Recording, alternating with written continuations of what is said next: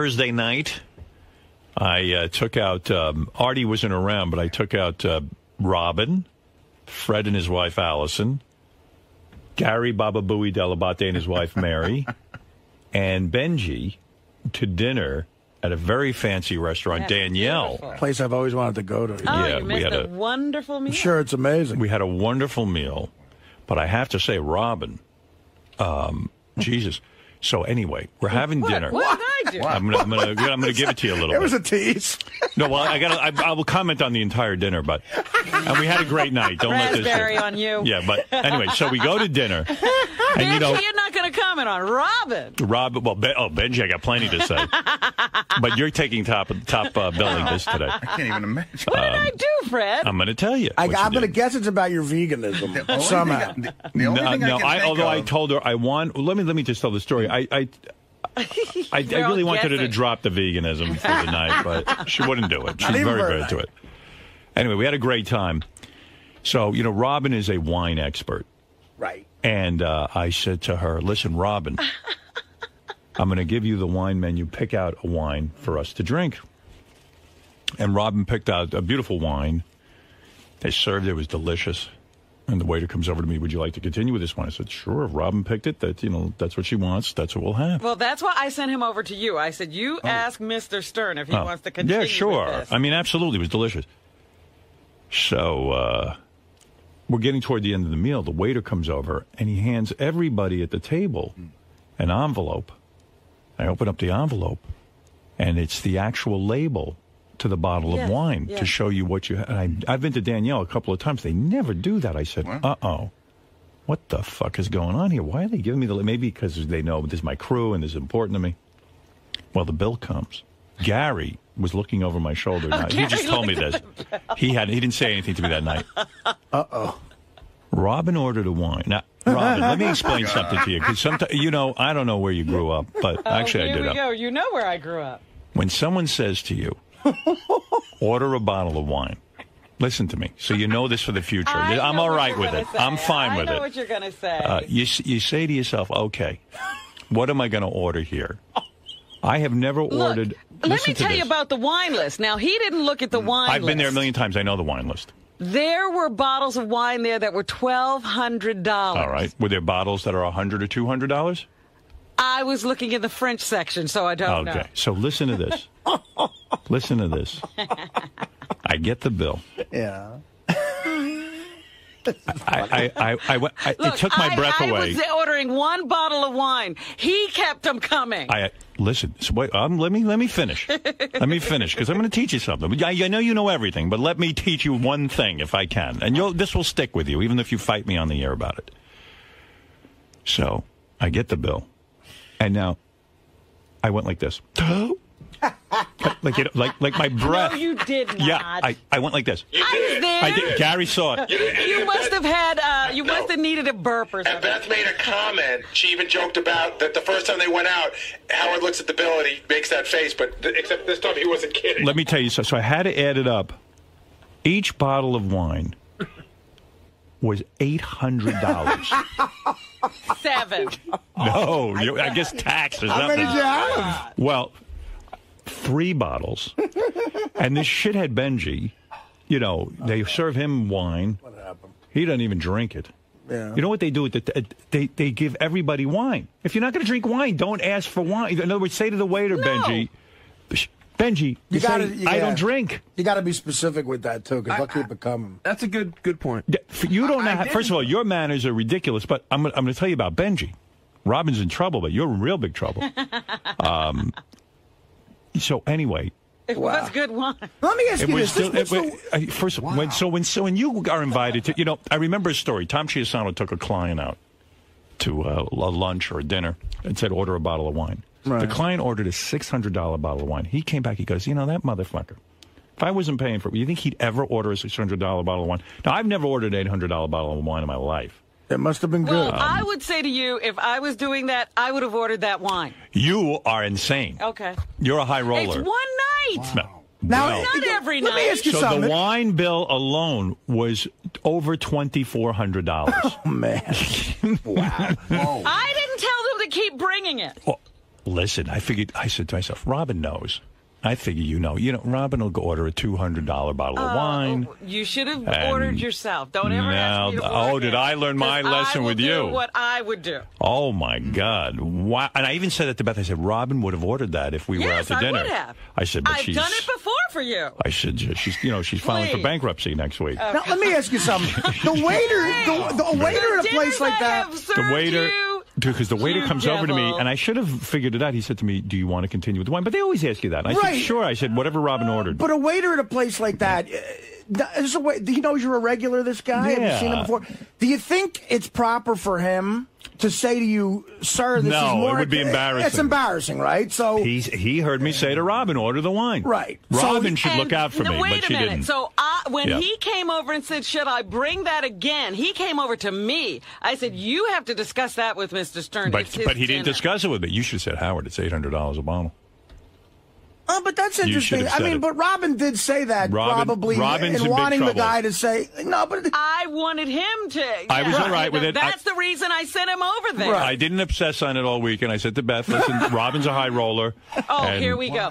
What are you saying, Do Fred? you think? I'm I'm flabbergasted. Go I don't on. think I don't think I've ever had a seven hundred dollar Well, now bottle. this was eight hundred. eight hundred. well, that must I have mean, I, tax I, I knew things were a little pricey because I ordered a scotch there before you guys got there, and the Trust scotch. me, the scotch was fine. and no, but the scotch is a little pricier in that joint than they are in a lot of other Well, the places. whole they have meal, the whole meal without the, the whole meal right. without the wine would have run me about uh, I don't know twelve hundred bucks or something. for that Which, amount yeah. of people, that's actually in is pretty good in like that, That's Manhattan. reasonable. But the twenty four hundred, Robin jacked it up to. Jeez. I'll pay you for the wine. No. I will. Here- here- here's the question I have. Look, all I can say is that Gary, am I right No, though? here- here's you're the question I have.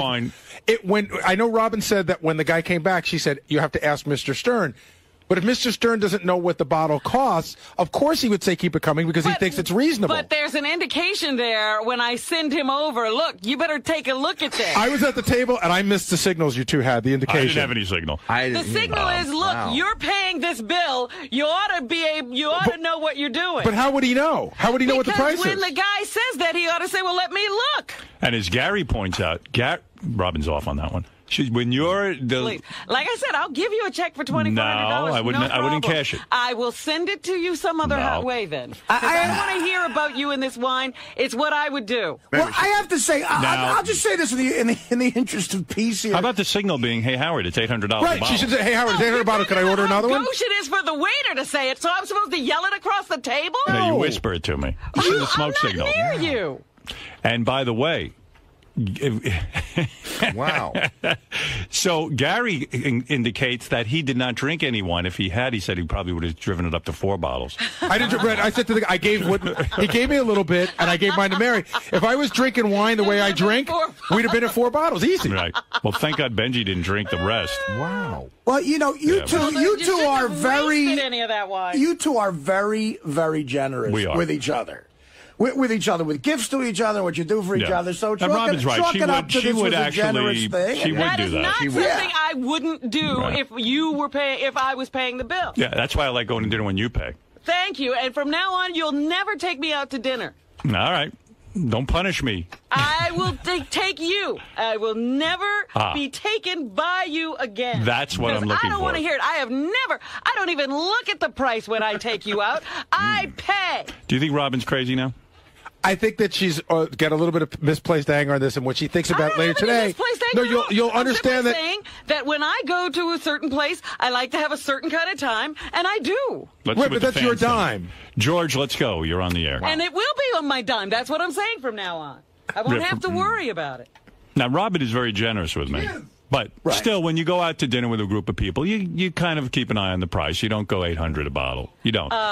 you don't. I'm just telling you for the future. Eh, You didn't go 800 a bottle. Mm. You just paid for dinner. I'm paying for the wine. Yeah, I would never accept it. I, I will give it to you, and you're going to take You've spent thousands of dollars on me. I'm going to give it to you, and you're going to. No, I'm just take telling you for the future. I'm going to give it to you, and I you won't take are it. going to yeah, I take it. get taken out um, to restaurants in Manhattan all the time. Right.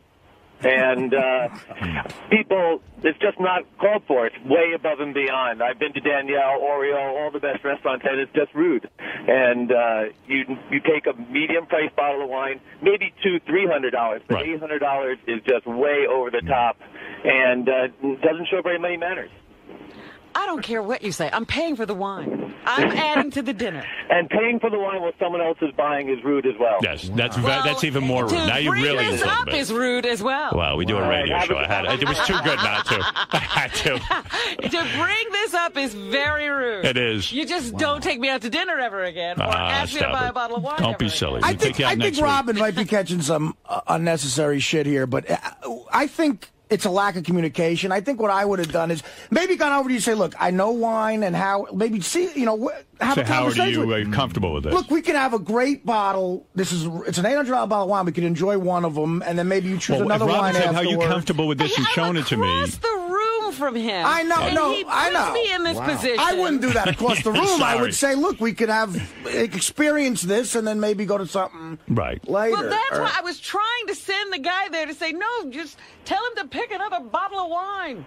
Uh, just say for the future when you go out to dinner with other people, not me. I don't, I wouldn't Um, do that. I'm always taking everybody out anyway. Yeah, me too. I always foot the bill. Now, Benji really is something else. So, first of all, uh, thank you, George. Um, Benji. Thank you, shithead. So, Benji. he probably takes nobody up for anything. well, he get knows to- rudeness. I, I say, you know, Beth said, let's make the reservation for 7.30. I said, listen, my crew gets up early. I knew Robin was leaving the next day. You were going off to, I don't know where you were going. You were going Flying to your, flying for an enema. That's another thing. Flying for an animal. Enema. And Uh, I wouldn't buy a $1,200 bottle of wine. Right. So I, so you know, I said to I said to Beth, let's make it for seven o'clock because I said maybe Gary's staying in the city. I don't know what's going on. when you live out in the city, that's tough to negotiate. Yeah. like, you know. So we make it for seven o'clock. You know, Robin, Fred, Gary, we're all there. Right. Basically seven o'clock. Within five minutes of seven o'clock. Who's not there? Benji. And he lives in the city. Now, uh, Benji really. Benji knows I'm not looking for him anyway. You know what I'm saying, Robin? I mean, he's right. he got he's getting in by the skin of his teeth into this group because he sits in the studio during the show, and I love Benji. Don't get me wrong; he's a good guy, but He's been here a decade. right, or longer, actually. you know. I, Quite frankly, you know, we've discussed this. Benji's there with should be in the Sal Richard category, uh, except that Benji works in the studio with us, so therefore he's part of that dinner. So I invite him, and no Benji. A half hour. Now everyone was hungry. We were all starting to drink, and I said to the waiter, "Look, I don't know where this guy is. I, you know, I don't know what he's doing." Half an hour late? Half an hour, Artie. Benji, you- so come what- on, you know where wait you a work, second. man. I'm not How even done. do This is just the beginning, and I'm sure Robin and Fred can fill in the holes, but yeah. and Gary as well. So I'm sitting there, and Robin knows I'm getting annoyed, Right. Because you know what? I'm only good for so many hours. And when I'm drinking, Right. it's like you know I'm And gonna I'm gonna fall asleep. And the waiters are standing around, and everybody's waiting for us to do something. We're waiting for Benji. Yeah. So we're waiting and waiting, and finally I said, "Listen, let's um, let's get some stuff. You know, let's let's get some appetizers and things." And when this guy shows up, and now I'm down to calling him this guy, like I don't even know him because I'm so fucking mad. I go, and I even said to Robin, I said, "What could he be doing?" You know what? You know he. Yeah, what's they- holding him up? This is an important function. I'm his, you know, His quote unquote boss. boss. You know. It is. It's, It's, a, it's a, um, a, you know, it's a time to be impressive. At the very least, be on time. it's a work thing. Yeah, and he knows I hate that he's not prompt because even on the show he pulls the same bullshit. Right. So he, maybe he got a mental problem. I don't know. So he walks in, fat as ever, sits down, sweating profusely. Now, Artie, you've seen it up close every day, but I mean sweating. Like he ran to the dinner in a suit. And then he sits his. I was thinking Robin was going to sit next to Beth, but Robin sat down next to Fred and I didn't Benji. see the chair open next to Beth. That one was for you. There was a whole discussion about where Robin will sit. But when Benji showed up, I was like, "Oh, where's he going to sit?" And then I saw this. He, you know, sat there. And without Sat Benji, you down. could easily have leaned over and showed Howard the price of the wine. There you go. exactly. Benji. That's Benji's fault that this all happened. So um, Benji sits down, There's a deflection. sweating profusely, Where were you? And his answer was, Gary, what was his, Fred, do you know? I know his I got the exact answer. answer. Go ahead, It Robin. is, I started to get ready at 6.15, 6:15. and I miscalculated. Yeah. Now, the guy has to throw on a suit and get and come here. I mean, uh, what? Yeah, who knows what getting ready is, but he didn't get ready until 6.15. Start to get ready until Yeah. 6.15. So like, like like like a chick, he shows up late. Like I'm on a date with this guy. Then he shows up, and so the meal is delayed. But 7.30 dinner? Seven Seven. o'clock. 7 o'clock Seven, all dinner. right. 6.15. He shows up seven thirty. so he orders a dinner. Now this fucking guy is so fat. I mean, how much you weigh now, Benj? About 235. Okay, two thirty-five. Shows up. He, he's not going to order an appetizer. He's not hungry. He says. Now I said, I mean, he's making all kinds of hubbub. Yeah, uh, yeah, yeah, like a whole thing. He goes, I go, Benji, look at the size of you. Stop Now I'm in lying so- yeah, that I you go, don't eat. Yeah, what do you mean you don't eat? What, what do you mean? What are you talking about? You're not gonna have an app. Do what everyone else is doing. Just fucking fit in. So he's carrying on. So I, he I calls attention to him. so I told him. So he orders an appetizer. What'd you get? The tuna tartar. Yeah. Okay, I remember. I was more obsessed with. I don't know what I ate, but I know what this fuck ate. And uh, he orders tuna tartar, uh-huh. which he barely touches. and and by the way, the other time I took him to dinner was Nobu, and he wouldn't eat any fish. Okay, so Now he's so- ordering tuna tartar. So now at the table, he orders fish, tuna tartar, and he orders a trout or something. I don't Yeah, know what he bass ordered. A bass, something? some Yeah. some bullshit. It was And a the bad whole ti- choice of fish. You know, and then all of a sudden he goes, "I love fish. I love fish. I love it." And I'm remembering at Nobu, he didn't love fish. Now this Didn't place has meat. This place has everything. They'll, they'll serve you a fucking duck and a pig and a chicken. They'll serve you game. They'll serve you anything you want. They'll, they'll kill a lion for you and cook it. I love fish. All right. You don't love fish. I you don't eat fish. At Nobu, you wouldn't eat fish. That's the greatest fish No, place in the not true. country. I ordered a fish at Nobu. I had salmon at Nobu. Okay. All right. So he goes, I love fish. I love fish. Mm. No, because you were yelling at me that So I we're, wasn't eating. so we're, well, wait. I said, "This is So we great. I start love it." eating dinner. Everyone's done with dinner. Benji's whole plate of fish is still, Still there. completely there. No. So I go, Benji, what's the matter? Don't you like it? I love fish. I love fish. The waiter comes over, starts. He says, "Can I have? Can I clear the table?" Benji goes, "No, I'm still eating mine." now, Wait, can I, Howard, can I just give you a timeline on that? yeah, yeah. So, so Artie, you've been at dinner with Howard. You know, Howard, Howard likes to move things along. So Howard claps his hands and says, "Let's order dessert," which is the signal to "Let's clear Get the table." dinner. Mm-hmm. Benji hasn't eaten anything yet. When the waiter comes, he says, "Can I take your plate?" Benji's in the middle of the story. He goes, "No, no, I'm going to wait." So now Howard's dying to move it along and have dessert, and Benji's talking and not eating.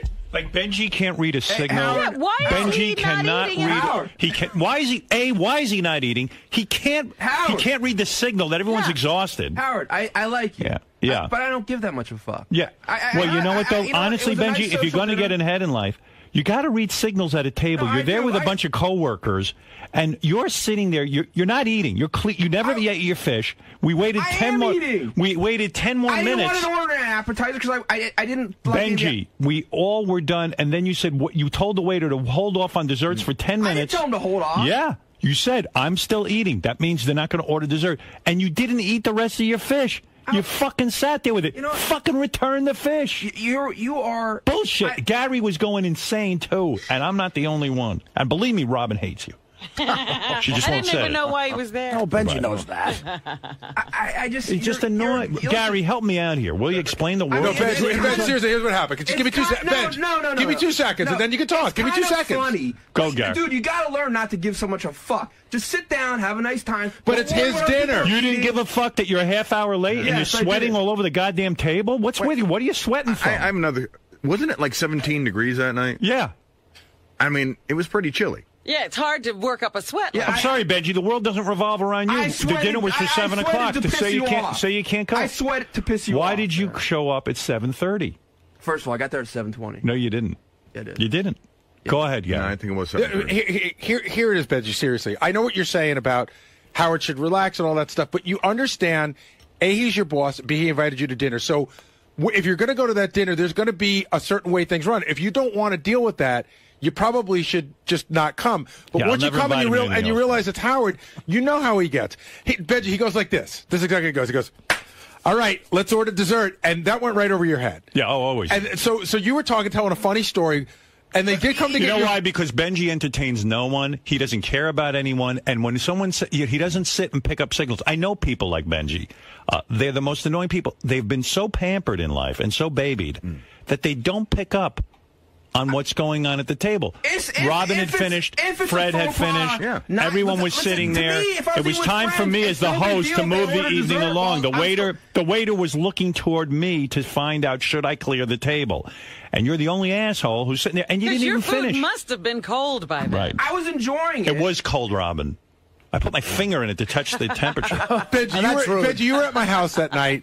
That Howard, you, you know that there's like a, he gets tired early. That's why we eat dinner early. Gary, you were tired too. Everyone was. Everyone You was get up early. tired. Why It was, a, you just it was fucking a, I order looked around the table. You Because were we were all waiting. yawning. Because out of, as a courtesy, the way manners are, you wait for The everybody to be waiter would- finished. I would have ordered dessert. Oh, don't get me And wrong. then you would have been mad. Why No, you why the you turning waiter- in your fish before you're done? no, with the waiter would not take our dessert order. He there's etiquette at There's a a fine protocol, restaurant. yeah. All right. You were holding up the table. At least eat time. your fish. I thought we had a good time. We had a good time. Not you. We had a good time without you. When you showed up, things got horrible. All right. Oh, mm, we had a good 20, we had a good half hour before things got bad.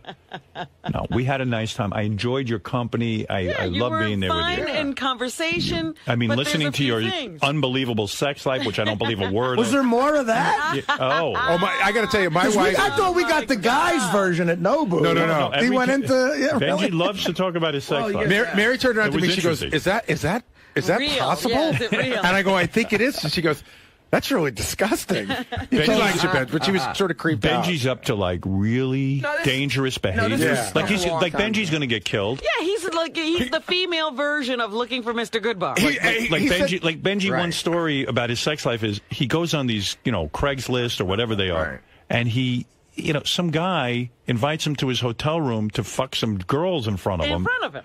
And like he's going into strange hotels. Right. You know, he's and going to he be, doesn't know who these people are. Yeah. He's in a strange location and nobody knows he's there. and when he shows up, doesn't the guy go, "I don't want to watch you fuck anybody," and the girls don't want to fuck Yeah, you. uh, that guy must really be. I said, Wait, I said, that really happened? Yes, and I said, Benji, aren't you worried? And he goes, Yeah. But, Yeah, uh, but, But did you fuck a, a girl in front of a guy? Yeah. Wow, that's that. And is he said the weird girls were shit. a like- stranger, Artie, a stranger at a hotel. they were models, right? He didn't come on my chest or anything, but yeah, No, were, they, no. were they models? Uh, they looked like it. Yeah. I don't know if they were. Yeah, he he he describes the scene. But meanwhile, would you go models. to This was somebody? a long time ago. I'm What'd dating he say? regular chicks now. and dating regularly. oh, they must be Wrigley? delighted. Well, anyway, so you know, Gary. And that guy, and I won't say, but it, he is famous. And that guy, if you want to, I would reveal. Don't Don't do that. No, don't don't do me What any the favor. guy I- I who watched you? that night Quiet. at the Total coincidence. Stop. Yeah, no, I He don't doesn't want know it. who I am. He doesn't know I know him. I don't want to. Oh, I think I know who he is. Actually, No, you don't. I think you told me. No, I didn't. Okay. Was it Sam Ben Ruby? no. All right. Anyway, so No, Sam would know Benji. Right. Sam would throw Benji out. I got to That's tell you. Benji. I got to tell you. Wow. This Benji's such a character. Right as I, a- I love him. I, I don't want to be too harsh, but he, he was. Actually, that guy scares me. If he knows, I would never reveal him. But understand something, Benji. Yeah. You're going to go out with people in the future. And forget about me. I understand you're trying to be eccentric. You think he's going to go out with people in the future? I don't know. I, I said that to make him feel better. But uh, if you do, you know, show up on time or when you see, read the signals at the table. Come on. Uh, or just keep up with what's going on. Yeah. There are no signals to be read. Everybody's doing basically the same thing. When their entree comes, they eat it. Right. Right. Yeah. Like that's the time to eat your entree. I- I Not was- save it. Don't save it for later. I was eating. And you, no, you weren't. But you realize never that you finished. hold on seriously, and I'm not being a dick, Benji. You know, did you notice that everybody's plate on the table? This is true. Was empty, and yours was completely full. Well, you guys are pigs. You eat so quickly. No, really, but but see, like you notice that stuff, and you say, either like I don't want to hold seven other people up, so I'm either going to eat quicker or I'm going to forego what's Like, left when, of my are you meal. gonna eat, when are you going to eat your dinner? I mean, what, what, what point in the night? And then we waited 10 more minutes and you still hadn't eaten it. You never ate it. right, you did You not touch what? that food from the time the Yeah, waiter you came. weren't going to eat. I honestly didn't realize that people wouldn't that it would con- be considered a faux pas for other people to order dessert while someone else is still eating. Yeah, well, it's not Denny's, you know. It's it's Yeah. it's Daniel. Oh, all It's right, like so we're, that's- we're having a that's cool. dining I- I- experience that together. Did, that didn't hit me until you said it. Yeah, I'm okay. sure there's no So Daniel in North Carolina. Listen, I'm not being I'm not being an asshole about it. That's the way it works. The waiter's not going to take desserts until the the plate the, the, the place is you know ready to go. It's not uh, done. You could see that the guy was waiting. if you had bothered to pay attention. Well, anyway, Write down the name of the guy who watched your fucking chick. Yeah, I'd like to know that one Yeah, myself. really. No, just you don't even. You know what? It, it's so boring. off for the air. Is I it know- I don't even- Do you yeah. know who it is? Yeah, it's it's nobody you know, and Oh. it's nobody Really? anybody knows. He thinks the guy's famous. The guy has a high profile kind of job. Oh. He would know the job, not the guy. Oh. Yeah. Write down the guy's job. I do have to say that, ben, that Benji's stories were I was riveted. Ben- They were is good stories. riveted. Benji's a lot of fun. That's what you should do in stand up, by the way. You should tell those stories. I wish I could. Hey, No. you know, But what's fun- Don't do it. he- th- those They stories he work doesn't tell. without, uh, some of them work without. as the stories were going, Beth started going further and further Oh, away. she almost crawled under Howard. She oh. she started moving closer to me to get away from the disease that has to be crawling on Benji's body. that they shouldn't even joke about that. Right. I would take a test on the air. Okay. Did you come to New York? Did you come to New York as someone from like you know the South? And I'm being serious. Did you come here with the goal of being part of that like outer fringe Andy Warhol gang, like New York City nook and cranny, getting blown everywhere? Like, Yeah, the underground crowd. did you want to that's be so a part of that thing? Or, I've kind of always been attracted to the uh, anything underground, not just sex. Just sex. It's it's more illustrated when it's sex, but I like underground. Stuff. right. Yeah, good Well, for it's, you. I mean, it is, dude. Gee, Artie, it too is- bad you weren't at the dinner. You could have asked these questions. I'm just saying, the it minute. is, it is dangerous. And had your dinner delayed too. It is. Da- Yeah. I, I, well, I wish you know. Look, uh, Anyway, we had a great time. I would love to have failed the piss test for an eight hundred dollar now bottle I of feel wine. horrible. Nah, come on. So I only bro- I would me never even bring it up unless we were on the Don't air. invite me anymore. I feel awful. Uh, I I knew you would, but I had to do it because it was too good to bring that's up how on much the you air. care about me. Yeah, I- the show comes first. How did Uh, Fred and Roberto, Roberto, you're on the air. Can I contribute a little at least?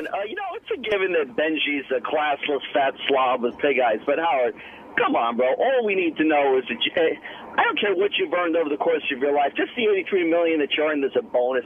You just pick up the check and, and shut up about what Robin ordered or didn't order. I mean, We're doing a radio show, sir. Now, I think we when would you enjoy an $800 bottle of wine with your friends? Roberto. This is a radio show.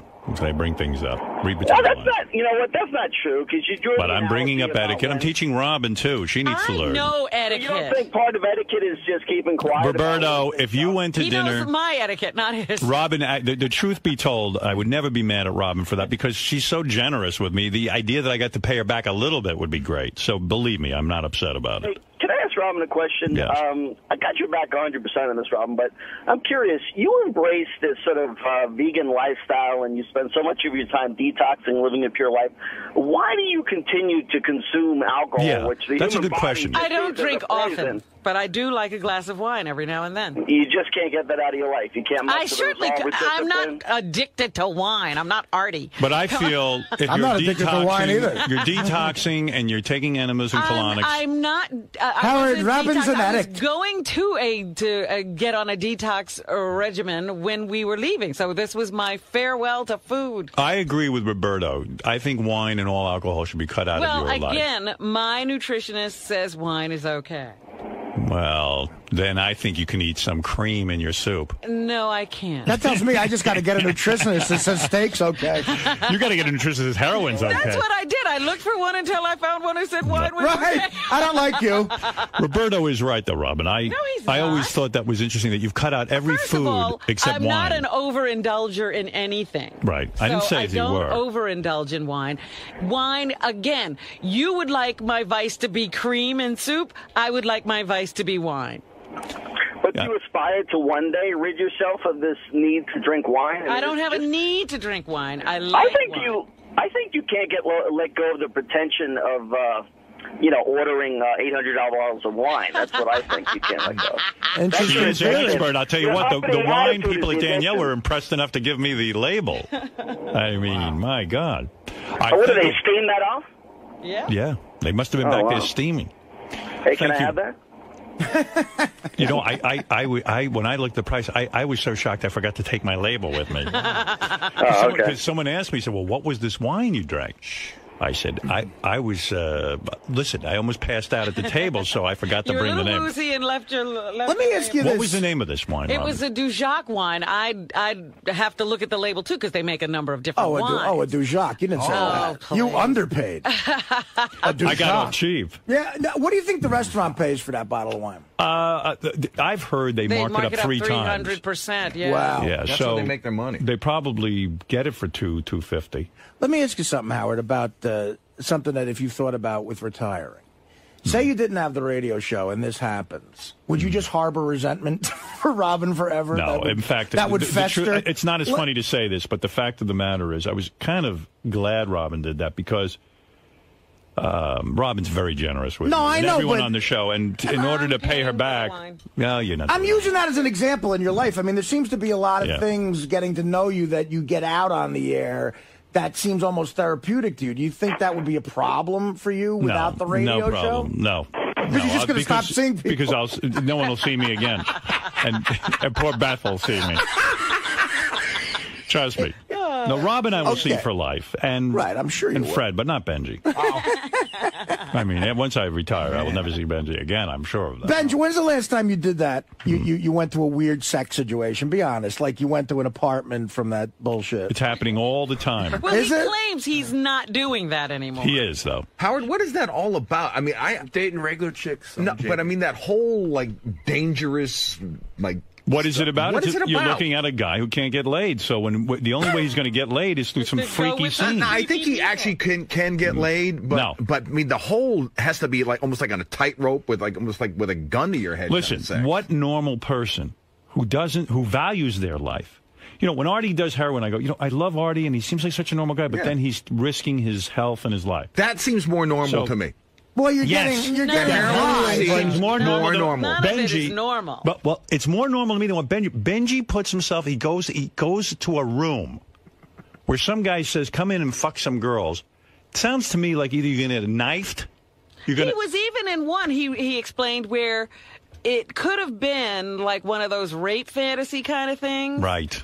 You know that's crazy because. You don't know how you're getting there. You don't know if this woman is participating in this. well, they You get so don't know- rush out of that. You don't know what Robin's saying is. How do you know those girls weren't given roofies? yeah. And, Right. and Ah, then yeah. they're going to accuse you of raping them. You know, he may not have AIDS, but he definitely has genital warts. Uh, I mean, fuck you, dude. Let's let's tested. dude. Why don't you come down here and I'll come down here and we'll do a doctor's test. Do you want me to examine your penis right now? He's the fattest AIDS t- patient Why do ever. you want to see his penis? I don't, Robin, but I will look for genital warts. We've all seen it, unfortunately. what, what? I mean, so you get a rush out of that more than sexual? You like the No. danger of it? No. Or- You understand? I- that- you, you, you know I like you. It, it, you know you're putting your life at risk. I am dating regular chicks now in a regular way. The, the problem is Do you know that there's something wrong with you? That you would go to a room where a guy just says, "Come, come over." I mean, don't you know that? Like, in the middle of the night. you don't have a bodyguard, you don't have a gun, you don't have nothing, man. You're walking in there and you're doing this weird thing. I mean, you don't know that's dangerous. Of course, it's dangerous. Do you but- value your life? Do you like living? Yes, Yeah. All right. but Good. anytime you get laid, it's like there's Listen, I want to get laid more than anything. Laid, getting laid is the main focus of my life. You know what I mean? It's the primary focus of my life for many, many reasons. Being inside a woman's not enough for me. You know what I mean? I wish I could go inside of you and then come out through your mouth. but you were crawl all the way up. right. you were exactly right when you said I don't get off at all on some dude being there. It's I'll take the No, opportunity. that's to, the dude that's going to take a gun and shoot you in the head Right. and rob you. or stab you. Lucky for you, you don't have any money. Did you ever see the movie Lis- Looking for Mr. Goodbar? You Nah. should you should rent it. Yeah, it was about a hot chick who gets killed. You, on the other hand, are going to get killed, and you're not even a hot chick. Right. Some people have that need I for. worry about you. I do. I- Yeah, like action, but he's not a gambler. You're not thinking. No, he's gambling with sex. Right. right. But I Right. it's more of a sexual thing. Like at the end of the movie, the, the, the gambler with James Caan, he he wins his bet and he he needs he needs more danger in his life. So he goes to like a a drug den and and tries to like you know n- get into a knife fight with a big bouncer. Like he Right. needs that action. Yeah, But it's action. the same as looking for Mr. Goodbar. She finally winds up with a guy who's mental Yeah. and clubs her to death. Right. But it's sexual. It's not like a gambling. Yeah, but thing. it- Benji's is sexual. You know, like he doesn't. She didn't know who she was taking home either. See, I don't know. I bet you can turn that off then. Ben- like if you he can't turn off. I'll Yeah, tell you, you why. can't. Benji, this isn't about sex, but Benji's lonely. Nah, I'm not. No, you're lonely. I, I have lots of friends. Hmm. I'm I lonely. do. I would never love- do that. Listen, I love I love sex. And it is hard because anytime you're home, you could just go out and get laid. Wouldn't it be safer than to go to a stranger's house? At least go to um, a, a, a well-known high-end prostitute, where at least you. Could, I know it sounds crazy, but then it doesn't feel like it's. I don't get off on that. See, because that's the you- you- danger. He I don't likes feel like I'm earning it. Oh, okay. Benji said something to me once. by I don't way- think he's going to care about this, but we, we were in. I mean, it, it was something that it kind of creeped me out, but it didn't. Uh, and it goes along the lines of this. Maybe you remember this. We, the last time we took the show to Vegas, we landed on the private jet, and it happened to be uh, the day of rehab at at the Hard Rock with all the strippers, and. Uh, they they got us an area, and it was me, and I was talking to this one, this smoking hot blonde was talking to me, and she she knew the show, and she was clearly like hitting on me, you know, Right. And, uh, and uh, I was sort of like you know drinking with her and everything. then he said to me, he goes, uh, "Don't you? Isn't it like a turn on to? to do you think like you could just be fucking this chick in like five seconds up in your room?" And I'm like, I don't know. I, maybe if I, you know, later on or something. He goes, but aren't you? Isn't that fucking amazing that you could just fuck her right now? And I'm like, he was getting too into the question. Yeah. And I, I was like, I don't know. knows Yeah, what was going on in his head. yeah, I was, I was starting to think like, what do you, what do you want to do? well, anyway, that was our dinner. do you Thursday remember night. that? That's the creepy moment. no, but because it was like you were, you were. I don't know All right, if I'm, you I'm wanted done with me. Benji. I'm done with Benji. Well, I wanted to Right. say, what a lovely evening. It but was. It no longer is in my mind. You know, Robin, you know when things went downhill? I saw the, uh, after Robin ordered the wine, the wait staff was high fiving each other. Wow. they were doing the sucker dance. they did the sucker dance in the background. All right. But I, I thought I'd had a good time. I now realize I didn't. You did not have a good time. I did not have. I will always remember that night. That's the most expensive booze You I've ever had? I've yeah, ever me consumed. too. I Well, never had the most. Me too. The the most expensive wine I ever had was maybe half that price. Howard, This do you was a- I never even had anything half that. do you think? Because I'm going to ask Robin this too. Well, again, if they're marking things up Maybe three it was. times, you're drinking the wine I brought you. was really a more two ex- hundred a two fifty dollar. Well, you're not- $250. No, You're no, not no. getting that I'm wine at saying Costco. The, it was retail wine. Right. The wine I bought you for a present, each bottle is more expensive than the wine you drank. Mm. By the way, did you hear Gary going off on you on the wrap up show? Oh my God! Did what you is hear that? all about? Did you What hear it? Now what? Oh my God. Hey, Howard, real quick before we end this, I'm do you? now giving up wine because it causes you too should much you, you, trouble. you with wine. You got to you got to hear Gary from the wrap up. But Dominic, what did you want to say real quick? How do you know that Benji's really doing all this? Because I don't. Think, think about this for one I think. I believe him. No, I, Well, everyone at that table, he was shocking some women that would would never ever think of this type of behavior, would find it disgusting, and, and for a moment he makes himself the most important person at the table. Mary certainly, Robin, Right. Beth, all these women are hearing these horrible stories, and while he's telling them, everyone's looking riveted to him. I doubt he does any of this, and I'm serious. Well, you make a point. I, he it did make him the star of the night. Let's and- verify. But it was fun. I, I allow you if you want to put it on the air and get those people, you can do it.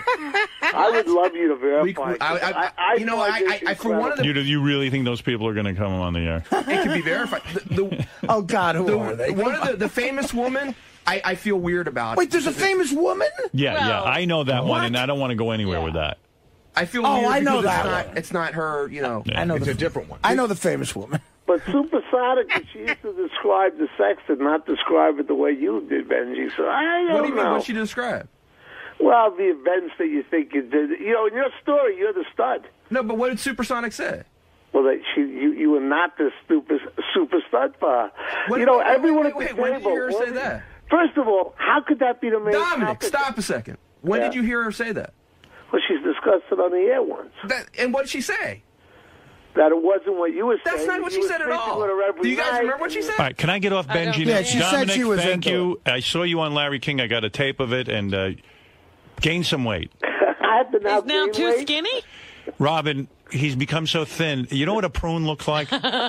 he's like a, he looks like someone stuck a pin in him. Oh You no! think I look He's too thin now, really? Yeah, you, you look better heavier, maybe. I don't. You don't. But your health is probably better, so I'm happy for you. All right, goodbay. All right, Dominic. There he is. Anyway, Howard, so do you Gary, think you could tell the difference between an eight hundred dollar bottle of wine and a two hundred dollar bottle of wine? You know, I'm not that sophisticated, but the wine was very good.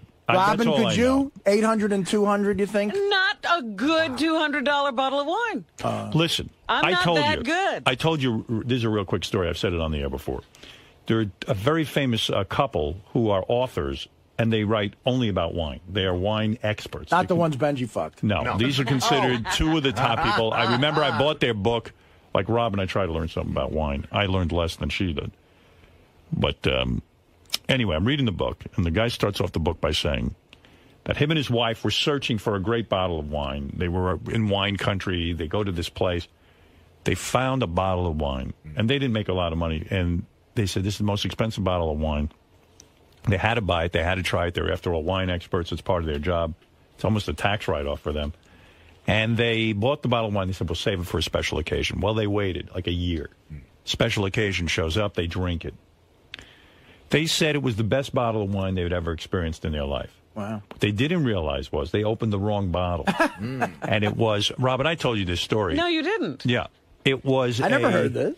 The, the wine was a $10 bottle of table wine from, um, I can't now remember the name. I Uh-huh. t- I've told this story once on the air, and I'll look up the name. I went out and bought the $10 bottle of wine because they said, we were fooled. We are wine experts. We spent our lives on this. And to show you how sometimes this can all be bullshit, Yeah. we thought this $10 bottle of wine was the best wine we'd ever had. We have to be honest about it. Nothing is bullshit. Right. It's all, you know, who knows what the value of any bottle of wine is? Right. It's what people can get for it based on their marketing and Yeah. distribution and, you know, the value of their name. Anyway, so Gary gave it to you on the wrap up show. This is another wine thing that's gotten you in oh, trouble. Jeez. Here's Robin getting blasted. I mean, wow. Why do I even bother to try? All right, here you go. This is really Robin. Just because we both got you wine for your birthday? Is this Listen what's to what Gary says. And by the way, I had heard this rap off there. He'd come to me about this. Really? And uh, I didn't know he was going to go on the air with it. I don't know what's going on around here. I was really angry in the office this morning, and be- this is totally real. I bought Howard a birthday present, and I brought it on Monday, the day of his birthday, and I put it in my office. And I just happened to mention to Howard when I was there earlier, "Hey, I just want to let you know, I got your birthday present. I'll just have Tracy get it over to your house." And I said, you know, I explained what the wine was. It took all of 20 seconds. He said thank you, and it was great. Robin announced that she was bringing him wine. So we did that whole wrap on the air. So we know that Robin's bringing him wine, or, th- or that's what the present is going to be. Ronnie walks in this morning like he was her uh, cabin boy. Like Robin walked in in a full length leather coat with mink or some chinchilla or something around the edges, and Ronnie was carrying these two big boxes. Robin puts them down on Howard's console right before the show. So there they are. You know, so now Howard knows he's got the wine. Now Robin insists that he opens it up on the air. We know it's wine. You know, I think it's just slowing down the show, and I don't understand what the big show of the gift was about. And I thought, yeah, she kept saying, go inside. There's like a big payoff. Yeah, the payoff is there's a, a note that says these bottles were handpicked by Robin, which they weren't. and you know, it's wine. It's a wonderful gift, but I don't know what all the fanfare was about. So you took it on the chin twice now about wine. About wine. I think I'm giving it up Yeah, because it's it enough. just causes me trouble. you, you, you have to go to a new drink. No more wine for you. So uh, there you go. You want to answer Gary uh, for any no, reason if why? he feels that way, I'm sorry. Good for you taking I the high road. Wanted you to open the wine and read the note. That's all. Well, he took great offense. Wolf, I don't Wait, wait, understand. wait. It slowed the whole show down. I could have said, Howard, I want you to open my wine. Right. And the big payoff was, this is the wine that you said you loved that you couldn't find, and I somehow found it for you. And I could have, but, but eh, I don't know why we would do that on the air. In other words, you're saying you can't understand why Robin had me open it on the air. We knew it was wine. Wait, we knew it was Like- wine, and we knew she handpicked it. Okay. Well, no, you were claiming that it didn't handpick. Well, you probably had some help, but okay, but fine. Say, say I'm off on that. That's a minor detail. Why did Howard have to open wine on the air that we knew was wine? I just wanted you to know it wasn't a last minute gift. I had done that a while ago. Ah, right. right? What? I don't know. I had you enough guys with wine. just love to argue about nothing. I, I don't want to hear about Benji anymore. I want to hear about wine. I'm done with wine. I love wine, but uh, thank you, uh, everyone. I had a great night with all, Ugh, don't thank me. except for Robin. God, I hate you now. Robin, Oh God, yes. how are you doing about this whole wine thing? this is not a good day for me. I don't want to talk about it. Ben, so how did uh, how did the dinner go the other night? With Howard and everyone? I thought it was fun. I thought I had a good time. I thought everyone had a great time, but uh, apparently it wasn't as great as I thought it was. And what was it with eating so slowly? I I use food as a drug. So if I'm out at a social occasion and I'm you know I'm eating, I enjoy the social occasion. It's when I'm alone or in a confined situation that I'm picking out. So I, I I'm not a I'm not the pig I am on air or at home that I am out in a social restaurant. How was the wine? Did you even try it? I, I had a sip and it was great. It The was wine's good. not your thing? No, I, it was. Uh, this is too convoluted of a thing to really get into. I mean, it was. They poured me wine. I was gonna have it towards the end, but someone said, "Oh, you're not drinking. Let me just have the glass." So I let them have it. So you had a good time at dinner? Yes, I thought so.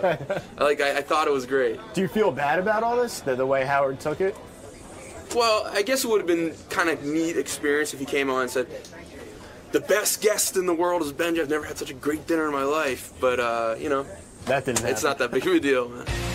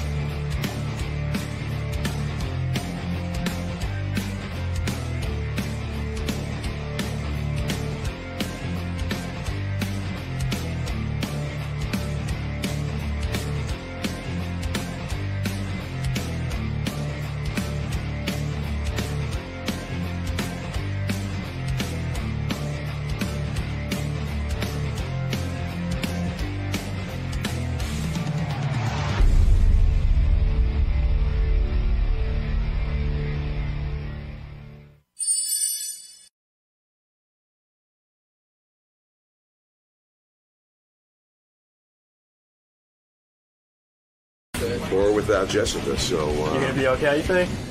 I don't know. It's pretty scary. I, I usually have them to like lean on. All right, well, good luck in there today. Oh, thanks. Thanks a lot. Bobby Schimmel is here. He's a top comic. Everybody loves him. I think he's got a new CD out, because, a new DVD. Because uh, I was going through my mailbag yesterday, and I see a, a very big picture of Schimmel and DVD and the whole Uh-huh. thing. I think it's a new DVD. So I think that's what he's here Okay. promoting. Uh, also, Bob Schimmel's comedy special, Life Since Then, on Showtime. And he's got his book out. You know, he's a busy guy. He's a, he's a working comedian. Here, here's the guy. This is the guy I'm talking about, Bob Schimmel. You've heard of him. There he is. There he is. Yeah, Looks you know- like Steve Jobs. yeah, he looks a little like Steve Oh. Jobs. no. A little? Yeah, you do. do I, did anyone ever say, Mr. Jobs, what do you have? Do you have an iPod for me? I wish. What are your new ideas? I know you um, like cupcakes, and I know it was your birthday. So Wow, look at this shit. Thanks, Bob. You know, Bob, you don't look real happy giving somebody cupcakes. You look like you're annoyed by it. Well, but, but put the headphones nice on. of him. We can't hear why? you. You can't hear me if I No. don't have these No, on? we don't. We uh, the have a microphone is in there. Oh, that, and you don't. So I buy them, and you know I'm trying to do a nice thing, and then Gary goes, "What's that?" And I said, "I bought cupcakes for for Artie and you guys." And he said, "Well, do you know that Artie and I have cupcakes named after ourselves at a different bakery?" so it's like I can't even get it the Well, right I'll cupcake. tell you what. This these are first of all, I guess we, we do have a show bakery, but these are unbelievably expensive, fantastic cupcakes. What are those? Uh, They're from a sp- other another bakery in town uh, wh- that just opened up close by us. Yeah. But these are amazing. Oh wow, thanks. Do you think you're enabling Artie when you come in here with cupcakes? You know Artie is obese. It's a nice gesture. He's got he's got a weight problem. Look, The look one- At, look at this cupcake. Yeah, that's Wow. the, that's uh, Johnnie Walker Black. Is it really? no, what is that cupcake that uh, Artie's uh, I think it's devil food cake. Yeah, I'm, uh, Howard. These Let me are see, Artie. crumbs is No, amazing. there's enough for everybody in there. There's a dozen. Wow. Oh no, there isn't. Art, those are Artie's. That's Artie's portion. Let me ask you something. Do you eat cupcakes? Because you, you're wasting away. What do you weigh now? Do you know? I'm not wasting away. Wh- You look very thin. I've been on this press thing for like Disturbingly thin. Disturbingly thin? Yeah, you're a little too thin. Okay. Am I right, Robin? Steve Jobs, thin. That's why I said it. Yeah, you look Oh, a little like. Oh, Steve Jobs. Is your health okay? My Since you- health is terrific. Can I ever be on here without something being wrong? I mean, I walk in and I look like Steve Jobs, like right out of the gate. I don't mean to be petty, but it's not it, it was my birthday, and Artie is And eating you the got. Artie cupcake. You got Artie Well, cupcake. you know- Artie took grabbed my gift and ate it so fast. like you're gonna fucking eat these. I'm just Cupcakes. saying, And you know what? You're missing out. These are Look. fantastic cupcakes. worth the extra calories. If I wasn't paying the uh, child support I was, I would have bought you a guitar like McCartney did. But you know, I can't. So, and I'm going to say this box cost easy a hundred bucks.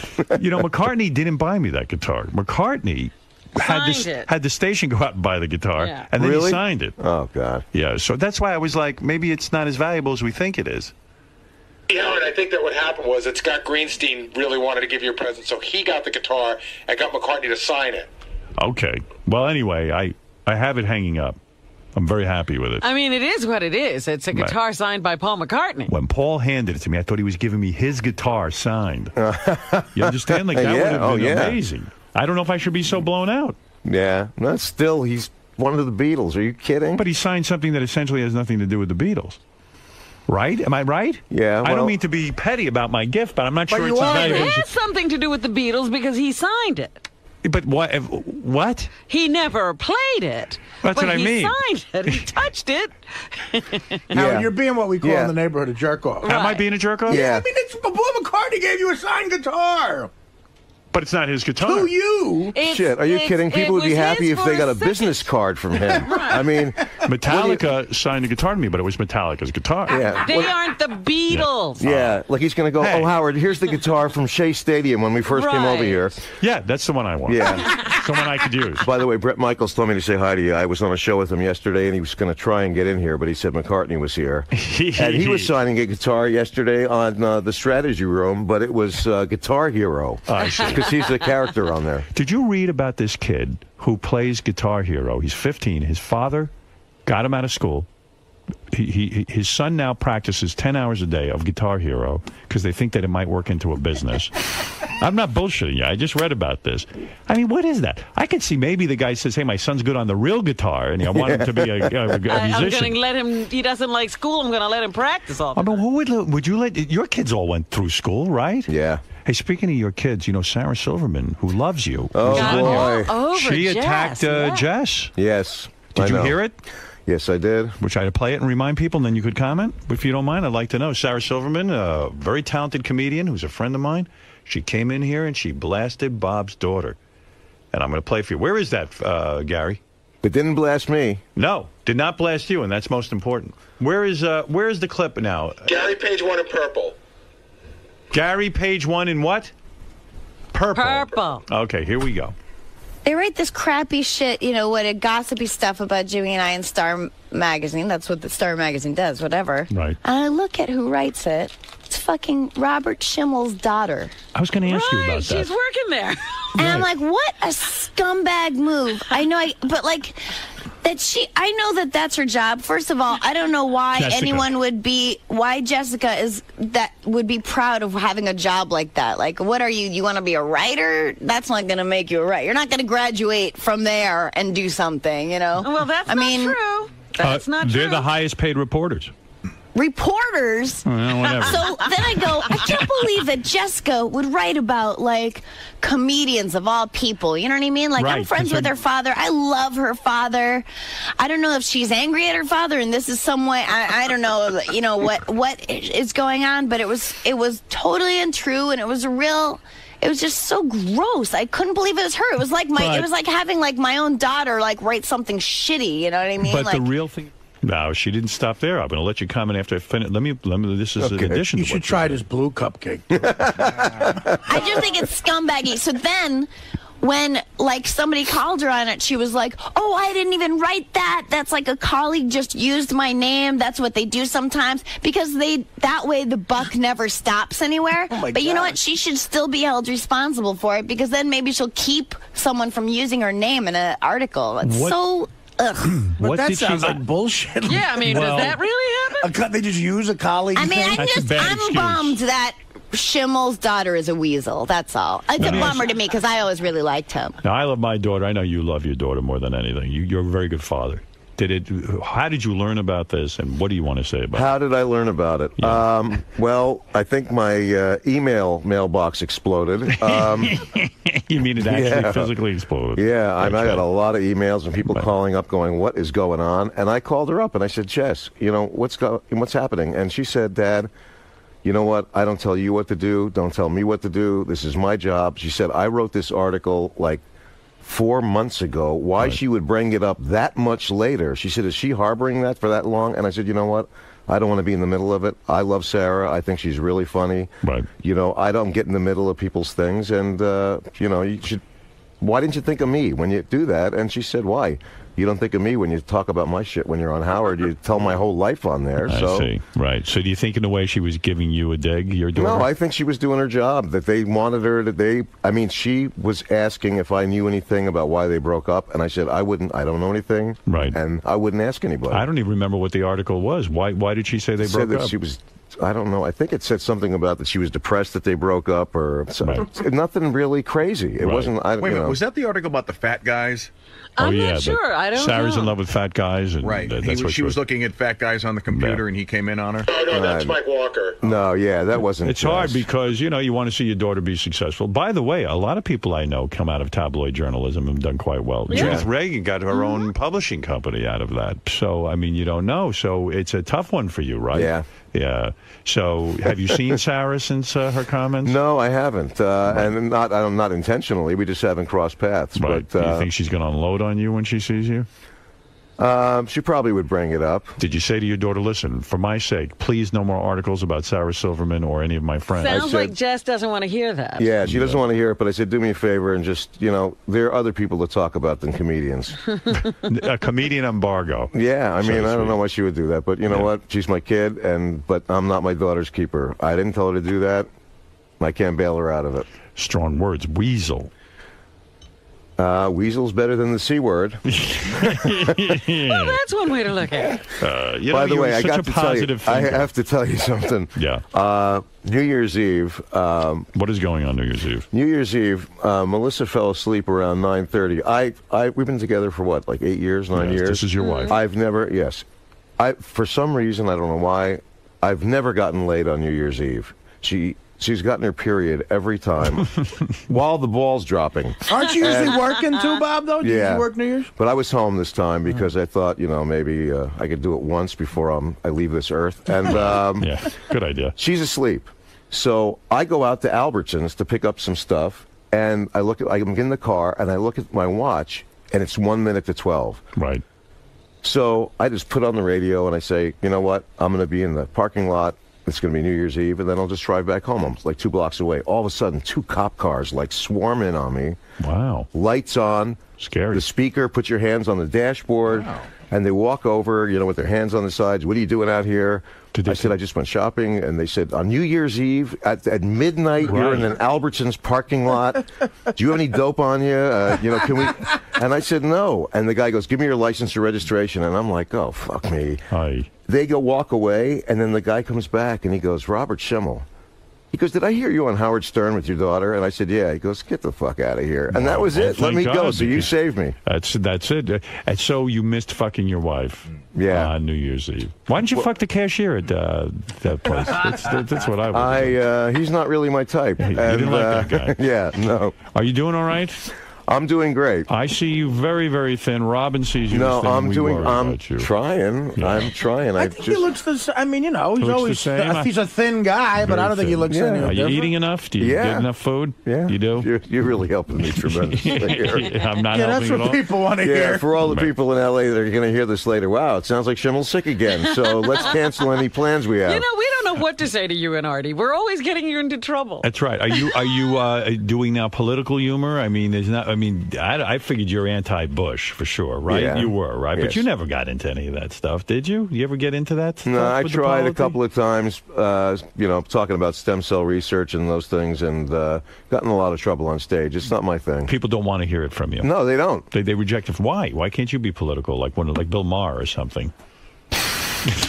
you don't want to be Why? like Maher? Yeah. Probably the same reason why I can't do regular material on this show for the last 10 years, and I got to talk about how my family's falling apart. Otherwise, and your family not. falling apart? Well, I do have to tell you that uh, Are you getting a divorce? everything is great now. Um, How you doing? There was so many repercussions after the last time I was on. It was unbelievable. Why? What did you do? Well, I was on with Melissa. It was a year ago almost. Yeah. Okay, Oh, so remember when- Melissa was here. I was here in February when the book You were came here out. with your wife. I remember. What Yeah, could but you they so were she having was sitting trouble. here, Yeah. and then Jess came out. Right.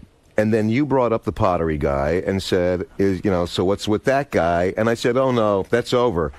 now she's fucking the yoga instructor. so the yoga instructor and the wife were listening to the show. Oh. And you asked her that thing about kill one, fuck one, marry one, the yoga instructor, the next door neighbor. Right. I'm going to give you an F Mary kill. The pottery guy, the yoga instructor, and your hot neighbor, the girl. You have to F one of them, you have to marry one of them, you have to kill one of them. Go ahead. Uh, I guess Kelly would be the one that I would be with. You'd fuck or you'd marry. No, I guess I would marry Kelly. You know, that's so It's a screwed hmm. up. But I, I don't want to. I would kill the pottery instructor, Well, that's good. and You'd sleep with the yoga guy. I guess I would sleep if I, if it was just a one-time thing. I so guess you it would fuck the to be yoga guy. Well, Who's because probably I, listening right now. These people live in Calabasas. It's some of them have never been to Hollywood Boulevard or Sunset. Right. They think this shit is real, and I know they don't see it as entertainment value. Right. And then you got neighbors that all of a sudden you're not invited to the card party or the pool So party. you were an outcast in the neighborhood. Uh, Have you been ostracized? Yeah. Some people are going, you know, please don't talk about us when you go on there. Right. They don't want to hear it. This is everywhere you go. Your family says it. Your neighbors say it. Yeah, and your Yeah. ex-wife says it. My ex-wife, my ex-wife is hitting me for so much money now. But I thought you divorced. How could she we hit are. you for money? I don't Because they could always come back and revisit and uh, go for more child support. Right. And I am giving her so much right now that literally I could I couldn't even afford to get divorced again. Right. I mean, if I went home and caught Melissa in bed with like three guys at the same time, basically all I could do was say, "Everyone set with drinks and snacks and everything." I mean, I, but you but you worked through all of this in the court. You paid. You, your divorce was finalized. yeah, but it's not over. No, it's not. Because your child support. Child support is never finalized. Wow. Aren't your kids in their thirties now? Oh, that's No, right. Jessica's 30. Right. And uh, we'll see if she turns 31 after this thing now today. And uh, At least she's supporting herself. yeah, I'll my give her that. daughter's, uh, Aaliyah's 18. I have a son that's nine, one that's five, one that's three and a half. Jesus Christ! You just do not let up on yourself, do you? No. No. No, Man. no, I think maybe your theory is right. yourself into yes. this situation. Is your uh, how you doing with your wife though? The, the, the present wife, are you, is she cheating? Uh, I don't think so. You don't know for sure. I. You don't. Whoever knows for sure. Do you, I. uh, do Uh, you keep tabs on her? Do you ever uh, like one of our guys, Sal, caught his wife getting text messages from a guy one four three, I love you, one four three. I mean, the poor bastard is like uh, beside himself. No, but I did. Uh, it's kind of weird when you're on the road for like two weeks and you come home and the first thing your wife says is nothing physical happened. I, I don't know what that means exactly. Uh, you Did know, it really deteriorate? She seems so in love with you. At no, she is in love with me. I don't we, know. We're, Doesn't we're sound getting like it. along great. We are. We're getting No along fucking. great. Uh, No fucking on New Year's Eve. I didn't Oh, say ever. right, I mean, it. we did it in June. Um, I worry about you sometimes. You know? I know. I don't No, want you to get so great. depressed that you're I'm not, not funny. depressed. I mean, you know, you got to stay funny. That's the, Yeah. that's the key. I'd like to be. You're leading me into areas where I can. I have to defend myself that I'm not dying like today, or that my kids are, f- are fucking around, and, and my wife. I mean, so where is the comedy? Boy, I never heard of a wife being able to ask for more child support. Yes. Oh, you've heard of them reopening, No, these, reopening these cases over and over again. Gee whiz. Nothing physical happened. You know, I would believe it if it was my ex-wife, because if she was a ride at Disneyland, it would be a ride you wouldn't need a seatbelt for. Well, I've had some of the best naps in my life laying on top of my ex-wife. Oh. Do you are you saying that you think a woman is only good in bed if she moves around a lot? Well, I'd like to, you know, I don't want to feel like I'm impersonating a necrophiliac. So, but do you think some of that could be your fault? In other words, maybe the man of course she's it's with. my fault. yeah, I mean, you get on top of her and she goes, "Oh, I don't even want to move. I mean, this is not fun." I don't even me." have to get on top. I could all I have to do is say, "Hey, you want to do it?" and they're going, "Ugh." So it's. Uh, Are you bad in bed? am I bad in bed? Yeah. Uh, not when I'm by myself. I'm not. I'm, I think I'm pretty good. Uh, It's just I hate to see you go all all the waste. I mean, you're such a I'm not guy. going to. I'm going to be 59 tomorrow. Wow. Do you want to get off the road? Do you want to stop doing these comedy appearances? Are you How's done with he it? gonna do No. that? First Yeah, of like all, it. I love doing it. Second of all, Gets you uh, out of the house. yeah, it gets me out of the house, and, and I want to be, you know, if I keep going, I could actually literally be the last comic standing. Right. You don't, you don't be- care about the TV show. You want to be the last comic standing in the world. For real. Yeah. I want to be 75 and work in the funny bones. Right. So, uh, and also, when you go on the road, it gives your wife a chance to socialize with uh, people. I would Yeah. imagine, yeah. Anyway, uh, you've got to go see Robert Schimmel's comedy special, Life Since Then, on Showtime. That's a big accolade when you can have a show on Showtime. It's been uh, the last hour special I did was in 2000, right before I got diagnosed. Isn't this a lot of So pressure for- for you? Because now, when they put it on Showtime, you have to come up with a whole new act when you travel around the country. You can no longer do that act. Right. Am I correct? Yeah, you can. I think you could do it once because people want to see you live. That's only saw you on Showtime. Right. But the second time around, it's not like a band where you could do the best of. Then they go, "We've heard this already." I'm on Conan tonight. Ah. I uh, we. I taped it. I'm curious to see how much it's going to actually air. What did you do on there? Well, they make you go through standards and practices, and you have to run the whole set. It's a whole different uh, set of rules on No, it really is. television, And they're really great to me there, but, you know, standards and practices is really, really sensitive. So I was going to do this thing about um, me going to Puerto Vallarta and going parasailing, and that I'm standing on the beach wearing a parachute like a mental patient. Right. And then this rope pulls me into the water and up in the air. And when I'm up there, I get diarrhea and I'm shitting on the, you know, while I'm up in the air. And they said, oh, no, no, no. You can't say mental patient. No. You can't say mental patient. Yeah, you didn't because get up they're to afraid. No, the diarrhea thing's Right, okay. yeah. The mental patient, forget it. Wow, no kid. I'm shocked by that. Yeah, so then I get on there, and you know, Conan says, "Have fun," and so I think he really means it. So I go out there, and I said that uh, my wife, we were in Maui, she wanted me to go on a three-man sub with her, and I said, the way my life works. This guy's going to take me to the bottom of the ocean, stop the sub, and say, you know, here's the part where one of you guys blow me, or we're not going anywhere. and, and you don't know my wife because she'd be going, Bob, you better hurry up because we're going to miss the luau. And I didn't run that by them. And I looked at the audience and I said, you know, I don't know if any of you have ever had sex on a submarine, but my ears were popping like there was no tomorrow. well, I got off and they said, what? You didn't run that by us. Right. Well, you didn't. And I said so, and they said, "Well, you're you're you know hinting that you had sex with a guy." and I said, "Yeah, but he wasn't a mental patient." you know, you are so right about this standards and practices thing. I read a thing in the paper. Will Ferrell was promoting a new movie, uh, a play. A play And- on Broadway, And yeah. in the and in the commercial, he says douchebag. Uses the word douchebag. Now I know because I've been through the mill with the word douchebag. I used to say it on the radio in Washington. When I came to New York, they stopped me from saying douchebag. They took Will Ferrell's commercial, they pulled it off the air. No douchebag. Can't say that. And I was very shocked by that. Was the first time it ever happened to me. I mean, what do you mean you can't say douchebag? What's a douchebag? They go, well, that's a bag where women put in uh, Douche. in their vagina Yeah. and this and that. I said, you're being a little too literal. I think. Yeah, I no, mean, they really do. Because actually, the beginning of the bit was that I was claustrophobic and that I can't even go on the sub at Disneyland. And uh, that doesn't even go underwater. And I said, now they changed it, and it's like ne- it's the Nemo ride. It's the same fucking sub from when Disney was still alive. They just have a different color fish they shake in front of the window. so there's like a line, and it says two hours from here. So I said, to, when I was running the set, I said, I told my kid, I'm not waiting in this line. If you want to go on this ride, you better start stuttering or limping or something. Because, I, and then he was like, you know, I did a Nemo. They said, no, no, no, no. You can't do that because somebody might call and say, hey, my kid's like that, and that's not funny. I can't believe you're still at that phase of your life where you're going to Disneyland, Nemo, all this stuff. I mean, have you a got these young five-year-old and a. This is three-and-a-half-year-old. You're too old for this stuff. No, I'm not. Yeah, of course. I'm too old for this stuff. I'm younger than you. This is too much for me to, to even comprehend. When was the last time you were at Disneyland? Uh, never. There you go. Hey, uh, so you're going on Conan. You Yeah. taped it already. Yeah. Now, are you allowed on Kimmel now that Sarah's mad at you? I think maybe you'll Um, be banned. No, no. I actually I got asked to be on there, and I don't think that there's a connection between that, and and I don't think he connects me to Jess, just like she doesn't. All right, let's see. Not because really. I don't know because Sarah has it in for you and your daughter. Not for me.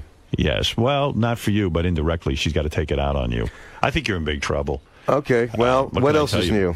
Uh, Bob Schimmel, uh, as I was saying, a comedy special, Life Since Then, this month on Showtime. That's a big deal. What's that, an hour? It's an hour. Premiered last night. Yeah. The DVD of Bob's special is available at Amazon.com. Yeah. Thanks to all you pirates out there, they're releasing the DVD the same time the special comes out. And Bob's book, Cancer on $5 a Day, is still available on paperback. It just came out on paperback. Right, right. It was available in hardcover, cover, and now, Now it's in paperback. paperback. And uh, let's take a couple of phone calls. Hi, Matt. You're on the air. Bob Schimmel is here, and you're in Pasadena, California, Matt. Yeah, I just wanted to uh, apologize for something I said to Bob like 10 years ago. What'd you say?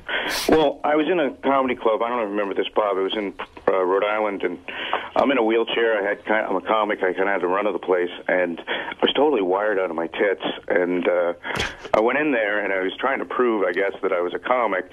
I had worked with Lenny Clarke the night before, and he got out of doing this interview by saying he had a thing the next day with uh, early in the morning for kids with cancer. And I go, I go to Bob. I go, can you imagine that? Kids with cancer. Does it get any better than that? And it wasn't until the next day when I sobered up that I realized, holy shit, he was looking at me like, are you an asshole or an idiot? You know, most What kind of thing is that? I don't even understand this story. It's well, crazy. the most famous thing, if you only know one thing about Bob, is that he did this incredible bit about his kid dying of cancer. Yeah, I know that, but uh, yeah, it was on this show. It's Yeah. that that's the only place I ever did it. yeah, but we feel very honored, by the way. Yeah, that Bob would do that here. But anyway, I'm really sorry, Bob. If the, I don't know. All if right, remember. thank you, man. That's okay. You know what? I don't. I didn't even remember that you did it. And I I, can't and I don't know don't what remember it. wired out of your tits means, really. Yeah, that's that sounded very strange to me, and quite frankly, From a guy. Yeah, I don't think you really let the audience affect you when you go around the country doing these shows, do you? No, well, I don't want people to be offended. I thought he was going to say that he was offended that I did a joke about a wheelchair and that he came over and he was in a wheelchair. But no. I almost fell asleep during his story. Quite frankly, I, I, couldn't, I couldn't even believe it.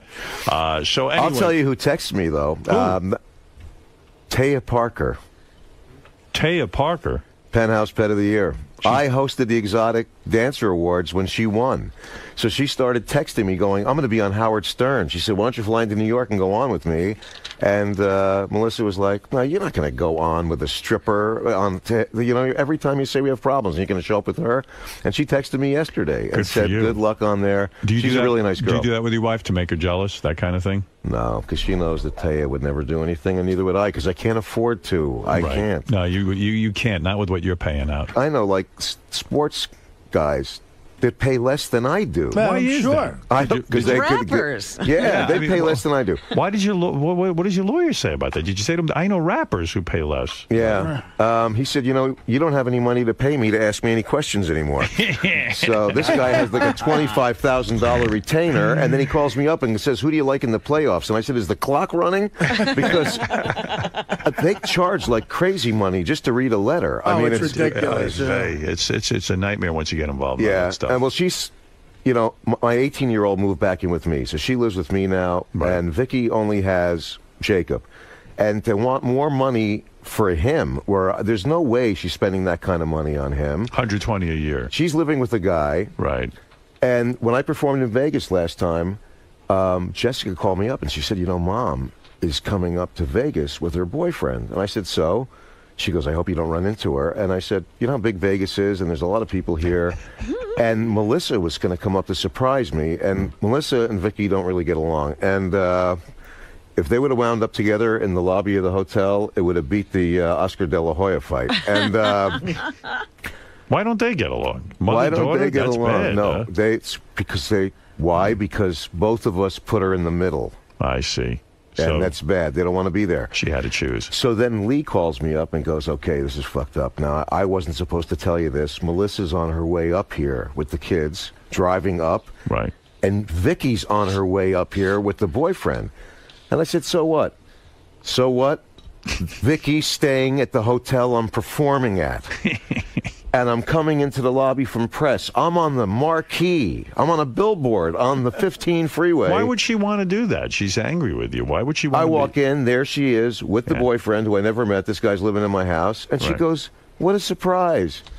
Yeah, it would be a surprise. surprise if you ran into me in the ladies' room at Circus Circus, not here in the hotel that I'm working in. Why would you show up here? And, and then I'm not making this shit up. You know I'm not. I know. I, And then I said, I want to meet your boyfriend because I haven't met him. He lives with you. She said, There's no reason for you to meet. And I said, Yes, there is. I have a nine year old son that lives in the house with this guy, and I've never met him. That's true. So then the guy comes over. I said, You know, I just want to tell you that Aaliyah, my daughter, and Jacob told me that you're a really nice guy and you treat them really cool, and I really appreciate that. Right. And he said, Can I talk to you man to man? Mm-hmm. And I said, Oh, why? Could, could one of us be a girl? I mean, and he puts his arm around me and takes me like three steps away, but in earshot of Vicky, and says, "You know, why don't you be a man and step up to the plate and give your money, give some more money to your wife because we can't live on what you're sending. We, we can't live on what you're sending. Wow. And that's exactly the amount that she's asking for is the amount he asked for in the lobby at the Monte Carlo. So then that wasn't enough. D- does he work though? I mean, can he uh, help uh, out with? Uh, I mean, Why No, would he's he? Why would he when Yes, they have why a? would why would he when they have a Jew donkey like supporting them? So um,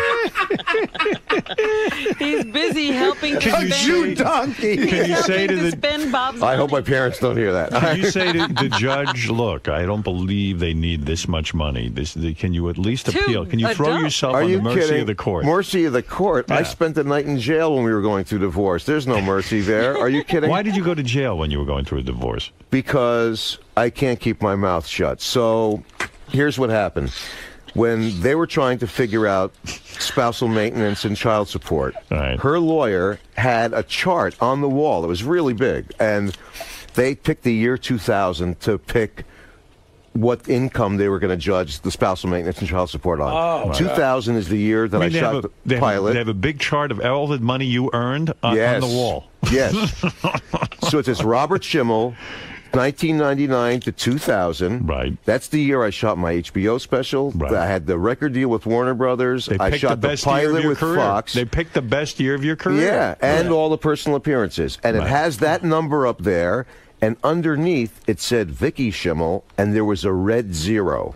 Right. And her lawyer said, as you can see, Mr. Schimmel earned this amount of money in the year 2000, and Mrs. Schimmel earned nothing. And she said, what does that tell you, Your Honor? And I said, well, it tells me she should get a job because it looks she's not contributing. Right, I mean, her own lawyer is showing you. And, uh, And they I- threw you in jail for that?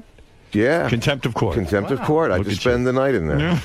so, and now I got to go back to a hearing, and Lee or somebody's going to go with me because they're afraid to let me go by myself because I'll get tossed again. Why didn't your lawyer put up a big picture of your wife, what she looked like in, let's say, uh, 1995, and then what she looks like now? And then, then start, if you want to start making comparisons. yeah, that doesn't work, especially because we had a female judge. yeah, And, that would uh, suck with a female judge. Well, I'm Female sorry judge. going through that. I've never No, met. I've never met uh, your first wife. I don't know the boyfriend. Uh, You know, they're probably lovely people. They are. It's just you know, it's a hard situation. You know, it's a tough situation. What are you going to do? A lot of women people in don't- show business have that story because show business, your earnings are so sporadic, and then they picked up the best year, and then you know. Well, it's not only that. Have you ever had a year like that since? now? No. I mean, for God's sake, you're I haven't waiting had I haven't had three years in a row that have added up to that. Right. And and they don't know about show business in Phoenix. That's where the divorce Right, was. So when you tell a lawyer, wait a minute, don't go by that number because I got an agent that gets ten percent. Right. I got a manager that gets fifteen percent. And You might never have another year like that ever. Yeah. So she oh, they're said. putting up before commission, gross Oh, before. yeah, com- gross. It's the gross number. Oh, so my the judge God. goes, "Well, what does your agent do?" Well, he procures hmm. my work, and Yeah. he gets ten percent for that. Right.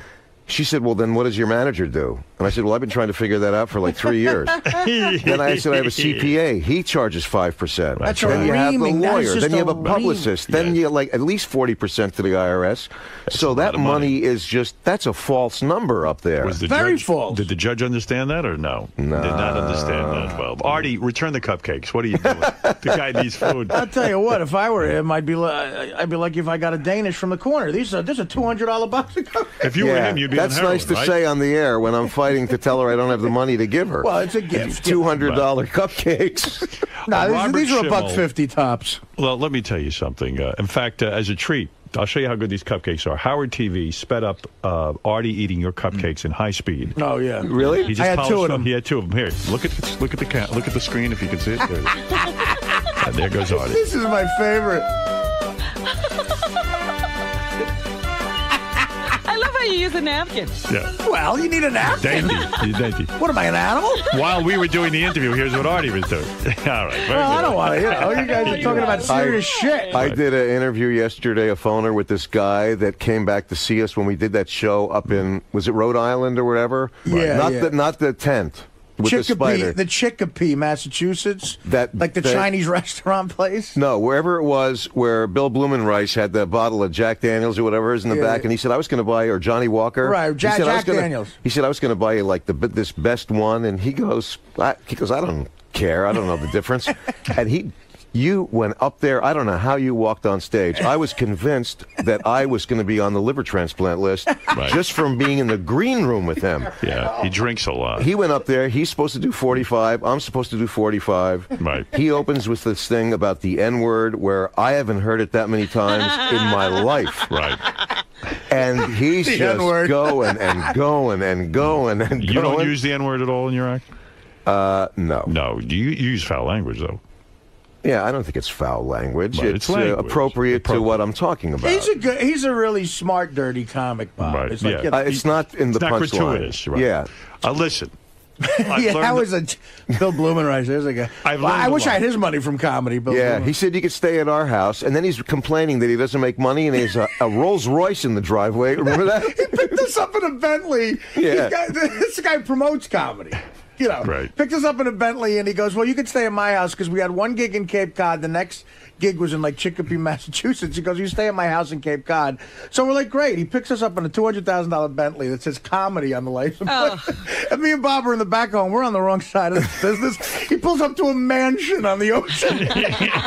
and he's singing the Go be- blues. Go be funny, Jew oh, donkey. Yeah, He's and letting he's singing the blues.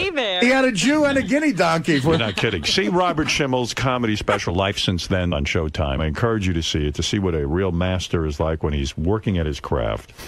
And the DVD of Bob's special is available at Amazon. That's right. That might actually get me the money to pay my wife. Uh, I doubt it. It sounds like you got a big nut. Bob, on the road, do you still do this? You take a suit everywhere. He's Yeah. real old school. He takes Old a school. suit. He's got you know the the, the, the, the tailored suit pressed. and I everything. like when a gom- comic comes out and he wears a suit. It means he's taking his job seriously. Oh no, yeah, he You're, takes it. you're all. in the hands of a That's professional. right. I would like to see you go to that. When you lose a few pounds, you'll get a nice suit. I and need. you go out there. I need. We need four of Bob's suits. To sew Artie, together. Artie was so funny that night, and you know he toasts the audience, and that gives them the message to start sending shots up to the stage. and he No bigger doesn't, disaster. and he doesn't want to, you know, Disappoint. offend anybody. Disappoint, So He's a gentleman. he just drinks them like I mean they were lining them up on the floor like they were lights in a runway at the Artie airport. hates to offend. It's Yeah. impressive. Uh, and the DVD of Bob's special is available at Amazon.com. Bob's book, Cancer, on $5 a day. Read it. Real funny. Now available on paperback. Anything with cancer in the title is always a scream. Uh, Bob, I love you. And it's always great seeing you. Good Uh, luck. wish you luck. Thanks. I hope you make the 120000 this month. I really do. I'm pulling for you. Uh, we'll be back right after these words. The great Bob Schimmel, everyone. Robert, Hey man. how's it being back on the show? Oh, it's great. Are you kidding? A year is too a year is too long to wait. It really is. It is, man. Yeah. So you brought cupcakes for Howard's birthday, and Yeah. Artie devours them.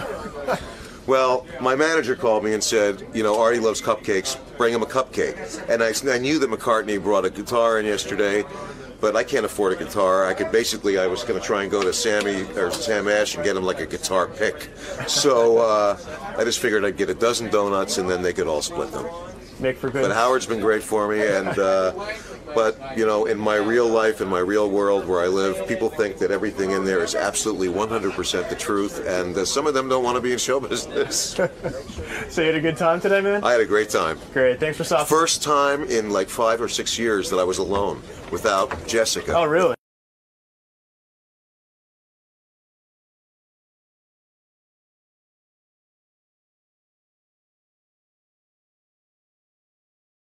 Let me look at Paul McCartney. There look at he this. is. Look at you. Hello. You got a guitar. To you, to you, a very merry on birthday to Howard. bringing you That's for you, man. That's a gift. Whoa. Very It's a birthday nice. gift. Where am I going? Get the hell Where am I out To going the to sit? couch. To the On the couch. couch? To Howard, happy birthday, Paul McCartney. Is this Very one of your nice. bass basses? No, Oh. what it's you yours. pick? No, really. Was this? Where'd you get this bass? Um, it's me and the crew here. Concocted. Wow. It's for your fourth column. But what is this Anyway. bass? Tell me, so I understand what I have here. My hands. It is a Hofner bass, similar to the one that I play. right. And, uh, and I'm gonna, I am gonna cherish that. I Yeah, hope so. Recognize it. You know, I mean, I really have this unbelievable feeling about you, and I'm honored you would be here today. Yeah. And I'm so happy you're here. I even went home last night, listened to your new record. You did? Fantastic. I was playing some tracks from it this morning. I think you, I think you had a home run with this. kid. You're What onto this guy? something with this music. You should keep with You it. think so? Stick with it. The guy Youth, right? That's the guy you work with. Yeah. And the, the, but it's a, it, the project is called what? Fire. Yeah, what we do, it, it started a long time ago, and uh, we decided to kind of go under a pseudonym, me and him. He's a DJ kind of clubby kind of guy. Right. Who wants to do a mix for me. So we decided we'd go in the studio and just have fun. Right. And not work. Right. So we, we concocted this idea of the fireman. So we went in and we kind of made sort of like clubby dinger dunga dinger dunga dinger dunga music. Right. We just made a couple of albums like that. No vocal tracks. No vocal tracks. Right. But so this time we went in, we said, let's do it again. This time we went in, we started, he started saying to me, well, what about vocal, man? Right. I said, uh, I haven't got a song. He says, yeah, well. But do you sit there and write a lyric? No, so I just stood up at the mic and we had the track going, you know, kind of, we, we got a groove going. And I just stood up at the mic and went, well, uh, sambe, yeah, yeah, okay, now, ballet, and just started throwing things at it, you know. And then I'd hear a bit of a lyric, or we'd look in a poetry book or something, and we'd see silent lovers, oh yeah, angels smiling. So I, we just started to concoct it and put it together and paste it. That's how you do it. You don't Yeah. sit down and write something down in well, a book. And no, so that's the fireman. That's the whole thing about the fireman. He can do anything. I think it's real good stuff. Thank I, you. I like it a lot. I, I played a couple of tracks this morning for everyone, and I and I'll play some more. But uh, it's exciting for me to see you making new music and to put your voice down on there. It's good. You're, you're doing a good thing. Have you ever gotten into a slump with music? Have you ever said, you know, I need to be away from it for a while, or has it always been You there know, for you? I, I'm very lucky. That doesn't really happen. You kind of think it will. Mm-hmm. Why You are know. so many of the songs deal with the light? In other words, I see references to light shining through, and my theory was I was being a psychologist. You went through a dark period, shitty marriage, which, by the way, who told you to get the prenup? Do you remember? Stop it, Howard. When you were on my show, Let's not say I told you so. I'm gonna I'm gonna do a little. I told you so. You said to me, "I know I'm in love." I said, and you told me a whole story how an owl told you yes, and this is the right move. Do you remember the owl story? No. You, You forgot I deny everything. and I said to you, never mind an owl. I want you to get a prenup. And you said some people believe in love and some people believe in romance. Oh, you don't No care about prenup. that. No prenup. I don't know. I don't think so. Oh, of course you got to do one. Come on. Why No, man. do Hey, well, didn't Michael Douglas do one and then he's kind of cancelled He it? ripped it up. But they said cool. that doesn't count. He's insane. Yeah, but he's a moron. They He's not a Beatle. You know what? He Right. might just be in love. Yeah. I, if I was you, I'd find that owl, and I know you're a vegan, but I'd eat that owl. Strangle. I, I, for once, you make an exception and eat the bird. Oh, man. But um, I was worried, you know, what, because I, I said all these references to light. Yeah. It says almost you're saying now there's a light shining on me. I'm free. Yeah. I feel better. Well, you know, I'm the happy. thing is, when you do a project like The Fireman, because you're not actually sitting down and crafting the song, I think what happens is, psychologically, I think stuff that's just in you comes out because that's all you've got to, to pull on. So Yes. I think love and light and, you know. And it's a darker, edgier album than you, I think, you've ever put out. And I think it's because you went through a dark place. And sometimes creatively, that's maybe what you need. you know that could be that could be true. Maybe I don't know. I'm not perfect. a Maybe psychologist. The, the eventual birth of something good. And by the way, I feel now that uh, there is almost like a TV show going on in front of our eyes The Bachelor, starring Paul McCartney. Everyone's trying to date you now. no, I don't know about that. Well, hold it a second. Are you? Well, uh, Robin is, and I'll get to that in a He's minute. after me. There's a couple of girls here that actually want to throw themselves at you. But here, here's the thing. There was a period of time after the divorce. I saw you dating Renee Zellweger. A couple of dates with her, who I think is attractive. I like her. Maybe Sweet she's, girl. you know, she's good to me. I, Mrs. Paul McCartney, Mrs. Renee Zellweger. Well, you know, I like that. Zellweger McCartney. I thought Zellweger McCartney might work out. I saw I saw a Christie Brinkley when I saw you over the summer. Yeah. She was throwing herself at you. Throwing herself at you. Howard. Paul, you, You know what? how'd Howard? You read too many newspapers. Hold. This is it. See, I'll tell you, you want to know the truth about that? Yeah. I was at, uh, they had a series of concerts out in East Hampton. I was there. You were there. I saw you. And um, at one of these, uh, my nephew, who I went with, Lee, right. he just sort of said, "Oh, Chrissy's over there. Do you want to say hi?" So I go, "Yeah, sure." You know, so you know, I've known her over the years, Billy, Billy's wife, uh, Right. when she was Billy's wife. So I just went over and said, "Hey, how are you doing, Chrissy?" And I did the mwah, mwah, And they photographed. That and they was it. photographed it. so then the next thing you know, Paul makes up to Chrissy. Wow, it's the big new thing. It was all over the English newspapers. And then same thing happened with Renee. Really, she was a friend of a friend, and we I went to a lunch where she was, and so then you know. th- But um, hold it. The But thing aren't with you trying to meet these people? You go to a Yeah. lunch with her? you're more social than you've ever been now. I'm a You're out social. You I'm gotta a put- social person, Howard. No, you have to put yourself out there because you're dating, and you are a man who needs love. This is why I feel You very don't like to connected be you. alone. I feel you're very evolved this way. Does anyone like to be alone? Uh, no. I and think I feel you know guys like uh, romance. You love. never made well, I do anyway. You never made out with Renee Zellweger? I did not. And now, Howard, you're going there again. I remember last time Why I came on the though? show. She's fine. She's a very nice person. But not your type. No, I mean we just we The date of- didn't work out. It wasn't like that. But it is like that. No, it isn't. The romance. If you did Howard, like her, you would I have gone was out with there. her again. I was there. Are I you was the attracted guy. to her? Are you attracted to her? I think she's a very nice person. but you would not go out with I think you're a very nice person. Would you go out with me? I No. would. I would. Uh, Was there a thing with Rosanna Arquette? yeah. Now, Rosanna Arquette. That was the other one. There were some ladies in that during that summer Right. that I did date, and uh, I would you know, love it to was have all sex very- with her. Rosanna Arquette. But Howard, I think you would love to have sex with anyone. I mean, Anybody who would. or am I wrong? You are right. I thought so. So you were into this whole dating scenario that I was following because I'm worried about you. I am. Oh. I want you to find love. I want you to be connected to somebody good. Hmm. I uh, was horribly uh, affected by your divorce. I didn't like what was going on one bit. And I, was I don't very know if you heard us during that time, but No, I didn't. I was in England. It Probably uh, a good thing, was it? it. You know what I respect Uh, about you? You took the high road.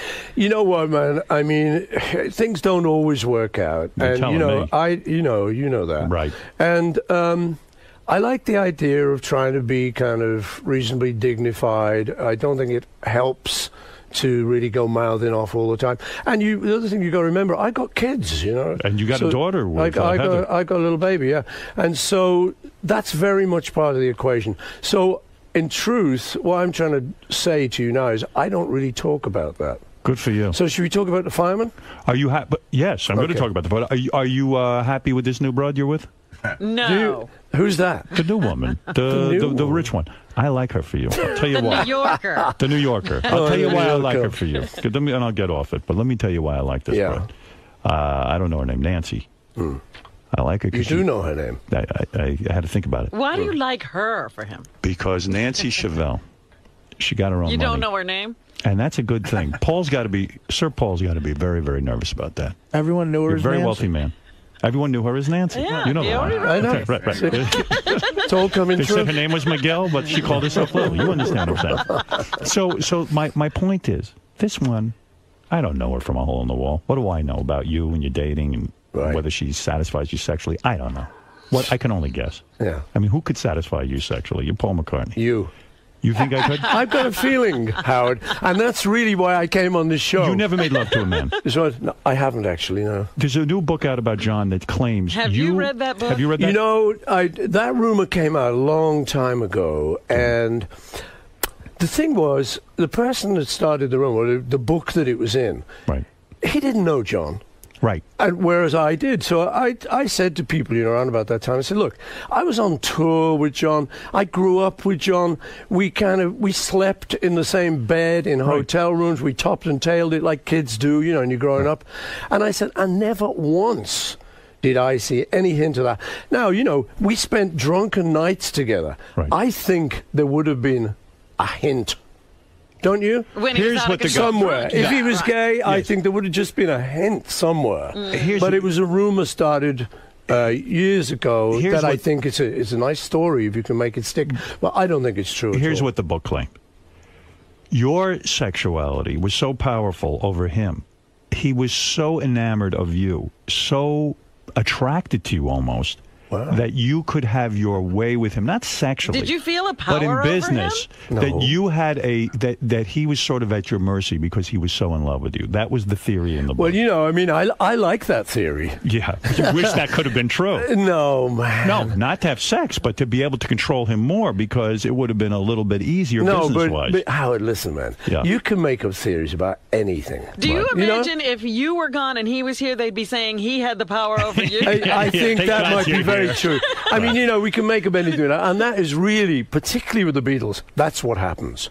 They just take one tiny fragment of evidence Right. and they blow it up into a, a book. Even, you know. Yes. Now the thing is, I mean, let's start right here now. Why is she behind that glass? Because she gotta is keep her so away from you. Robert That's is right, so you'd be in powerfully attracted Could to t- you No. and the power you have over Well, her. that's true. You know what I mean? We, we she can make in that love with stick. it. Make it we? stick. She's in love with me. Trust Ah, me. you you wish. Already, Oh, come on. He's You already wish. started that rumor. Do you want thirty? While we're talking about love for a second, and Yes. before we, because I want to play some tracks from the record, and, and I'm Uh-huh. gonna I'm gonna be very complimentary because you did a good job here, and when you do a good job, I'll let you know it. Thank you, All Howard. right. Now, uh, Robin, do you want to say something to Paul about how you feel about him? Well, and I that- just you, you said to this morning you would say- like. Go ahead.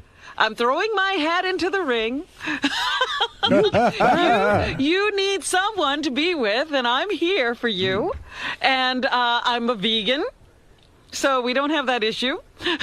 Robin, what is going on? I I mean, I- could I'm thinking I'm just coming on a radio show, and think this that we is could be very it's the together. dating game. I was I shocked. think She we could said be she very wants happy you. together. Um, Well, I'm- not- I'm very low flattered. Isn't she a perfect low maintenance. perfect date for the inauguration? She's a, Take me to the inauguration, Yeah. Paul, please. Now Artie wants you too, but I'll let him tell talk about that. He can have his turn later. In all seriousness, there does seem like there's a sweepstakes out there for you. I've, it's a dating sweepstakes. And uh, listen, and you know what I'm going to tell you? Enjoy yourself a little Just bit. Just imagine being an eligible bachelor. yeah. It's like At your, this That'd be good. it's like your daughter Stella said. Dad, be a little more selective. The kids would Did she like say me, that? Paul. Yes. The kids Did would she? like me. Kids like me. Yeah. Do they? Yes. Well, okay then. it's inauguration all the way. So, Now, you listen, Howard. You are bad. You know, you come on this show, you just you just make all this up.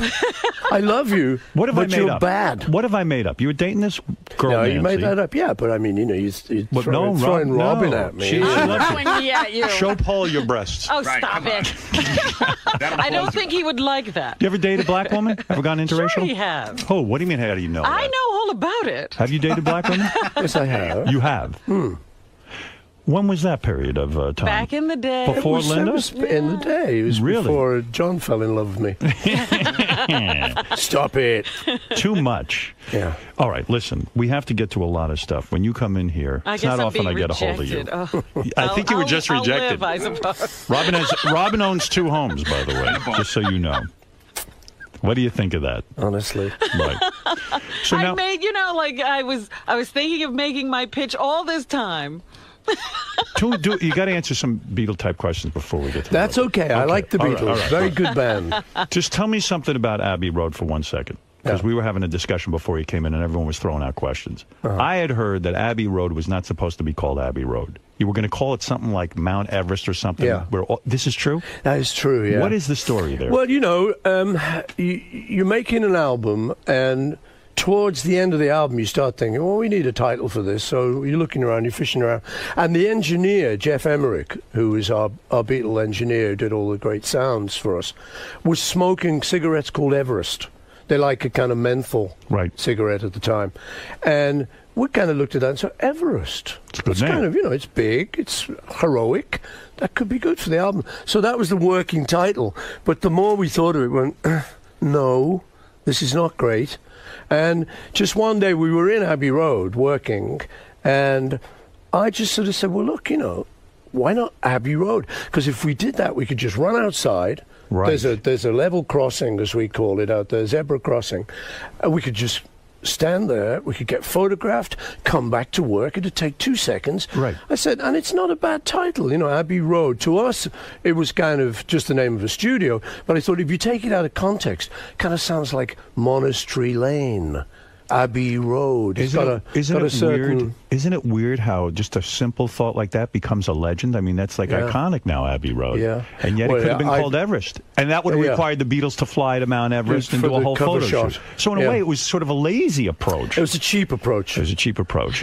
what do you think of Ringo now coming out with this statement? He will not sign anything. Did you see peace and love, peace and love? Have you Oh, but- heard that? I love him. It's the great. I think he's cool, man. I mean, you got to love Ringo. Yeah. The thing is, you know, uh, so the truth is, Ringo was always like that. Right. Really? He was the one, if fans came to his door, he'd just say, piss off. Right. And he would not have anything. He said, you know, this is my private life. Out there, I'm a Beatle. That's fine, and I'll I'll do things. You know, when we go to shows. But I'm at home with babies and a wife.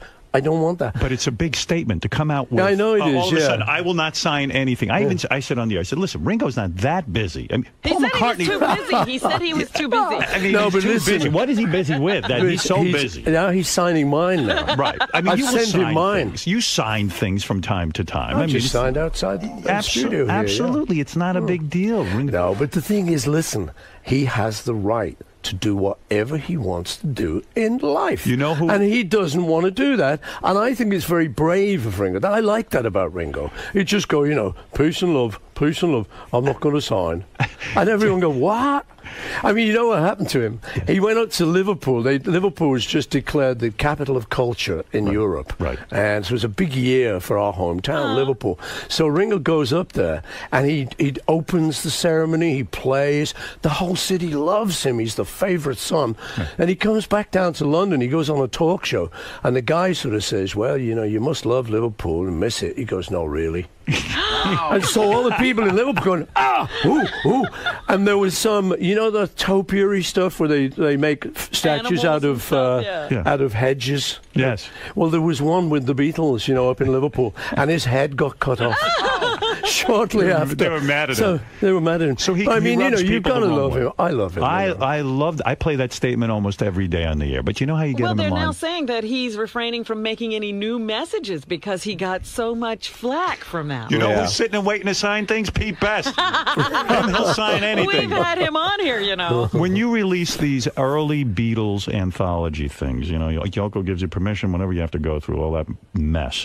How you two doing? How you and Yoko? Fine. Yeah. Yeah, yeah. Wasn't there a 13 minute track you wanted to release that the Beatles had done, and then you, and Yoko said no? It wasn't Yoko, actually. No, I think George didn't like it at the time. Right. The thing is, um, I was asked to do something in the 60s, and I was kind of grooving around London, and, and uh, the other guys were kind of living out a little bit in the suburbs. Right. They'd all got married. So I was just kind of grooving around, and I got asked to do a piece of music for a thing called the Carnival of Light, which is a real sort of hippie thing, man. Right. And it was great, you know. And, and the guy said, You can do anything. So I just went into the studio. Um, before a Beatles session, and when the guys came in, I said, "Look, can we just have 15 minutes where I'll just organise a little bit of craziness? Is everyone up for it?" The guy said, "Yeah, sure." You know, so I said, "Okay, well, just wander around and just hit anything you want, just say anything you want, just play a ding on the piano, Right. or go on the drums, or say, hey, Avant-garde ah, blah, music. blah." Yes. avant-garde, Yes. as George used to call it, avant-garde a clue." Yeah. so, um, so I said, well, we'll just do this for 15 minutes, and then that's me covered. I'll give it to the guy. We put a lot of echo on it. Right. So we did that, and it's, it is 15 minutes of avant-garde Beatle music. Now, because the Beatles was such a big thing, it now is of interest. Right. But, you know, I meet uh, people at like my kid's school. There's like a nice dinner lady there who I, I chat to.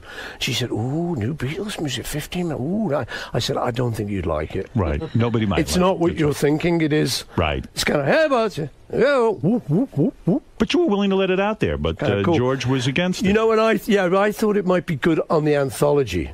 Right. Where we were putting everything out. It was like every old bootleg we'd ever done. And I thought that might be an interesting part of the kind of 60s story. Is that- I thought that was the perfect place Is for that it. good for Pete Best financially? Because some of that stuff did include him. Does he get a cut of some of the dough? So Yeah. that's nice. Do you ever That's write him a check? Do you ever say, you know, I feel, feel so bad for this son of a bitch when No. we threw him out of the band? No, I Don't don't. feel anything. No, I, I, I feel it. You know, I, I know his, His his, pain. uh, I know his brother. I know, Right. I know the family and stuff, and we, we chat and He stuff. hasn't written you letters from time to time. So listen, come on, help me out. What- what- It's killing me. You How about guys. a reunion? You He's guys got his pride, Howard. He does. Was he thrown out of the band because he was so good looking? No, It was his drumming. You know what? The truth was, uh, we just kind of fell in love with Ringo's drumming. Right. Ringo was in another band, and we had Pete, and we were working, and we used to go see this other band. We said, God, that drummer's good. Right. And one night, uh, Pete couldn't do it, and Ringo sat in for him. And we all just went.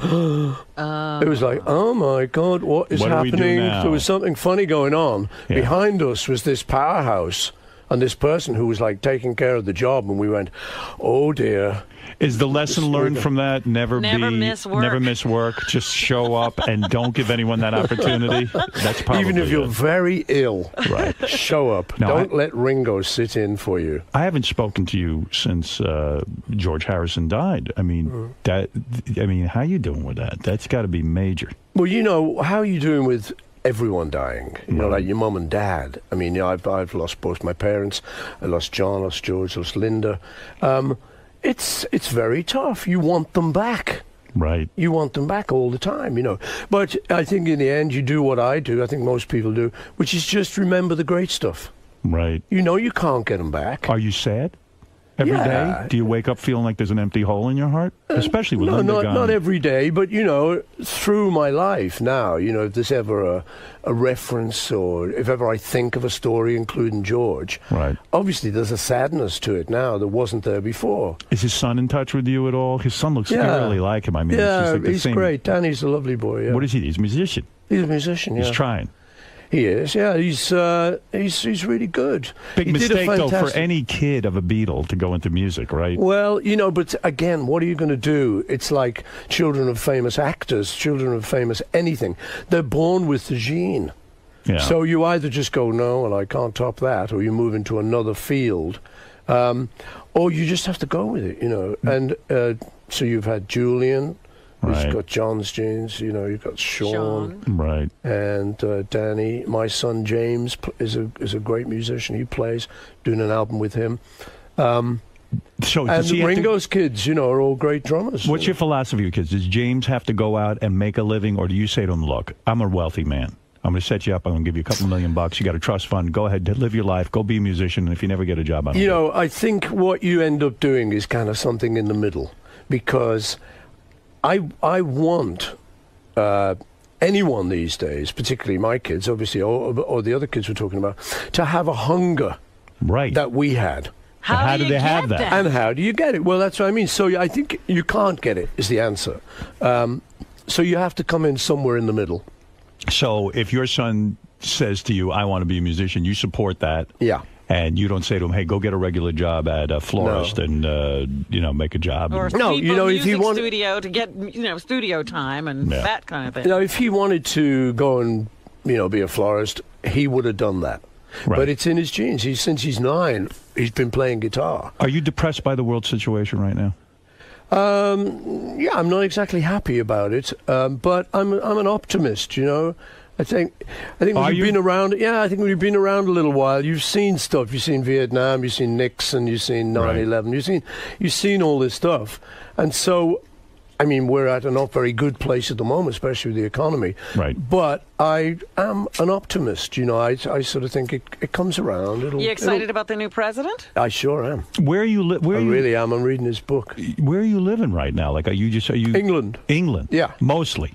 Yeah. Oh well, totally. You don't go out to the Hamptons anymore. I do. In the summer, I go Right. out there to be photographed by the paparazzi. Right. And- and- and to have my privacy intruded on. Absolutely, we love to see Why you not? date. It's fun. I like it. I heard uh, Christie Brinkley, by the way, just to finish that story. Yeah. was very into you and was really on the hunt for you that night. That's what I heard from You my heard friend. that? Well, look- yes, and she even got dolled up and was looking for him in a lot of different places. That's what I heard. She was stalking. yeah, Paul? not stalking, but very interested. Well, you know, You who can her. blame her? You should do it. Give it to her one time. So, Howard, you are just so bad. Honestly. And and how do you like being a father now with a young kid? I love it. You love it. I really Are you love it. hands on? Yeah, man. What do you mean? I You're mean, walking okay, around- here's, here you go. Let's see, a typical morning, which will be uh, Monday morning, this Monday. Go ahead. I get up at 6.30, I make breakfast, I get her up, we, I get her dressed, and we watch a TV. There's no TV thing. nanny? I, no nanny. I take her, I drive her, we go to school, I talk to the moms, talk to the teacher, drop her off at school, pick her up uh, after school. I love it. You're not too exhausted. No. At this point in your life, you've done it all. No, I know what you mean. You you know certainly getting up at six thirty, you go, what am I on? But um, I love it. I do. Lo- But I love have her, share. But you, have know? to share custody. Isn't it hard to let go of her and send her off with her No, mom? no. You know what, Howard? In truth, I don't really want to talk about that because that's Right. very private. Very all that. private, but you the should talk truth about is- it with me. Go the- ahead. I can tell you Yeah. because there's nobody listening. No one is right? today. but to all the people who might be listening in their cars, I want to send big kisses and hugs. That's right. But we're just saying, you you know, you hate to you know miss the days with her when she's not with you. You know, she's uh, like I say. Uh, let's let's assume like I'm trying not to talk about her. Go ahead. But she is edible. Right. She's five years old and she's a beautiful, beautiful girl. So I want her to have her privacy. Right. But in answer to your question, yeah, I'm very hands on and I really love it. It's it's a thrill. It, there's such an education. Do you think you're a different dad? Yeah, I'm I'm different now. Yeah. You're better. Well, the other yeah. kids are jealous or resentful of no, your young child. no, they've got all their own kids to deal with. They've come to peace with it. They don't feel like don't this kid's they- going to get more of the loot, the, No, the McCartney no, no. fortune. No. All right. They're not worried about No, that. that's no. What is it, Gary? How dare you interrupt my interview? Mr. McCartney has to go very All soon, right, all sooner right, so than let we me get to thought. the- so let me talk talk about the new about the record. album. Now, I took the album home last night. Yeah. And I listened to this because I said, is this going to be good? And Yeah. it is good. And I'll tell you my two favorite tracks. Okay. Because I played them already, but I'll play them again. Now, I don't know if you put, do you put out a single with a record like this? You kind of put out like a radio play single kind of thing. Yeah, but it's not What's like the single? Uh, sing the changes. There's- That's uh, there's- number three, I think. Yeah. Yeah, let me let me play a little of this. But the, the, I feel the tracks that you should go with Yeah. are singles. And what do I know? You well, what I'm you saying? might know something. As you know, my favorite McCartney song is Blackbird of all time. You understand that? Oh, thank you. Well, of course. Everybody should have that as their favorite song. No, they shouldn't. They should What is have your- Maybe I'm amazed. That is from Wings.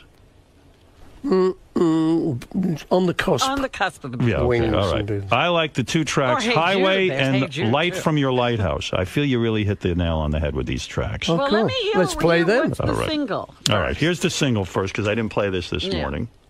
Not saying this is a bad track. I like it. Yeah. I'm into it already. Listen to to that dance. guitar. I love this. Now, how could they just make this up in a day? I like- Now, by the way, that's pretty impressive. Made up in a day. You're saying there's 13 tracks on the record and you did one in each one in a day. Yeah. And I want to hear one of them now. Oh, okay.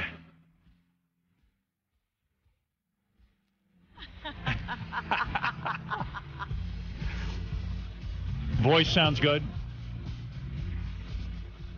Good cue.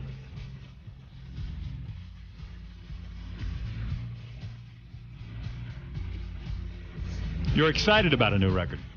Why not? Look at you. You want to go out and It's perform like you're this? 20 years old. Why don't you go out and perform some Yeah, of you want to go out and perform this? You want to be uh, doing? back on Well, stage? I am performing it now on your show. Go. I didn't know you danced.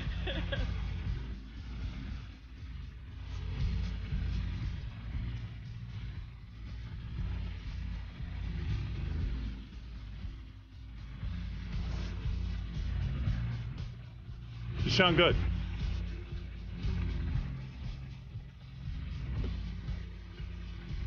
It's to heaven. Oh, yeah. You're saying you made up the words as you went along. Yeah.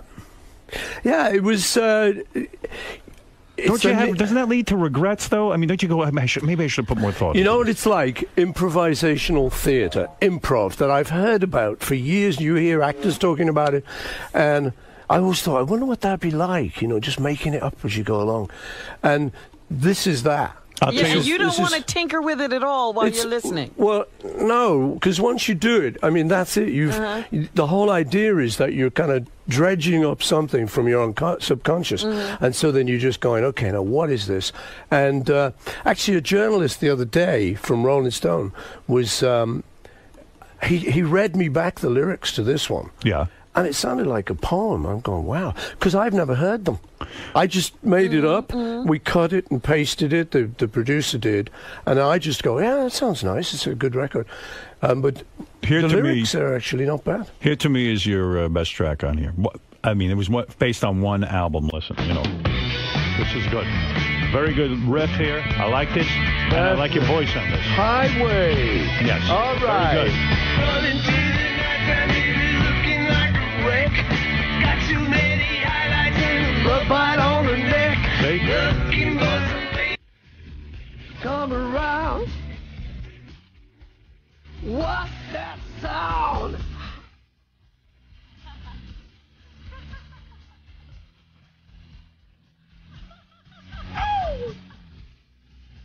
She had sex with Renee Zellweger today. So. Come on. It like he was doing it give right it to, here. Give it to her hard, right there. Wow, That's good. Howard, honestly. Let me t- that's good. And the other one I really like is, um, and I'll play these all the way through later, but because I got I got limited time with you. Here's uh, this is another one. Uh, by is- the way, uh, uh, if my children are listening to this, don't listen to Howard. Ever? He, he can sometimes be a little vulgar. Don't grow up like this, children. Oh, come on. He's nice. He's lovable.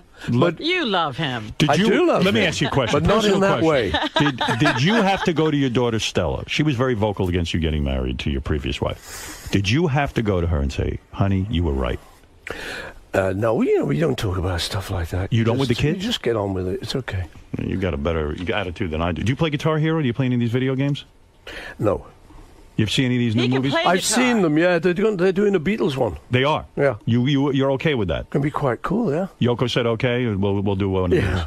I would love to we be at these all meetings. said okay. Yeah. No, it's it's, it's going to be pretty You know- cool actually. I might learn to be a Beatle. In the office, we were talking about how, you know, can you believe that they're still playing Beatles songs and young people are turned on to Beatles music? Oh, my kids Did love you it. ever dream in your, you know, No, you know, we didn't think we'd go beyond a couple of years. That was Uh-huh. The truth because nobody did in those crazy. days. So we just suddenly, after a couple of years, we were like, "Oh, we're just starting." How about my And- daughter just finished? The, she just graduated college. She just Mhm. finished a college class in the Beatles. Yeah. and Yeah. loved it like her favorite thing. Wow. Like like a college class. I know. It's That's amazing. insane. isn't it? Yeah. it Paul, really you is. should let your kids uh, grow up listening to Howard. I grew up listening to him, and look what happened. Yeah, well, see, See? children, take a look at this guy.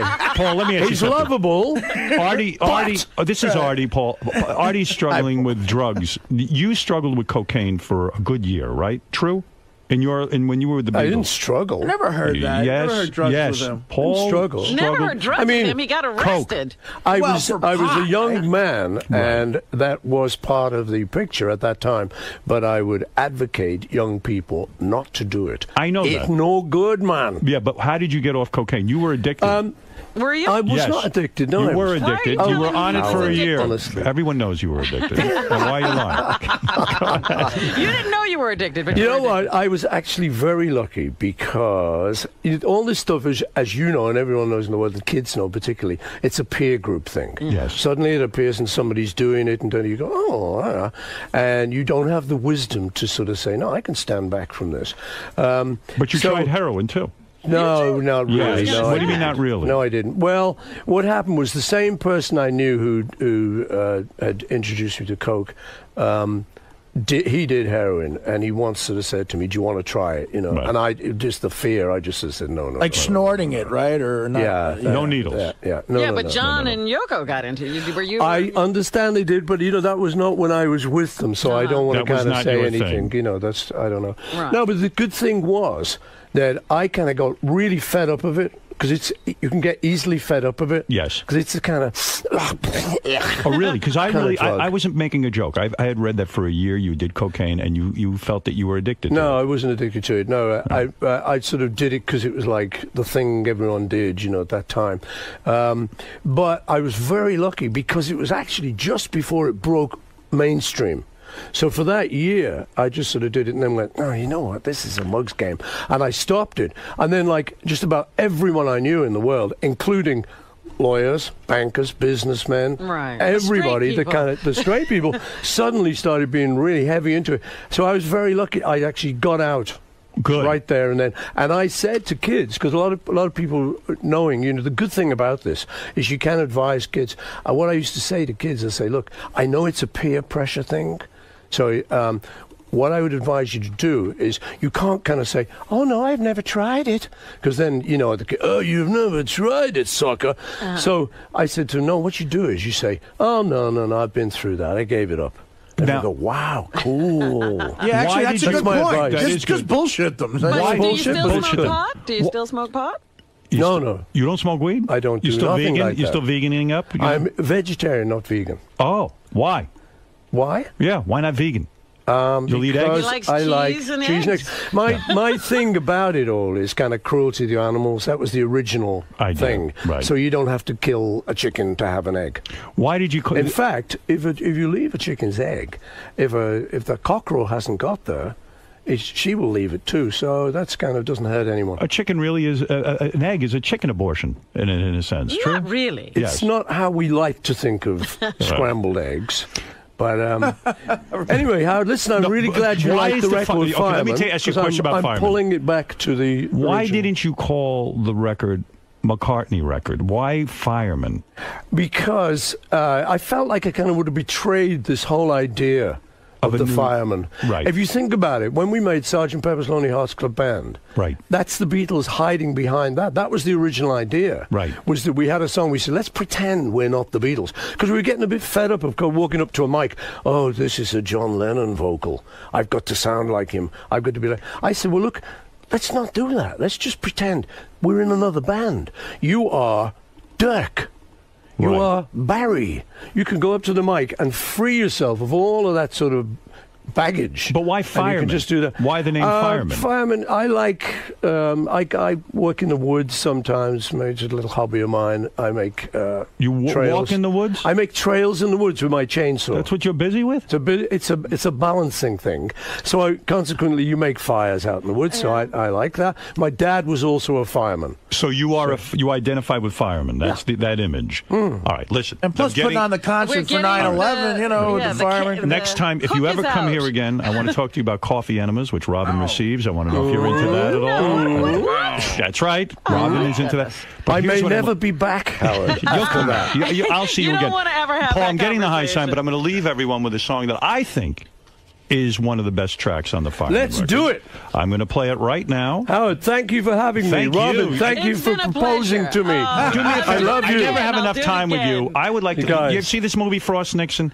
I need you to give me 18 hours. Yeah, okay. We'll sit down. We'll videotape. Yeah. And it'll be your complete life. I It will, will. go through everything. It, will, would yeah. be great. I, I want. Robin suggested I do this after she uh, This has my sex next with proposal. you.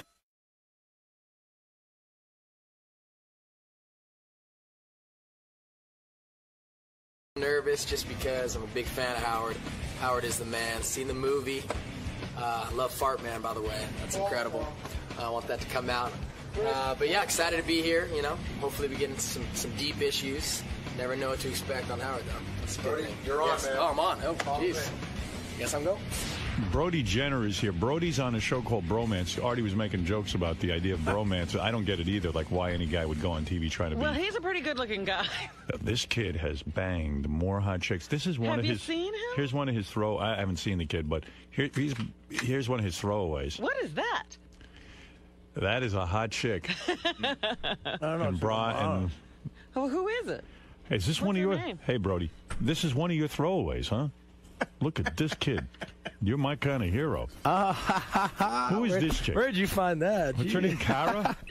Uh, Cora. Yeah, yeah. Cora. Wow. Yeah, with a name like Corey, you have to have a body like that. You gotta. I mean, is Jay, I hope Jay's behind that, right? When you see a good-looking girl like this, Yes. and thanks for coming on the show, bro. Oh, thank you for having me. And uh, we'll talk about bromance in a minute. No worries. And you are a good-looking kid. There's no question about it. You know it. The girls know it. Even guys know it. When Even- did you know it? when did you know you were that good-looking? When did you start having the power over women? Uh, I mean, You- to you- be honest, when I was like, you know, 13, 14, I was actually kind of chubby. I was, I was like kind of, Really? Good. I was a little chubby, you know, but it was good because, you know, my friends would always squeeze my little rolls and stuff. And Man, would you go and, to uh, the gym? You start working out? I no, I actually started surfing, ton of surfing, And and, hit the gets you growth spurt. Yep, it does. It's better than being So- chubby when you're 28. Yeah. so uh, this girl's name is Yes, Cora. She's a, Cora. a, a model. Uh, yes, she's a lingerie model. I'm looking at a picture of this girl. She's perfect. How do you meet her? She's I pretty- mean, do you just call the agencies and have them sent over? I mean, you know, we did that a couple of times. Oh, you did? I did not. My Wow. friends do. What a girl. But uh, no, yeah, she's beautiful. We met uh, out in a club. How old were you when you lost your virginity? I was I was 15 actually, 15 years old. So, so you're Bruce Jenner's kid, Right. And but Bruce wasn't around a whole lot when you were growing up. It was more you and your mom. Your mom was on Hee Haw, a good-looking woman. Yes. Linda. Linda Thompson. Linda Thompson, oh, right? okay. Yeah. And uh, your dad. Do you see him now, or is it kind of like, eh, we don't have much of a thing? Um, no, we do. You know, we're definitely kind of rekindling that. Uh, growing up, obviously, he was with the Kardashian. He lived with the Kardashian family. Right. Um, and I stayed with my actually my stepdad who was on the show, David Foster, Yeah, who, David wouldn't, Foster. who wouldn't take the elevators. I Right. I love that story. I love how you roused him and kept him downstairs. That was great.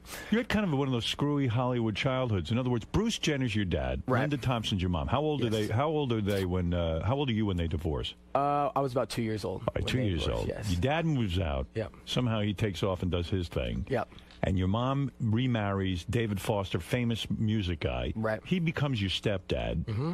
And yet he kind of, when they divorce, he you don't even hear from the dude. Yeah, I hear from him occasionally, occasionally. But Is I, it I- weird for you? It's a little weird, you know, growing up and, and seeing somebody who's there for you, you know, almost pretty much your dad, you know. Did you there love the guy? day. Yeah, of course, of course, I still do. I still and love and you him had a a good relationship with him. I had a great relationship and still do, but I know he, he's kind of at that time in his life. He, he's reliving the past, I think, and he's really enjoying, you know, being single and being out there. So, Do you feel and working and rejected by stuff. him? Uh, no, I don't feel rejected. I really don't feel rejected. Uh, I'm kind of used to that, and as far as Yeah, you know, my dad, I mean, and and to be honest, I think it made me a stronger person. you know, David not- Foster has a daughter. Uh, yes, Sarah a few Foster. of them. Yeah, he has Aaron, Sarah, Jordan. I used to watch Sarah on MTV. I beat off to her. what was that like? Did you live in a house? Hey man. I used to spy in the showers.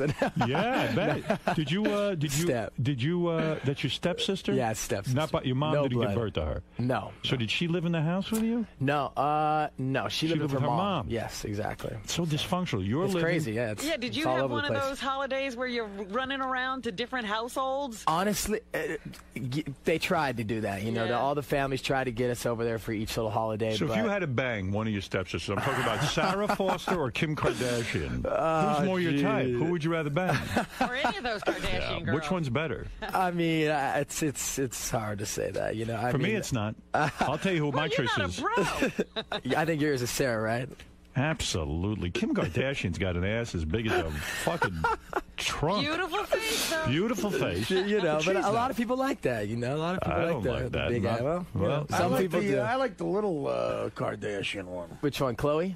Uh, well, I don't know the name. What is she, The- the nine? I hope, it's, I hope it's not my little, my little tiny little, little nine year old. no, no. Artie likes him young. You Hey, hey, watch it. That. And No. that one is, hey, that one is blood. That one is blood. No, no, no. The uh, the um, the smallest Kardashian, bro. Khloe. It's Khloe. That's the nine-year-old. That's a nine-year-old. I mean, yeah. You can't go out with her. No, the, the nine-year-old's a Jenner, right? Actually, yes. Oh, yeah, yeah, you're correct. right. I'm talking about Card. A Kardashian. You want a nine-year-old to about sit on your face? No, no. I, I, who brought up sitting on faces? I don't know. Where the fuck are you? You're crazy. You're out of your uh, mind. I like the littlest, the, the one. the, the, littlest Kardashian. one, yeah. Right. All right. The Okay. Does the little one have the big ass yet? Uh, you know, I think they all are, are, They are well endowed in the in the butt ass. areas. Does Yeah, anybody yeah. actually work out over there, or they just let their ass get to be the size of a house? Not a little one, if you can find a picture of her, is is she's she's. I mean, I like the She's I like? Kim too. I like Sarah Foster. They're all hot. What the fuck? I mean, So when you say, Casey, my, my actually my real sister, um, uh, Casey is beautiful. as well. Yeah. she's married though. Gee, everyone's so beautiful. Uh, You know, I'm looking at but you- and he I'm looks saying he looks more like his mom, though. No, he looks a lot like Bruce. No, and he doesn't. He has his original nose. Yeah. Hey, what'd your dad do? what'd your dad? Did you ever say to your dad, "What the fuck did you do to your face"? You know, I thought it. I, I did. definitely thought it. Yeah, I've seen pictures of him back in the day, and I didn't think there was any. guy. I didn't think. I, you know, I think I'm I'm right there with you. So I think was a little- probably what happened to him. uh, I think he was so famous and Mm-hmm. such a big deal. You know, Bruce Jenner, all-American athlete, everything, and photograph. He probably just he focused on something on his face that only he saw. He was Yeah. a good-looking dude, Right, I agree. And he must have gone plastic surgery nuts. You're not into any plastic surgery. No, right? you're a no, good-looking no, dude. no. You yeah, don't need no, any no help. plastic surgery. No, you I don't need to that. stay away from. Did you that talk to your old man about it? You said, Dad, you think I should get plastic surgery? Never had that conversation with him. No, Right, I never had that conversation with him. You know, I'm I'm very close to my mother. I tell my mom that all the time. I tell her, do not get plastic surgery. So what happened with you? You not only you a good-looking dude, but you get on TV. You get on uh, what the Hills. What Yeah, is the I- Hills? well, I don't even know, man. I'm sorry. I'm so out of it. I'm turning into an old bastard. But you know what I mean? Like I, I don't know, if that. it's a show or a re. I don't know what is it. Nobody really knows it, whether it's real or not real. But you What- know, you of must course, know. I got. Well, it's it's totally real. It's real? I mean, yes, it's As, as much as they can write. it must exactly. You know, it, it's a lot of these shows are. How'd you get on that? Uh, my best friend at the time, Spencer Pratt. I don't know if you know who Spencer Pratt Heidi is, Montag and Spencer Uh, Pratt. The I know- I see- Speidi couple. Yeah. So at the time, we actually did a show, executive producer show, and created a show called Princes of Malibu. which You when I was created tw- that? Yeah, I created it, and Okay. uh, when I was 21. And it was crazy because Fox would only pick it up if we had to pretend it was totally real, which was basically taking advantage of my stepdad and pretending, you know, like I hit golf balls into his studio and stuff. And they said, hey, we'll pick up the show, but you have to make, pretend this is totally real. Even though we created it, we filmed it ourselves to sell the pilot to, uh, you know, Fox television stuff, but we had to pretend that we were really doing this. You, what's the matter? I have to say something. What? Yeah, sorry. I'm sorry. no, no worries. I'm sorry, bro. Benji, I'm gonna throw up from. What is Benji doing? Look, Excuse me for look, look minute. what he just fucking. What are you look doing? come on, Benji. This is like This that's is typical. Benji. This is so gross. Oh, yeah. Look at the, look at that fucking th- shit he's putting on that salad. Benji. It's, it's What is that? I can't smell. I can't. It's, smell it's, it's, it's 7.13 in the I know. morning. I was like, where are the eggs and It's like a and- deli. It's like a deli back here. I, look, he's got this shit. Tell us what you're doing, Benji, real quick. You're, interru- uh, you're interrupting Ranch Brody. dressing He's here promoting. Salt. What, what, what, what, what are you I have doing? salad. You gotta leave with it. You gotta go outside. Go outside and I can't. s- I, you're gonna make me throw up. You guys Art, gonna you don't, okay, wait, I'll get rid of it, but Art, you don't smell it. You looked at it, and then you saw it. I smelled it too. I thought Brody had a problem. Honestly. I didn't know what was going on. You guys don't smell it. I said, thank God this good looking Benj. kid at least smells. Benj, I smell it. I'll take it out. I do smell it. If I took it out, you wouldn't be able to guess if it was in or out. Yes, told I would. How No, much you, want to fucking bet? I, I'll bet you anything you want. All right, You don't let's- want to do this now. all right. just take it out. Take it. is here. Brody's got limited time too. You Well, know? do you want me It to eat sounds George like- McCartney? No, no, no. No, I don't want you to eat that at all. That's that's that's intrusive. All right, let's That get is- back That sounds like let's me and my friends right there. Yeah. It sounds like us. Does Spencer Pratt eat like this? Uh, I don't know. Let me see. Actually, he does kind of. Yeah, maybe for lunch. Brody, tell me what your life is like, though. So you you, you become a television producer. You're a Right. young, good-looking guy. You start to date these chicks. It's a, quite an impressive resume. I think anybody would be impressed with the amount of chicks you've banged. You say you started having sex at uh, 15. Yes, 15 that that's an unusually young age, isn't it? I actually, my brother lost his virginity at 13, so I thought I was late. I was kind of bummed. I was like, damn, I didn't, you know. I'm, As a I'm young- two years Cool late. family. As a, that's a very cool family. That was, it, late. was it I mean, I was for me at the time. was it an older woman that you were with? No, she was the same age. Same Same age. age, yeah, so- And then I was going over your. Let me let me to some of your resume here, and then I want to get to this bromance idea because I'm having trouble understanding some of this. No These guys wanting to be your friend that badly. It, it's you know, You we know. got we got him crying. Quite frankly, I, I, he's convinced me. I want to get on the show. But do you want these guys to be your friends based on how they're acting? You don't want to be around these guys. Well, I mean, you know, it's the thing about bromance is, is when Ryan Seacrest Productions came to me and kind of had the idea, it was so out there. How big a douchebag is Ryan? I actually like Ryan. You like Ryan, I do like. I All right. mean, Ryan. You know, he's he's a workaholic. He's always he's, so he he's works there and then he's on there. the show. Have All you ever seen him with a broad? Uh, have I ever seen him with a broad? No, I feel like he's working so much. But have we talked about broads? Whatever. Yes, we've talked about it. I'll just say that. Yeah, he's working a lot. All right. So you and Ryan work hard on the show. Mm-hmm. You had this idea, bromance, or Ryan brought it to you? Uh, Ryan brought it to us. The All right. Seacrest person. So why do these guys want to be your friends so bad? Do they think they're going to get pussy just by hanging out with you? to be really honest, I think that uh, I think that a lot of people in doing any of those kind of shows, they come to be on television. You know, a Right. lot of time, and they don't really know what to expect. They hear about a reality show being filmed, they want to come try out, and then when they got there, and, and when asked the question, when I asked them the question, you know, why are you here? Why don't you explain to me why you're here? And for guys, it's so hard to. I feel like for a lot of guys, it's very hard to open up with your guy friends.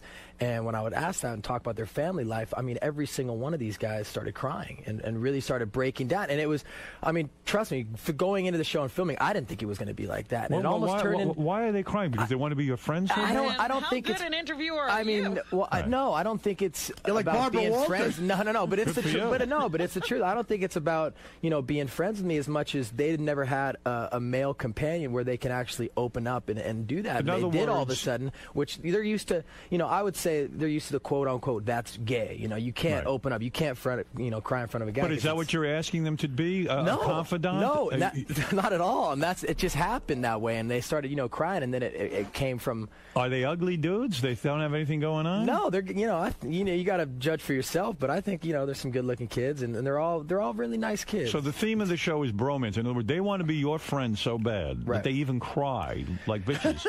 because they It's- beca- because they they want to be in your inner circle. They want to be around your your friends and your whole life. Well, yeah, I guess you know, and, and coming Are you willing to have? Is that the prize? Are you going to let them into your circle? Yeah, oh, they get a they get. I have a you know beautiful condo in downtown LA. That's and they get that for a year, and they get to you know. They hang out in your that. condo? No, no, they get to. I give it to them. I'm You giving gi- it to you're them. gonna give them I'm, your condo? I'm giving it to them completely. Why would you another big that? surprise. Because uh, I got another place in West Hollywood, so I let them. I'll to let them take the downtown LA one. Yeah, so you're not A little far of a homeless. commute. Yeah, so, exactly. So I'm moving to a warehouse. So I'm, just getting the feeling that you're really not going to hang around with these guys if they win. Let's Well, be honest. I wouldn't. You're probably disturbed. To be honest, the guy that won is actually very, very cool and down to earth, and, Right. and I really enjoy his company, and I would hang out with him. Do you hang out? Does he sit there and talk to you about his problems and he Well, the- wants a deep relationship with a man? We're actually not allowed to hang out because of the show. His restraining 'Cause then order? they'll- I was well, going to say, this is like The Bachelor. yeah, restraining order.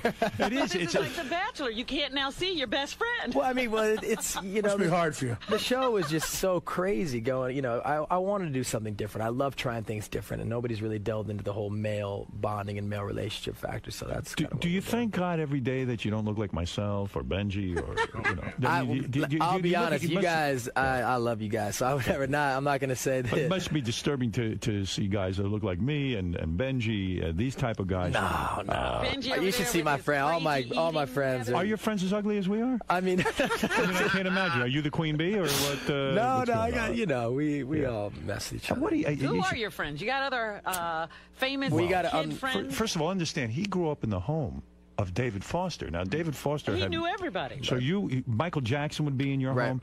Now you're a nice-looking guy. I mean, uh, any hanky panky? Uh, does he? That ever is, wanna- it's really funny you actually say that because there is a picture of growing up that was in our house that was me, uh, Michael, and a bunch, and we, I'm right next to Michael, you know, kind of right here, and all my friends would walk by with their cell phones and take pictures of me next to Michael. So every time I call, it would pop up, and be like, hi, and and, and uh, they would always give me grief. Well, about did that. Michael you never enjoy- had any overnighters. No, How not- old were never you been when to you- Neverland. How old were you when you met Michael? Were you a young child? I was young. Yeah, I was Yeah. probably about six, seven years Was old. Was he probably. taken with you? I know he loves children very much. Uh, not that I could tell. You know, it was Yeah. very brief. It Did he ever say to your parents, "Why not let him come to Neverland? Why does it? Why do you not let me babysit?" I mean, I think uh, no, that never happened. Never I actually wanted to go. You know, I, I wanted to go to. I wanted to ride the rides and stuff. Well, I good was you ready. didn't go. Why did you stay home? Now I'm kind of glad I didn't. But That's right. Explain David Foster to me. Should I know who is it? David Foster is a famous music producer and Right. writer of He's a songs, lot of right? songs, Right, yeah. Very Barbara wealthy guy. Streisand, Yeah. Celine, you know. Oh, oh, okay. and even your mother wrote a lot of songs. Yes, she did. Celine Dion, would she come over to the house and hang out? Yep, she'd her, come over. Her and René, the husband. Yes, René. He yep. would be there, would be and, there. and Barbra Streisand Barbara herself would show yep, up. Is a good friend of the family. So this is some way to grow up, right? It was cool. You know, to me, it was just, it was just that was the circle of their friends. You know, and Wow. that's who they hung out with. So You know, his was- mom was My also parents- a my parents- girlfriend of Elvis. Yes. Yes, my parents had the worst uh, friends. So you Oh, know, I please, mean- you didn't want to hang out with them. no, no. But Get out um, of the house. your mom went out with Elvis. Right. Did she ever bring up Elvis's name? Uh, David would hate that. Oh, Right. she would. Uh, I'm sure. actually- oh, it was. A, his there was actually a really funny story if you want to hear it. Uh, Yeah? Larry King. Uh, they were at a, Funny some already. kind of uh, yeah. That's how every it was a funny story It begins. was, a, it was like a banquet kind of thing, and Larry King and my mom was sitting there, and they had done an interview about Elvis's about Elvis's death or something, and uh, and Larry's talking to her. Oh man, I can't believe you dated Elvis. Can't Elvis believe this, Elvis's that." penis And, oh, and da- yeah, oh, and David was sitting right there, and Right. David just went, you know what, Larry? Why don't we talk about you and all your ex-wives that you fucked? And it's like, oh, I mean, oh, and, Good for and Larry and David and Larry's like, you just insulted me, and they almost got into a full-on. Wow. Uh, yeah, it was. Wow. You know, good for you. Good for David. I was- mean, I thought it was Is funny. Your, I your was mother's a very. Is she still a hot uh, piece of ass? She, I think she's gorgeous. Beautiful, Yes, yes. I do. She's The she's shots of her of and. Elvis are really, you know, mean- she's a beautiful was. woman. Did she ever Yeah. describe? Did bring her in with you one time because I need to talk about what she would- did with yeah. Elvis exactly. If, if you could stand it. See, I, You know. I'll let you guys. Do, I'll you'll sit out of the room. You get out of the room. I'll plug my ears for that I mean, one. like, what did she do to Elvis? Do you ever wonder what was going on with Elvis? 'Cause she's Elvis got was- some. gr- She's got some incredible stories. Yeah, but the ones I could get are probably a lot better. I'm sure they're. they would I bet Elvis wouldn't give her oral. I guarantee it. Elvis never went down He on a never woman. did that? Never, never. Very rarely. He was eating, he was eating everything Did else. say to that's your for mother, sure. did you ever say to your mother? Because I've asked my mother if she's had anal with my father Right. and all this. I don't know how honest you are with your mother. Did you ever say to her, "Did the king ever go down on you?" I know he doesn't like that. I, I've never asked, but hey, I'll I'll ask her. Believe me, Brody, you're normal for never asking. I can't believe you don't ask your mother if she got oral. I can't believe it. You know, you have a very uptight relationship with your mother. She said, they well, say Hollywood is so liberal. See how well my mother reacts when I ask if uh, she's ever had anal. Uh, so, So, where, Brody, where do you grow up? Like Malibu? I grew that- up in Malibu. that's yeah. a nice place, and you get Beautiful. into surfing and all that stuff. And what do you do? So you do the surfing, you work out with the weights, and uh, It never occurred to you that you needed to be an athlete like your dad? Uh, to, to be honest, I was surfing. and That was my thing. I love surfing and snowboarding. I would, you know, miss a bunch of school and stuff, to be honest, to go snowboarding and, and, and do that. I never really got into the track and field. And Well, that's like that. athletic. in I mean, Brody that's- Jenner's yeah. life. I'll tell you what, I don't think many people would uh, pause to trade places with you. Brody is currently dating 2008 Playboy Playmate of the Year, Jayde Nicole. Oh, yeah? Yeah, there she is. Well, She was in here. Look at her. She's a hot chick. Yeah, she was in here. She's way hot. she loves you guys. I I loved her. Oh, wow. man.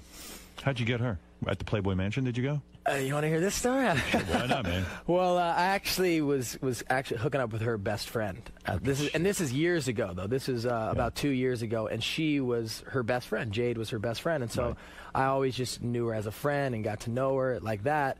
And me and her best friend started, you know, stopped hanging out. Uh, later on, I ran into her in Canada. She lives in Canada at the Much Music Awards. Ran into her.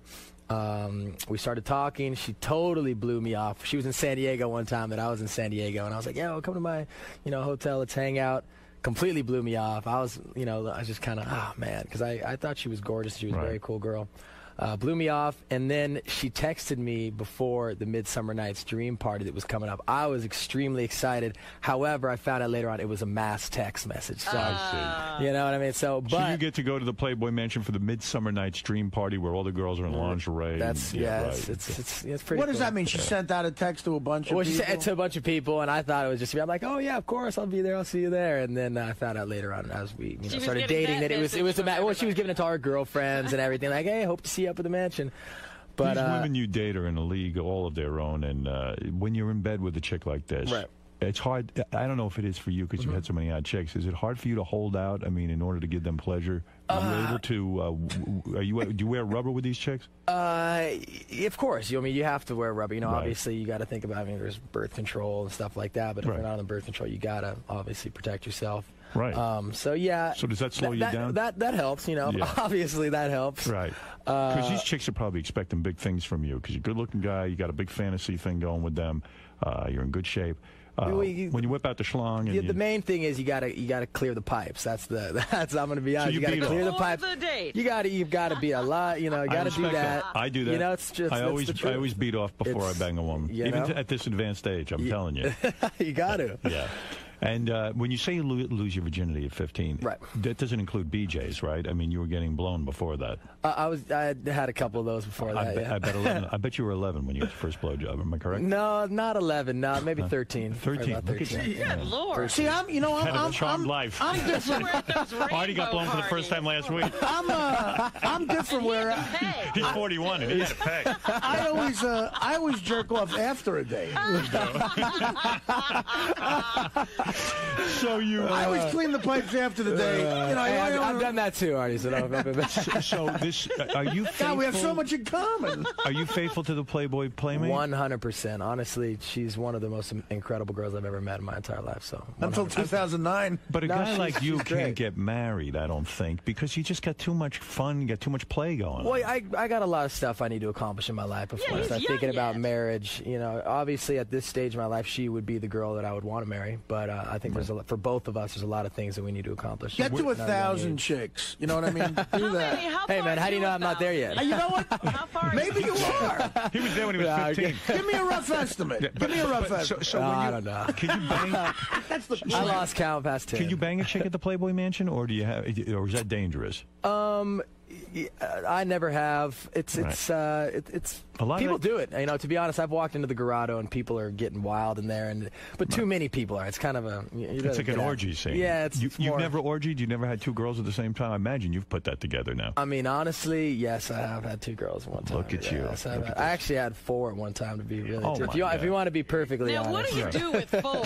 Yeah, is that difficult? Is it four four women and just you, right? No other guy in the room. Uh, it, you know, it's it's a little it's it's a lot of work. I'll say that. you got to make sure that they're into each other. You know, a lot of it is them hooking up with each other. Would the winner of Bromance So- get one of the four? Were these girls Playboy Playmate types? Were they that uh, good looking? That type? They were they were very uh, they were very pretty. Where do you meet yes. four girls where you can bang all four uh, in one night? I, to be honest, I didn't bang all four, Okay. but I, I was with a, a, a girl that liked girls. Right. So, um, so she. what type of girl? Is a famous girl? No, no, not No, a famous just a girl, nice girl. Yeah, yeah, beautiful Right, girl, and yeah. She liked girls, and so you know she was a beautiful girl. So she was girls that you know flocked to her. Right. So that would happen, and she were would kind of take advantage, and she'd take them. Were you at a club that night and met three women who all wanted to come into your room and hang with you guys? I, I mean, I, they liked her. To be honest, Right. they were after her, and, and I just kind of, I just got to be there. So when you go there, in the right place at the right time, let's say. so Brody, when you walk into the room and the, the, like, like you know, you all go back, you're probably drinking and stuff, you're hanging out. It's probably at a hotel or something. no, it's back at yeah, Back at her place? Or, back yeah, at the condo. place, okay. Back at the condo. So you get all the girls, and you know something's going to happen because this is a wild group, and they've probably already been all over each other. Right. You bring them back, and then they all start giggling and stuff. Right. And after they do this, fucking mescaline and everything else, and, and ecstasy. Mescaline. What?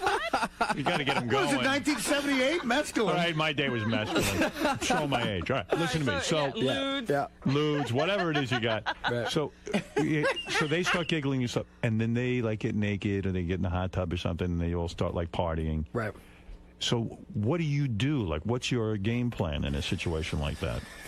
I mean, you just you got to go with the flow. You, You, know, get naked, you, go- beat off in the corner, and just lay back, or no, what? t- I I was I was with the girl that I had already been with, so I obviously would pay most of my attention to that, and then you know obviously watch the show, see what's going on around you, and you didn't bang any of the other out. three. No, I didn't. You did not. You didn't no, touch I any of didn't. the other I girls? I really didn't. But no. they blew I only you. Some of them.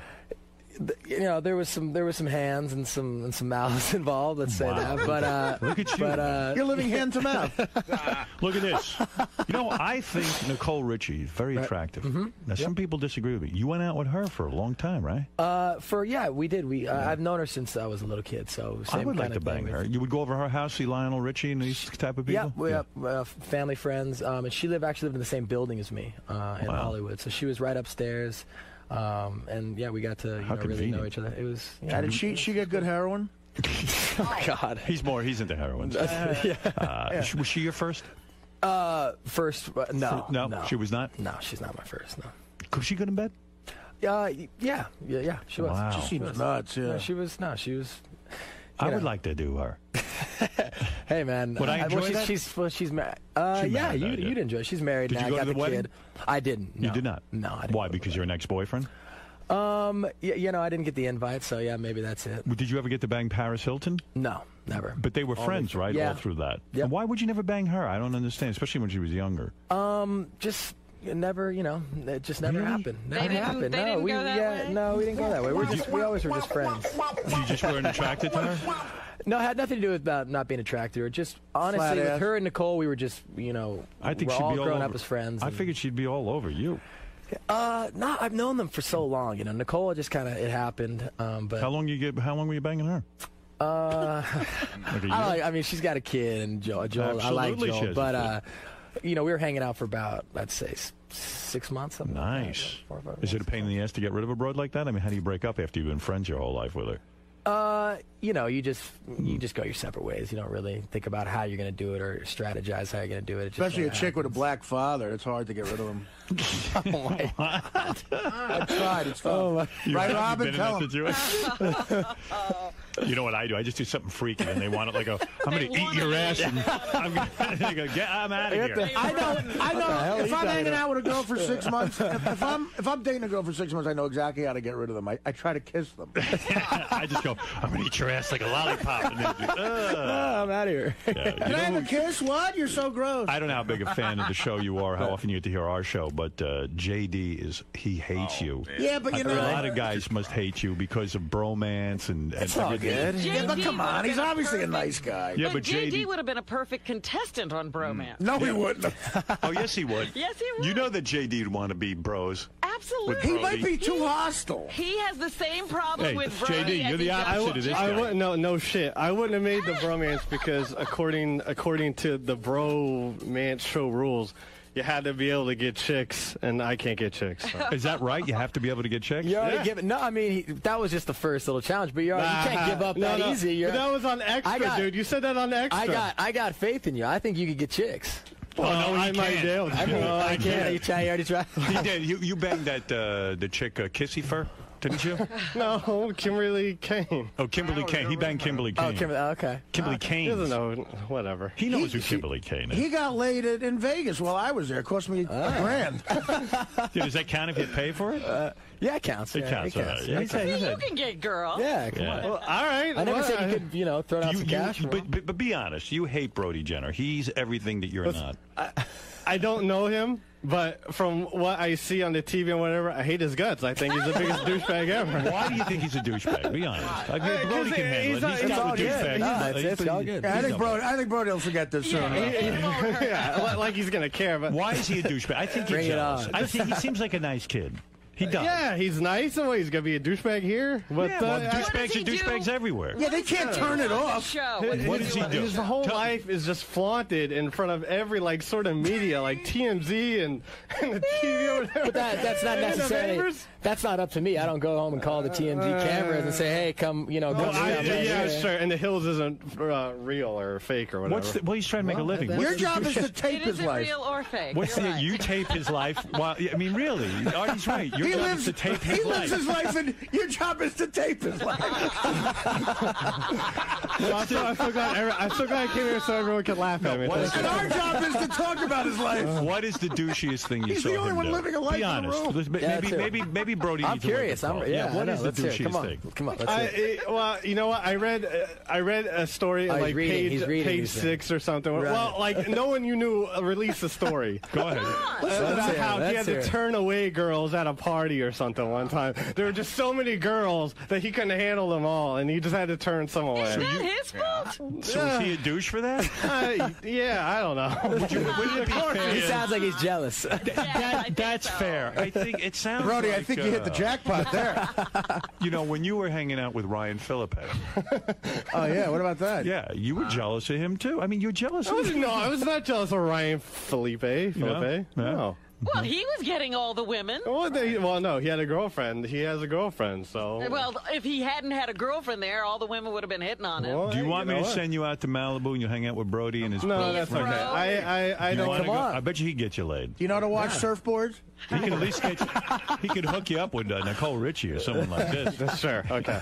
You know? Well, hey, my lady, again. my lady's got a ton of hot friends. They're all playmates, so I okay. could hook you up. Turn him down, JD. Come on Turn now. Him down. You know what? Me, me, Benji, and you'll go out there and see let's who go. could see who could fuck. You guys come to the mansion with me. That's a did you, uh, why did you kiss Lindsay Lohan and stop at that? Was there a smell? Was what was going on there? Why did you? Why didn't you do? Why didn't you complete the deed with her?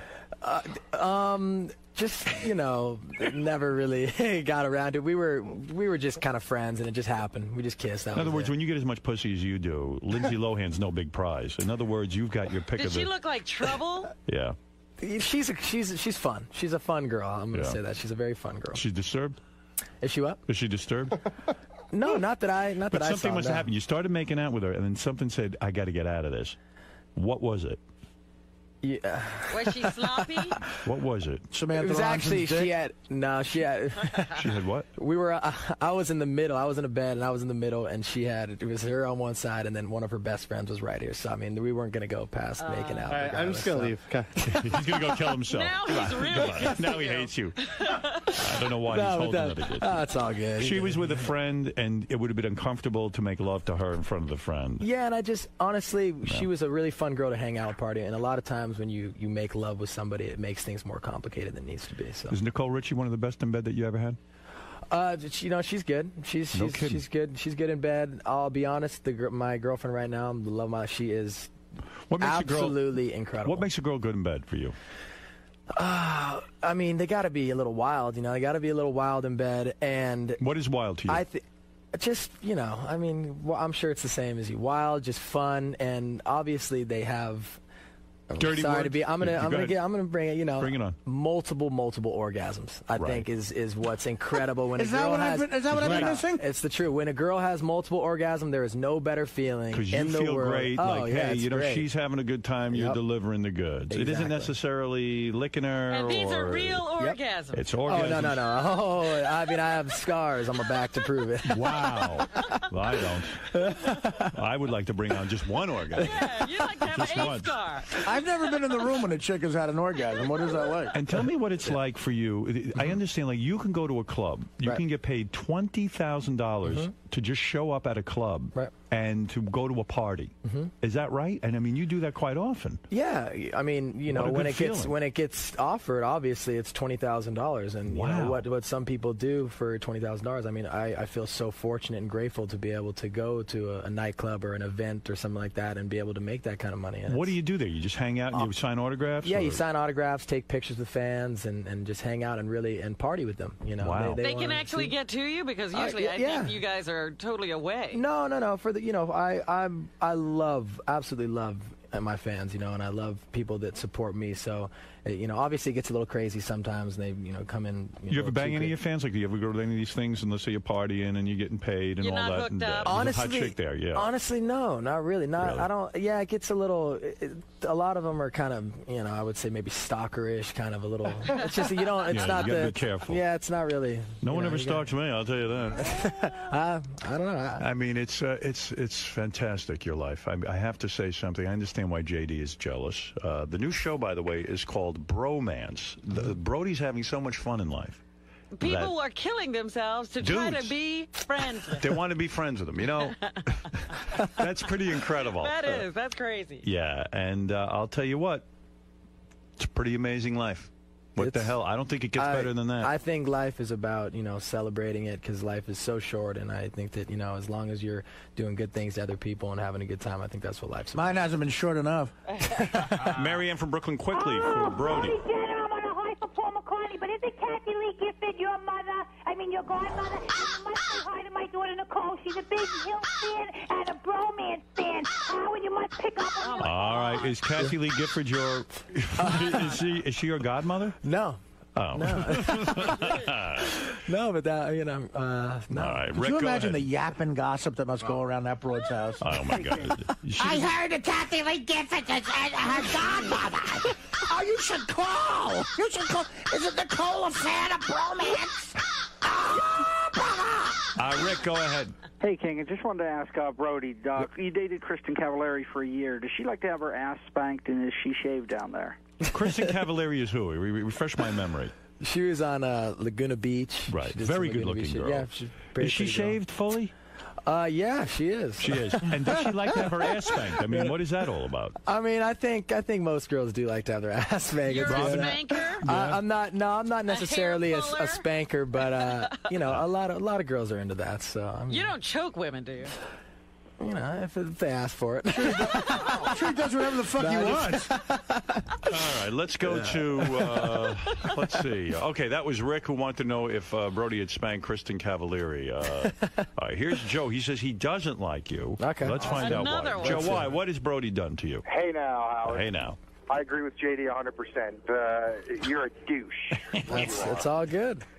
No, hey, listen. I just wanted to. Uh, I did want to ask you why. What do you think the perception is of your friend Spencer Spencer Pratt. He's always like vilified by the media. Um, you know, every time TMZ has him on, uh, you know, everybody uh, reports on him. Just Is Spencer um, uh, vilified in the uh, press, and is it Is fair? it un- Yeah, he uh, warranted? This is the thing about Spencer is that he he got labeled as the villain very early on. You know, people obviously didn't like him. They didn't like his take and how he you know deal with Heidi and the whole Lauren thing. And so he got labeled that, and he knows exactly what he's doing. You know, he He's he took that role. career. He took that role and said, "That's fine." Put the big finger in everybody's face and said, "That's who I'm going to be." So all those little cheesy things you see him doing on Valentine's Day and all the little It's his they're It's putting him in every you know on every website, every magazine, and you know for, he knows exactly what he's doing. Jason, you're on the air. Hello? Yeah, hi.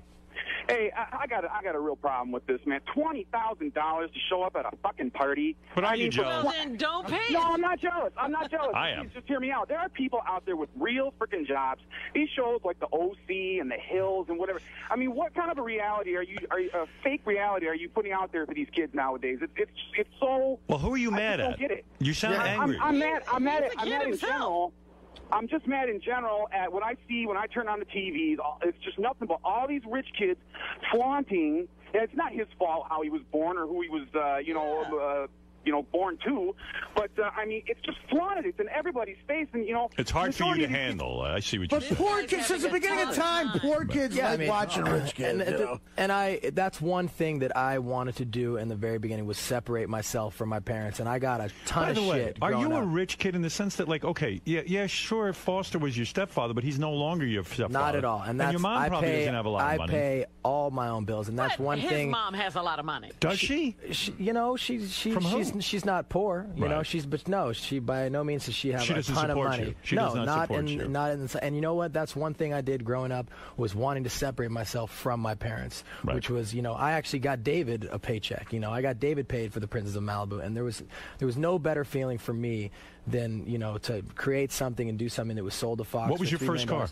Uh, my first car that I ever bought was an Escalade.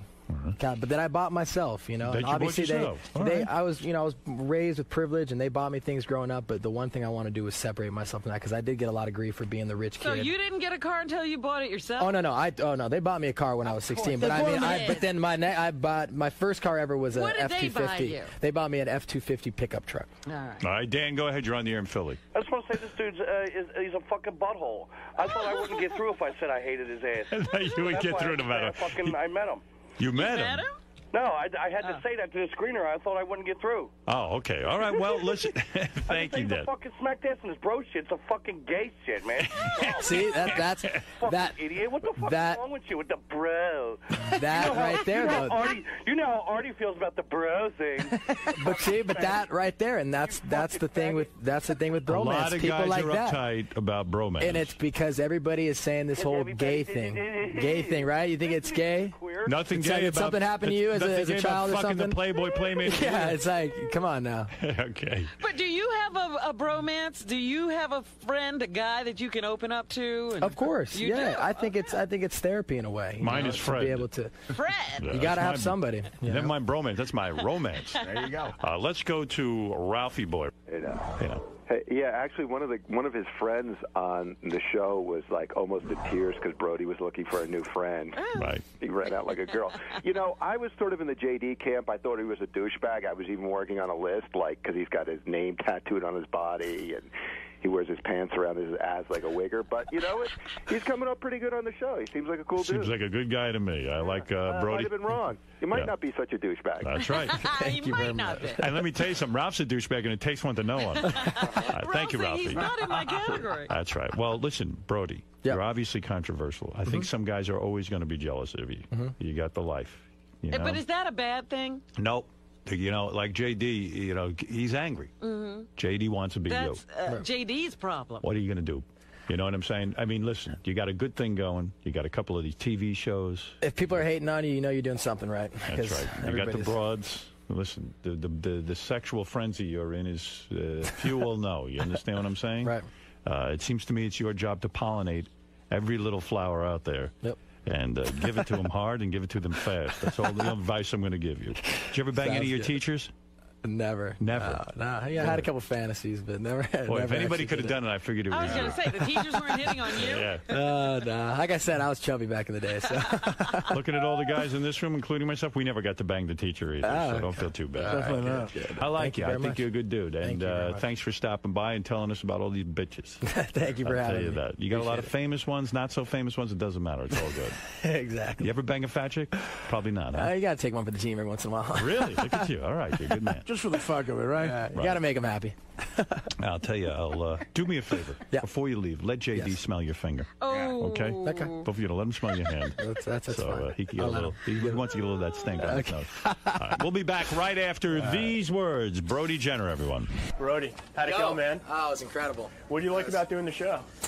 I just love how real it is. You know, I just love that you can say anything, do anything. Yeah, is it hard to say anything? Like, you know, you talked about like your your past girlfriends and sex life. You think you're gonna get in trouble for anything? Hey anything? man, it's or- Howard Stern. I get, I get the, I get the getaway free pass right there. I gotta say, hey, you gotta do what you gotta do on Howard Stern. So. What do you think about JD? Who wasn't too fond of you? I mean, it's all, it's all good. JD can, I liked him. I thought he was a nice guy, so it didn't bother me at all. Why do you hate him so much? Because I hate it, like Ryan says, I hate everyone.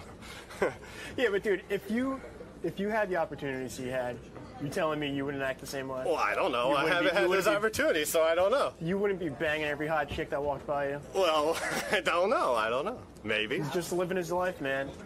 That, no. Just playing the. Well, I don't need to know was about it. I don't need to see it on TV all the goddamn time. So don't watch it. It's not. Yeah, who's who's making you watch it? It's my job to watch. This is the best of the wrap up show. A recap and behind the scenes look with Jon Hein and Gary Dell'Abate. The best of the wrap up show begins now. On Tuesday's wrap-up show, uh, we talked about Howard had discussed on the show. He took a bunch of us to a real fancy New York restaurant, and uh, we we learned what we did wrong. Uh, we learned that I can't come late, and that Robin ordered $800 bottles of wine. We discussed uh, how Howard instructed us about the things that we don't do correctly when we go out to eat. Check it out. What did you think of Robin's reaction, Gary, when Howard asked her what was the deal with the three bottles of $800 wine? As uh, Jeff Probst would say, you were completely blindsided, weren't you? She totally didn't see it coming. When Howard said, "I got to talk about you, Robin," she really—I mean, I don't think she saw that coming. And when you're on the show and that happens, that is the worst there could be. It's one thing, like if I like Benji left that dinner knowing he was 20 minutes late. You, and Benji, you knew you were going to walk in and take some shit today, right? You had a feeling. Yeah. Right. Yeah, I. Robin did. Ha- Robin had no idea, and that's when it's the worst. And I understand Robin is extremely generous. I mean, everyone took great pains to talk about how she, you know, she wouldn't do something like that if, if, if someone had done it to her and it was her dinner. But it irked Howard. You could tell. He definitely was, was set off by it a bit. Yeah, it's just one of those weird things. It's just it's just you know when you get the bill, and you know if you're treating a bunch of people to dinner, I've been down that road before. You sort of calculate it in your head, and when you get thrown a curveball like that, it's just shocking. Benji, what did you think of it? The dinner? Well, the dinner and the, si- Oh, the Robin's eight situation. hundred dollar wine. Yeah, I, I try to be real careful when I order when someone takes me out. In fact, sometimes I don't like it because you don't get what you want because someone else wants to cover. I agree with Benji. I it's like sometimes I might want the lobster tail special, but I'm not going to get that on somebody else's dime because it's just you know it's just not what you do. But I knew there was a, I knew there was an issue because like I said, I had seen the bill and I had seen how much it was, and I thought to myself, well, that's a lot. I know this is a phenomenal restaurant. That's a lot for food. So the first thing that that went off in my head was the wine must have been expensive, and I knew there were three bottles. And what happened was I went home and I looked up the wine because they gave us these beautiful little folded things with the label for the wine. And when I got home, I saw it online for four hundred. So I said to my wife, that had to be at least eight hundred bucks a bottle. I kind of agree with Robin though. Like once she told Howard to check the menu for like, do you sure you want a second and third? Maybe she should have been a little bit more insistent. Like, look at that menu, Howard. You know. She should have just said You it. She, when she got it, she's, she should have. What she probably should have done was, Howard, I'm thinking about getting this bottle here. What do you think? Right, right. And then it's then you see it. But even asking someone, what do you think? Of course, they're going to say, oh, sure, go for it. I guess you're right. You know what? Howard wouldn't say no. Don't get that. It's eight hundred dollars. It's it's it's a weird thing to be in. And Benji, your issue wasn't what you ordered; it was the fact that you never ate it, or you were missing all these signals that have become very apparent well, to everybody and, and else. if you notice, because Gary said to me during the break, Howard made a big deal that I was a half hour late, but I said I got there at 7:20. And Gary, Benji did get there at 7:20, but it was still by 7:10. Howard was furious. But here's what I don't get, Benji. You're still 20 minutes you know, late. it's- this is well, hold what on, happened- hold on. You're still 20 minutes late. Howard said you're sort of on the fringe of the Fab Five, or whatever you want to call it. Wouldn't you take, you know, great pains to make sure that you're there earlier because you don't have that far to travel either? Well, Howard had said it's at 7 p.m. and I, f- I thought about saying to him in advance, "Hey, do you mind if I get there like a half hour But late?" why? Already, already, you're. you're Yeah, why are you being wh- why- fashionably late? Why are you making trouble? Because I like to sleep first during the day. But but see, you're off, and, and and this isn't about Howard. I mean, but, but I hold on, decided not to make a big deal about Some it and just try to get there as soon Some I of this is about Howard, but I'm going to take Howard out of the out of the, the, the equation for a minute and say we all worked at IBM, and our big boss, who doesn't take us out very often, said, "I'd like to take you guys out for dinner." If you walked in 20 minutes late, it's as big a big it's as big an issue. It's sort of like it's sort of like it's rude. You know, and, and especially when it's your boss, and it doesn't happen every very often. And listen, I'm not saying I'm a goody two shoes, but I'll tell you right now, Mary came in on the train, and she had a choice of a train that got in at 6:15 or 6:45. The 6:45 train probably would have made us five minutes late. I'm, I'm like, there's no need for us to be late. Right? Yeah, it was a bad idea.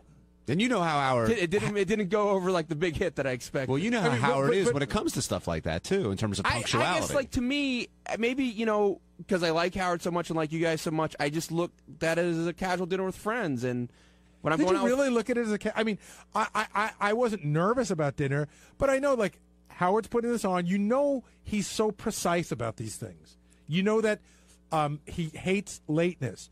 You know that he wants everybody. He's mentioned to us several times. Make sure you're dressed right. You know, he, he's very precise about these things. He wants it to run a certain way, and you're aware of that.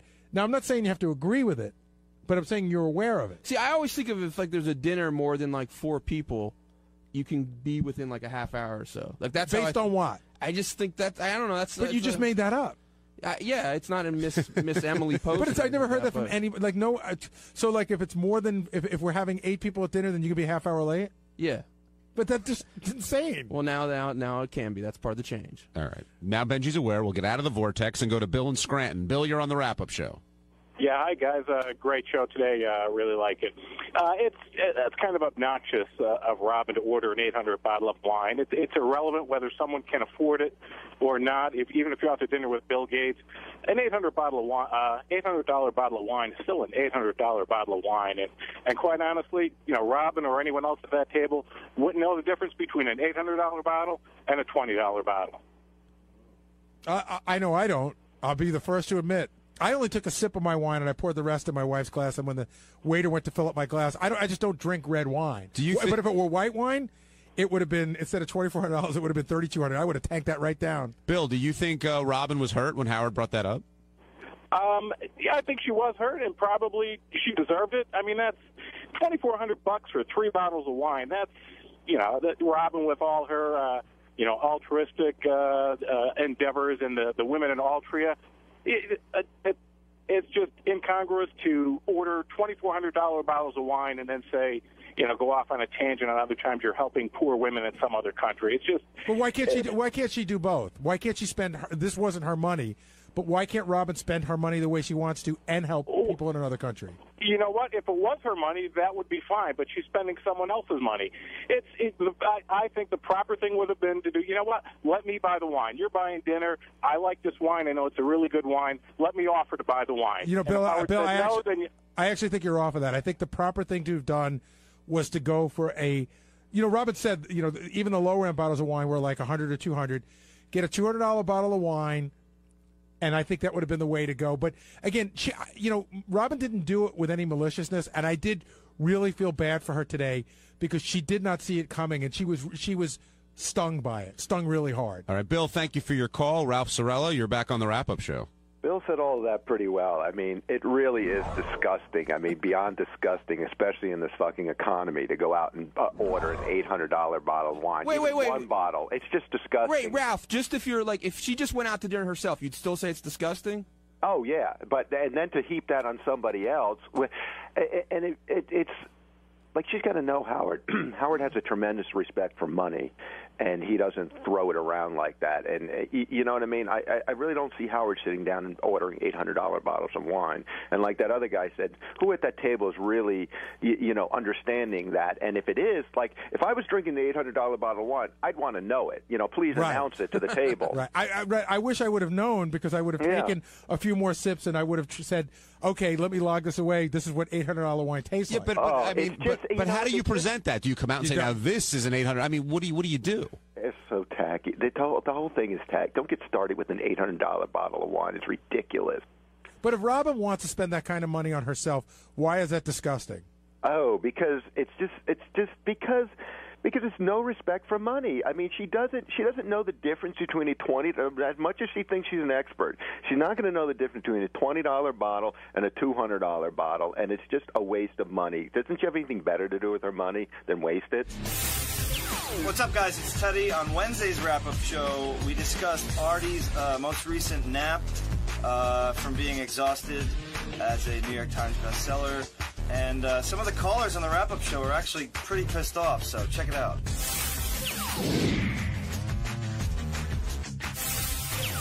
Will, welcome to the wrap up show. Hey guys, um, dude, it's it's getting ridiculous. Artie's a fucking sleep. He just left the show. I mean, that's disrespecting Howard so much, dude. I mean, I know everybody just wants to be whatever and let Artie do that, you know, whatever. But he's a fucking drug addict who's just disrespecting the show. And I love Artie. I'm a big fan, but it's just I'm tired of it, man. Come on. Well, the only thing I could say to you is I don't I don't disagree with a lot of what you said is I follow Howard's lead and Howard at this point does not have an issue with it. But but Gary, Gary, listen to me, man. I know you love Howard. You're loyal. You're a good guy. That's where you come off as a good guy. You're a really loyal, good guy, and I know you love Howard. You you understand that Howard makes all this possible. I, I see that. I see that with you. I mean. Artie doesn't realize what Howard's done for him, and you know he all the bullshit in the book that he dedicated everything to him, but he's not showing it. He's fucking sleeping on air. That's a slap in Howard's face. I mean, I mean, it just is, dude. It just it's Howard's show, and Howard loves his show, and he he would do anything for the show. And Artie's just fucking just making it like he don't give a fuck. I don't know, man. It just it's frustrating as a fan. It's Well, frustrating. well, I, I, love Artie. I don't think I agree with. I love Artie, and I think that there's some level of disrespect, and I agree with a lot of what you're saying. And you understand, like I said, if it's not bothering Howard, then I follow Howard's lead. You don't think deep down it might be though, and Howard just don't want to make a big thing out of it, you know, because he knows that if he does say something, Artie might flip out. I don't think so. I don't think. I don't think he. I don't think Howard's afraid of Artie flipping out or anything. Well, I don't think he's afraid. I think maybe he just he just he don't want Artie because he maybe he feels Artie might hurt himself or do something crazy. You know, it's not that Howard's afraid of him. It's just he just, he thinks like if he tells Artie, you know, Artie, if you do this again, you're out, and Artie leaves the show, he might you know go on a binge, and you know maybe maybe Howard fears has a little fear of that. Uh, you know, You might be right. I don't know that anybody's thought it through that much. All right, Will, thank you for your call. Um, speaking of Artie, that Rolling Stone article, uh, it's a rough article. I mean, Howard makes a point saying, you know, it's what the book's about, so it's good book promotion, and I, Right, it I, does- it- I agree with that. It does the job if you're trying to sell more books. But it's a rough article. Yeah, I thought so, and, and I voiced my opinion. I said that you know, uh, I made the analogy to the Belushi book. It shows all the bad side of Artie, which exists, but none of the good side. It only shows one side of Artie. Benj. Yeah. Is uh, do you know if Artie woke up? As of uh, right now, no. Like Langford was outside waiting for him. Yeah, There's a little Langford. Langford is is you, just to cri- give you the visual. Langford is standing outside the door, the closed door, with his microphone pointed at at it to capture when he first comes out. I guess, and I'm I'm sure Artie will be in a fantastic mood when he comes out and sees Well, Steve's. That DePace comes walking by. DePace goes, uh, "How come nobody's going in there?" I go, "Why poke the tiger?" I said, "Come on, it'll be fun." I was like, "Do you really want to rattle him?" I go, "If the guy wants to sleep, let him sleep." So. DePace went in there with a camera, and already got he woke Artie up for a minute. Artie got really irritated, and then he just left. It is a little scary though, because of the past and the history that we know. Like whenever that happens, like what if God forbid he died or something? It would suck. Yeah. What, but what should we do? Like keep a heart. Should we should we do a drug test? He's he's taking a nap, you know, and we'll see uh, if and when he, wakes up. He could lay down at home, and the same thing can happen, Benj. I mean, the the the life the lifeline has been thrown to him. He's got to if he wants it, he's got to pull on it. We have a we have a defibrillator in the kitchen. Oh, do we? Yeah, yeah. I might take that to my. Ho- I might take that to my hockey game on Thursday night. Uh, That's why I'm Tom, playing with all 50 year old guys. Tom in Jersey, you're on the wrap-up show. Gary, you should have Sal and Richard go into that fucking room and rub their cocks against his face. Yeah, then we'll just get to see a replay of the Artie Teddy incident. Oh. He would, you know, listen. It, it's not right to. It's not right for two wackos to rub their penises on a heterosexual man who's sleeping. Listen, I love Artie. I'm a big fan of the show and a big fan of Artie, but I really think he's taking too much, you know, too much credit and too much uh, deliverance to, what, to, to his success and the book and everything. He just doesn't give a fuck. Do you know anybody in a work environment that will allow themselves to go and sleep in the middle of work? That that's unheard of. I, I, if you, if anybody can come up with it, please give me the call and let me know. Yeah, but it's not unheard of here. Right. He's done it before. But who else has ever well- done it here?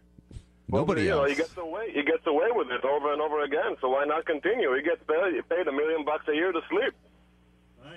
Well, I think he does a little bit more than that.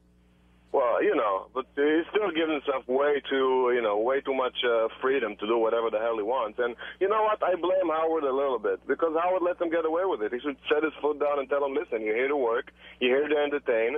Your absence from the room is, you know, people feel it because you're not you're not putting your share in, and people expect to hear you. Let's go to Keith in Connecticut. Keith, you're on the wrap-up show. Artie does a lot for the show, even being like he is now, and that's part of the reason I think Howard, you know, lets him get away with stuff because it makes for a good show. You Keith, know, Keith, whatever I, it is. Do I do a lot? Do you think I do a lot for the show? Oh, absolutely. Do you think it'd be okay if I took a day off or maybe took a nap halfway through the show? Because I do do a lot. Well- for the, I do a lot for the show. Yeah, but you you're two different guys. You're doing you're a producer. You're doing the mechanics mechanics of it more more than he is. He's an entertainer. Okay, Benji. Benji. there. Benji is also falls into more of the Artie category. Should Benji sort of come and go as he pleases? I never heard Benji being sick on air or sleeping or anything. No, I that's mean, what I'm I saying. Benji does a lot for the show. So my Yeah, question yeah, is, he should does. he get you know be cut more slack and sort of? Yeah, and Benji, if Benji shows up late, he gets a lot of shit. Yeah, he's in a different he's in a different category, different league than Artie is too. Who, But I- who I else is in don't- Artie's league? All you guys over there. I, I don't want to Howard. Like Howard should take naps. I was going to say, who else is in Artie's league? Well, you, you're all you're all so different. You all do different things. I mean, the, the show couldn't get along without you and Fred. I don't think at all. And and Robin could get along without, but you know she adds a little comedic whatever to the show, and she does her news. And Artie's the Artie's the uh, wh- whatever he is. You know, I, I love the guy, and I I think that you know he needs some help. Obviously, and it'd be nice if you get him some help. But I think part of the reason everybody tolerates him is because he, he creates buzz like this. Everybody's talking. Steve Langford's got something to do. You know, everybody's all uh, excited about it, mad, upset, whatever. But yeah, it- I'll, I'll play devil's show. advocate with you a little bit though, and I'll say, like you said, you know, you think the show could live without Robin a little bit. Maybe Robin should just start doing seven and nine. You know, skip the first hour, skip the last hour. That be all right? Well, well, it would be all right with me, but it's up to it's up to Howard and you guys. I'm just playing all devil's I'm saying is advocate. Everybody is diverse. Everybody has their own has their own role on the show. And I think Artie's role is to be the clown or the comic or the fuck up or whatever you want to call him, you know. And he plays his role real well. And he, I mean, he's a talented guy. You know, I could have been friends with him in a different life. I'm 57 years old. I did heroin, I did coke, I did LSD, I did everything you can think of back in the 70s and 80s. I don't remember the whole decade between 70 and 80. So, you know, he, there's there's a way to stop this shit. And it's too bad because he's a talented guy. But there is a reason you guys let him do what he does, and and I think this is it. Did you go through uh, right now. Rehab? Pardon me? Did you go through? Were you an addict? No, no, no. I never got that. Well, I coke for coke. I was. I did coke every day for probably four years, but I never, I never shot anything. I never mainlined anything. The coke was just a snorting thing. What made you and stop? No, I never went to rehab. I never went to rehab. What made you stop, Keith? Yeah, I got married, had kids. That'll do it. On Thursday's wrap up show, all the conversation was about Will the Farter farting in his mother's face. And I've seen a lot of crazy things on this show and heard a lot of stuff on this show. This could be one of the most wrong segments, I think, that that's ever happened. And uh, I think I've got pretty good sensibilities. But this time, I mean, there was so much to talk about. A 70 year old mom farting in her face and then not being able to talk about masturbating on a, on a website. Well, anyway, here's our discussion. One of the most disturbing segments ever done on the show, and that's saying quite a bit. And that was Will the Farter, who came in with his mother, who's 70, is that right, Gary? 70. She, good, she looked good. 70 year old mom. A spry 70. And proceeded to fart in her face in order to get some money to fix their car. Do you agree it was one of the most disturbing moments, Care? Absolutely. And uh, I looked up at my monitor at one point, and you know we had done that bit that we always do, where oh you move, start the clock again. And my favorite one, Will is an evil person. Will goes, Howard, I saw her lip quiver. Start the clock again. So at one point, she had her hands over her chest. And she had her eyes closed. She looked like she was in a casket. She was laying perfectly still, like she was dead. And he's blasting him out and we got to the end, and he hit like what I call a really like juicy wet one, and she didn't move. It Yeah. was it was he was squatting over his mother's face. Now, before that all started, she was saying how proud she was of her son. I mean, she definitely, I guess, takes pride in his accomplishments. If your mom's not your biggest fan, you're screwed, right? That's true. So of course she's going to love him, but you know I guess you have to support your kids in whatever. endeavor. I don't know. I don't even know. I, I'm laughing as I say that statement. I guess she supports him in what he's doing. He's now, a nice guy. Now, did you know that he was born without an asshole? You know, the funny thing is, I vaguely remember him mentioning that once, but when he says it, it, it like almost doesn't seem true. But when his mom says it, yes, that- when his mom said it, then it makes more sense. But even he was saying today, he's like, Howard, I told you that before, but I think we might have glossed over it. So he had a colostomy bag for three years, which is like a big diaper. Yes, and then he, uh, and then he was. Uh, I wish my kid had something that instead of clean those diapers, they could just empty the bag. Oh man! And then uh, he had an operation, and and then achieved great success using that very uh, that that tool. And he was in a diaper and a bonnet for this. Is is that right? Yeah, I don't know that we asked him to do that. Oh, that was all Will. Yeah, yeah, we didn't say getting a diaper. Okay, and if you missed it, here's just a little bit of Will uh, farting in his mother's face. One Ted. Tell me when you're ready, Will, and Priscilla, tell me when you're ready. I'm I'm ready. I'm ready. Let's get this over with right, so I get can that die in ass right in your mom's face. Don't shut on her. Oh my God! How are you doing in there, Priscilla? I'm, Here li- I'm, Start I'm, the clock now. I'm living. Oh my God! I'm living. Oh. Howard TV moment of the year. This is as wrong as it's ever been. Even Robin saying this is as wrong Yeah. as it's ever been. And interns were walking by my office, and they were like, "Oh my god, he's really doing it." Just the whole thing was like really, you know, just skeevy. Now, what kind of relationship could Will have with his mom, at least psychologically, to be comfortable enough, I guess, to do something like that? She loves him. He loves her. They need money. That's that's how I looked at the segment. That's it in a nutshell, I guess. But uh, when the website came up, it was a whole different Oh, ball it game. was so great. Artie was just was so brutal to him today. So, I mean, I guess we can say now, you know, if you go to his website, I guess he does some wacky stuff. He's not gay, but he'll do some stuff. You know, it's on it's on the website. But he made it really clear that he didn't want his mother to know that. And Will, who works here, is like, you know, Howard, just bring it up. It's on the website. You know, she could go to the website anytime and see it and know what he's up to. But he was so freaked out, and Artie was just completely, you know, Artie had a phrase for every day of the week. Artie was merciless. Merciless. And you could see how uncomfortable it was, and it was so genuine because she was like, What's going on? She could clearly tell something was going on, and she's like, All right, who's making it up? And Howard was so nice and saying, You know, no, no, no, Artie's just kidding around. Now, based on what he does, why do you think he didn't want her to know?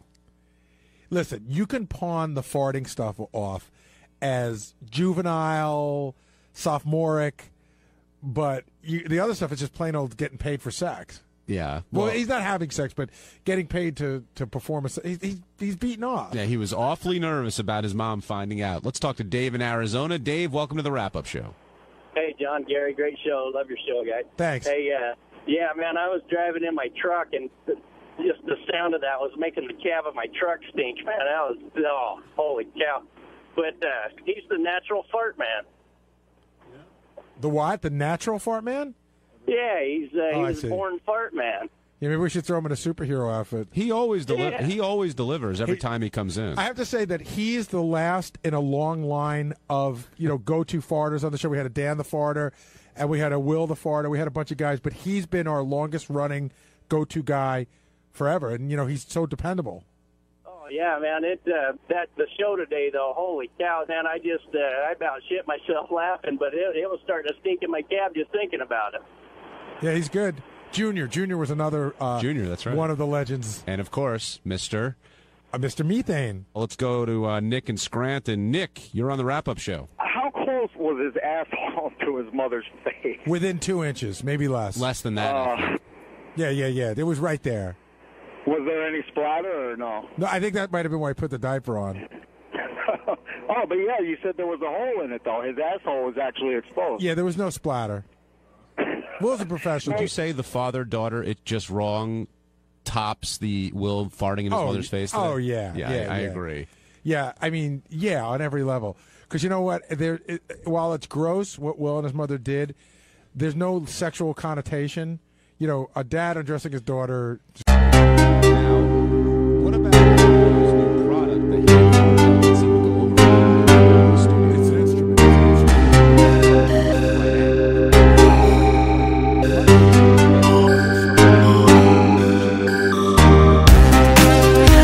mình thắp lửa trái tim yêu, để vững lối đi qua điều chăn trở, đưa em đến nơi tận cùng nỗi nhớ, cùng hoa thân như gió mong mây kề đêm nồng nàn dâng cuồn hết đam mê, màu sao tất bao bộn bề lo lắng. Cùng đắm đuôi bù lúc xa thầm lặng buồn nồng nàn cho khoảnh khắc yêu thương. Tình chúng ta sương vút tựa cánh diều như lúc nhỏ, thấy chiều vui kiêng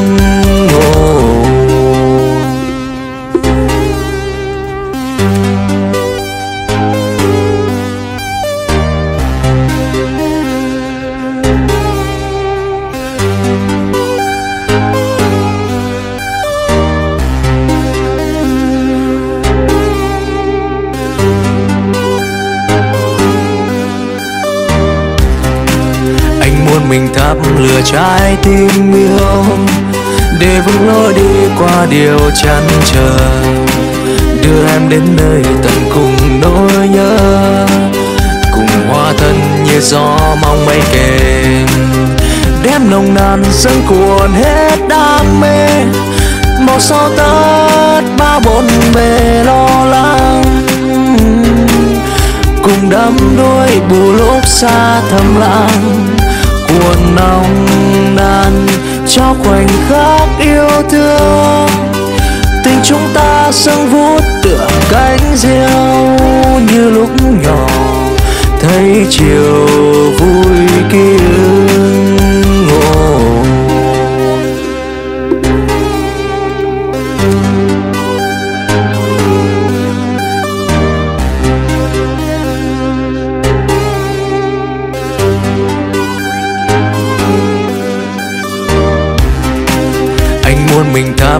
Trái tim yêu, để vững lối đi qua điều chăn trở, đưa em đến nơi tận cùng nỗi nhớ, cùng hoa thân như gió mong mây kề. Đêm nồng nàn dâng cuồn hết đam mê, màu sao tất bao bộn bề lo lắng. Cùng đắm đuối bù lúc xa thầm lặng buồn nồng nàn cho khoảnh khắc yêu thương tình chúng ta sương vút tựa cánh diêu pussy all the Huge time. amounts of pussy. Like, I it would have killed him. He would have overdosed on it. The amount of pussy, just with that. If I carried that bag, the amount of pussy I could get. They took him to the hospital. What's wrong with him? He OD'd on pussy. bunch of guys who look like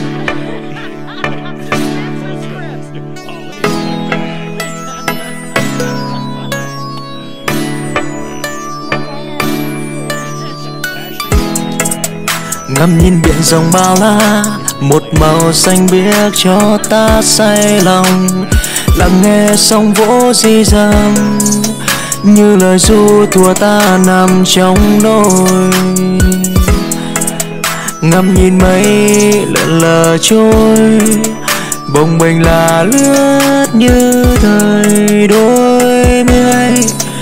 Nắng vàng như miệng ai cười cho hoa đùa đó, cho người thêm xuân. Ngắm màu xanh thẫm núi ngàn chung chung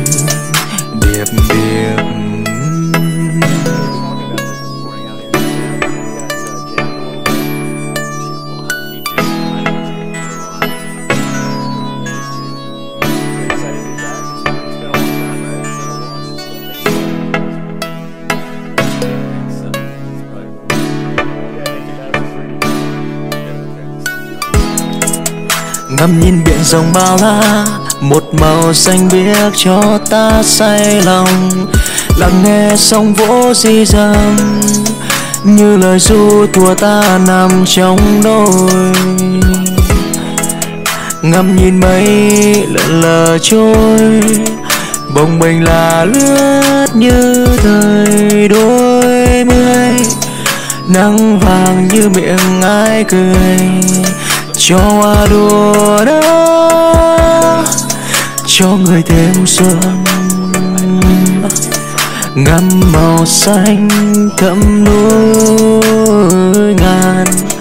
Chung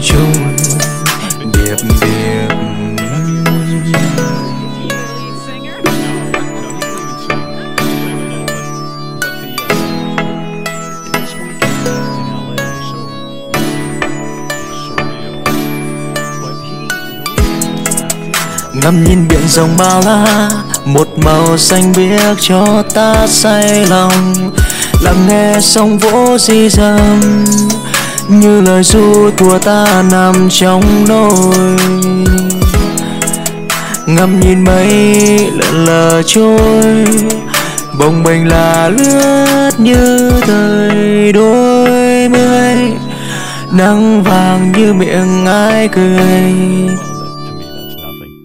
have to I have to have rest, and people are running around and going crazy. I was just saying that the Barbados, that is a because it's loaded with scripts. nắng soi khung cửa buồn tình qua khu vườn vắng em làm mây cuộn qua đời anh giang giang, sông trôi qua đồng bằng, mưa mịt mùng bên mộng em làm hoa dấu lặng, bài nhạc tình mênh mông. Núi lặng im bình bông vẫn âm thầm chẳng nói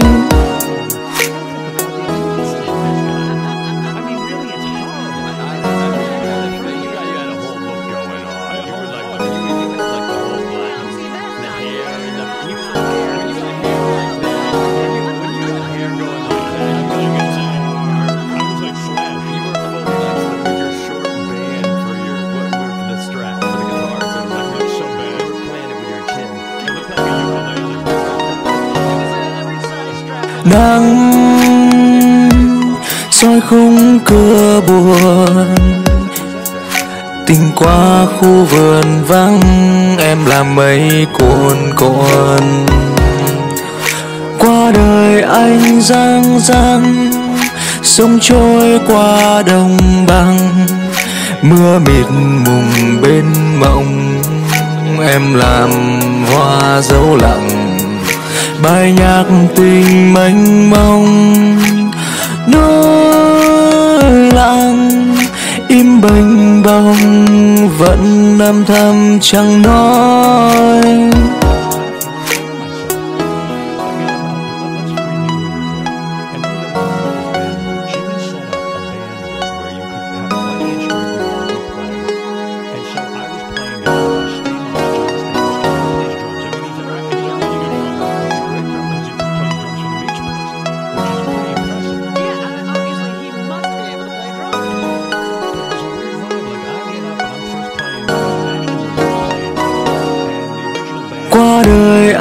Giang giang, sông trôi qua đồng bằng.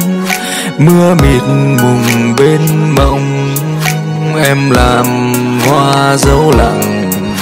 Bài nhạc tình mênh mông, núi lặng. Im bình đông, vẫn âm thầm chẳng nói.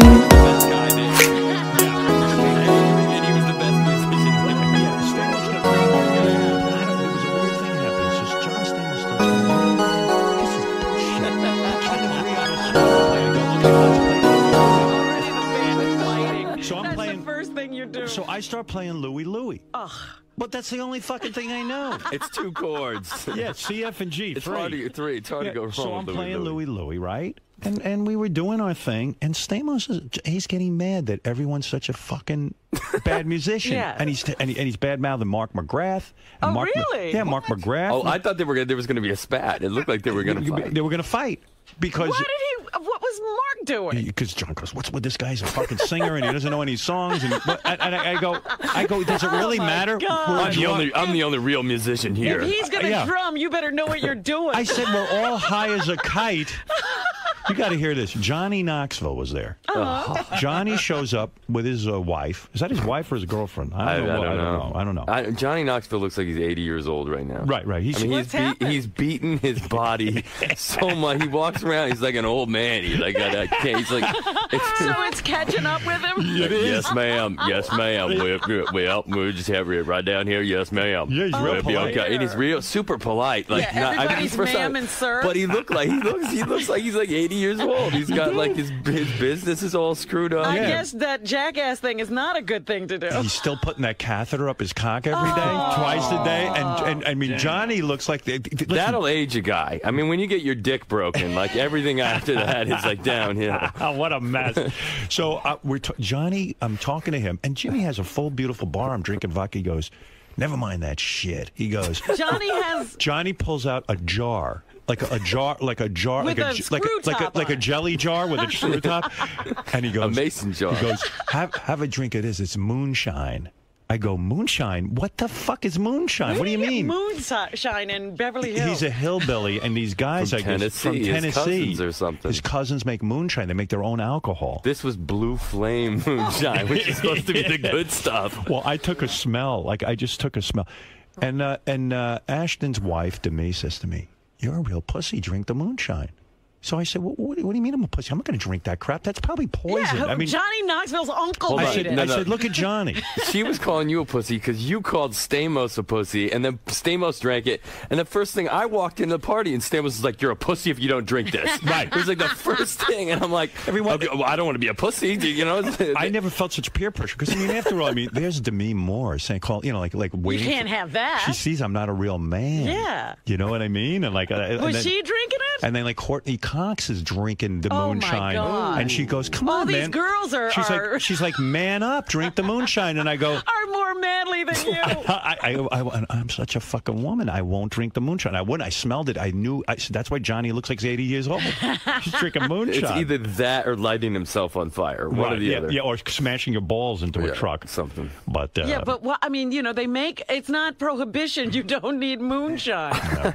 but uh, it was fun, right? It was, the moonshine was potent. but, I mean, it was heavy stuff. Then, uh, then you kept saying you don't know how to play an instrument, but then you got up and then you're playing the piano like uh, Billy Joel or Like I took like three when I was like seven years old. I took three years of piano or something. I don't really know how to. play. and your wife's a good singer. She was up She was singing. singing? My wife can do anything. She's she's she's singing. She can do whatever she wants to do. She can. She was really great. I I tell didn't know you. she sang. Well, if you hung out at the kind of parties I hung out at, you would know this kind of guess shit. I would. You're too busy going to charity benefits. and She's things a- like- I- I'll do my thing. You Talk do to me- yours with the moonshine. Talk to me about charity for a second. How does a celebrity pick their charity? Now, are you trying to get rid of the sex slave industry or something? Human trafficking, yeah. Human trafficking. How do you, I mean, there's a million charities you can get involved in. Why human trafficking and sex slaves? I saw this thing on uh, like one of those like 48 hours special thing, Nightline or whatever, and they, and it was um, it was these like six and seven year old girls in Cambodia, right? That were working in these brothels, and these grown men were going in and sleeping with the six and seven year old girl. And I, it's, it is not really morning talk, Yeah. but it, it, it was just so disturbing to watch to see what was happening with these these kids and. And then I started researching and researching, and I found out there's twice as many slaves in the world today as there were when Abraham Lincoln signed the Emancipation Proclamation. Wow. I didn't even know that. And it's, it's like a $32 billion industry. So you got involved with that? Yeah, because Rob is involved with every fucking charity yeah, but that. isn't uh, Demi's involved with something called like the Rebecca? The Rebecca Project? Yeah. I don't know. I just I saw an email getting passed back and forth about, but I don't know. I don't know whether she's uh, associated with it. Everybody's We- helping everybody. We just started our own foundation. It's uh, the DNA Foundation. Well, anyway, so you got a new movie coming out, but uh, but that party at Jimmy's that was fun. It was fun, but that's not a big deal to you, right? Because you guys don't you party with like uh, Brad Pitt and uh, We don't go out that much. I mean, we're so you know, like when you're in New York, you stay home mostly. You know, it's like Right. you're not going out. That's when we're in Los Angeles, we don't really go out that much. So Jimmy's party was unusual for you guys. Yeah. Well, I just got off work. Like I came straight from work and went straight to the party, and then Well, it was a big deal. Rick Rubin, Natalie Maines was there. Jeff Probst flew in for it. Wow. I mean, it was uh, a party you fly in for. Jeff was- Probst flew in for it. Yeah, he had to do the Survivor finale. He flew out that night because he wanted. He didn't want to miss it. He was in New York. He flew. He flew to the party, and then he flew back to Survivor. That's crazy. Yeah, I had a good time. I was uh, busting his balls pretty good at that party. Jeff. Yeah, yeah, it was fun. I'll tell you all about it. Okay. But anyway, so uh, yeah, it is. It was good. It was really good. Ashton's new movie is Killers. This is where you play a spy. You quit the spy business. Yeah. After you quit the spy business, you get married to Katherine Heigl. Katherine Heigl. Is she a pain in the ass to work with? No, she's great. Why she get a bad reputation of being like cuckoo? I don't know. I think she had like a thing on the on the uh, what, what was the getting the knocked up movie. She had like a thing with the. The, it was like about the, the, guys in the movie and the I, I don't know what it was. I didn't really get into it with her. And and yeah, she had some sort of thing. Yeah, and I think you you know when you have one thing like that spike up, then you know every time you know they do want to make a story out of it every time. So working with her was easy. Yeah, Yeah, you liked her. So you're a spy. You quit with the spy business. She marries you. You never tell her you were used to be a spy, and then all of a sudden, um, some guys put out a hit on you. Yeah, there's a hit. There's a contract hit put on me, and it's and it's like one of my friends or neighbors, but I don't know who it is. Yeah. And uh, you know, I mean, it's a base, pretty basic plot line. So what's like you're thing, Superman but- because because all of a sudden when your wife learns you used to be a spy, she's kind of freaked out. Yeah, she's kind of freaked out, but she's also kind of impressed. Yeah, right. She digs it. I get to kill people. Yeah, it's fun. I just wanted to shoot a gun. And you get to do all that. I get to shoot guns and jump through windows and dive off boats, and Yeah, that's yeah. fun. And make out with Katherine Heigl. So let- bad. we were it's like free cheating, you know. Yeah, I know. You know, there was a picture in the Post View yesterday making out with another chick, Natalie Portman. Natalie Portman. That's going well. You're making that movie now. That's in a movie. That's a movie. Yeah. No, I Yeah. understand that, but you get to make out with like there's a picture I know, of it's him, like free mouth, cheating. but your mouth Yeah. is open and your your tongue is practically down her throat. That's not true. That's not true. It's it, it might be it might be touching a little, but not down her throat. Isn't that tough on your marriage? I mean, you're constantly fucking making out with other She chicks. gets- she does it too. She I know, but but I mean, Jesus Christ! Between the two, do you get jealous when you see your, your wife in a movie, or or or, you, or you're doing this? I get a little jealous, but she's just good. She's good with it. I don't know. If she's okay with it. How's the marriage going? Great. Uh, uh, How's the sex? Amazing. Are you having as much sex as you used to have? Yep. No kidding. Still goes down. After all these years. Seven years. What is the secret to you Lots and to of me? sex. Is that true? Yeah. Do you instigate it mostly? Uh, it's mutual. What do you? How do you instigate it? What do you, give me some tips here. How do you keep it fresh? Sexting. Sexting. Yeah, you know the texting, but You're sexting. big with that. Oh yeah. And you and you write her dirty messages. yeah, all all day long. I You can't don't wait- send pictures. Oh yeah. Oh, really? But just across the text Of your yeah. cock? Yeah, yeah, whatever. Yeah, sure. You send to me pictures of your penis. Penis. not, not the penis. Penis. Not not not necessarily that. Sex turn now. What no, like wait, but like I, I- you- I think you have to like just be like don't f- just wait till I get home. You're gonna get. I'm gonna ruin you. I'm gonna ram it into I'm you. gonna ruin you when I get home. Really? Yeah. And then you do it. Yeah. You get home and you actually f- follow through. Yeah. Was she put on outfits and stuff for you, or Nah, was we don't do all that business. No, no, no. You get in the room and you get down to business. Yeah, just get her done. Do you think you got enough fucking out of your way? You got married very young. How old were you when you got married? Nah, I wasn't. I was 25. 25 when you got married. That's not that young. I'm from Iowa. People get married in Iowa when they're like. That is true.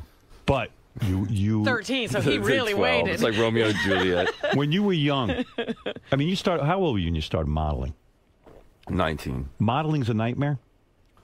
Well, it's not. I mean, it's hard to feel good about yourself when you, you know. It's like Howard would feel really good. I would No, feel but- great if someone would pay me. But it's that. not, it's not, there's not a whole lot of earnership there. You know, what I mean? My wife has said to me, being, uh, um, um, she said when she used to work with male models, it's a very, very strange career.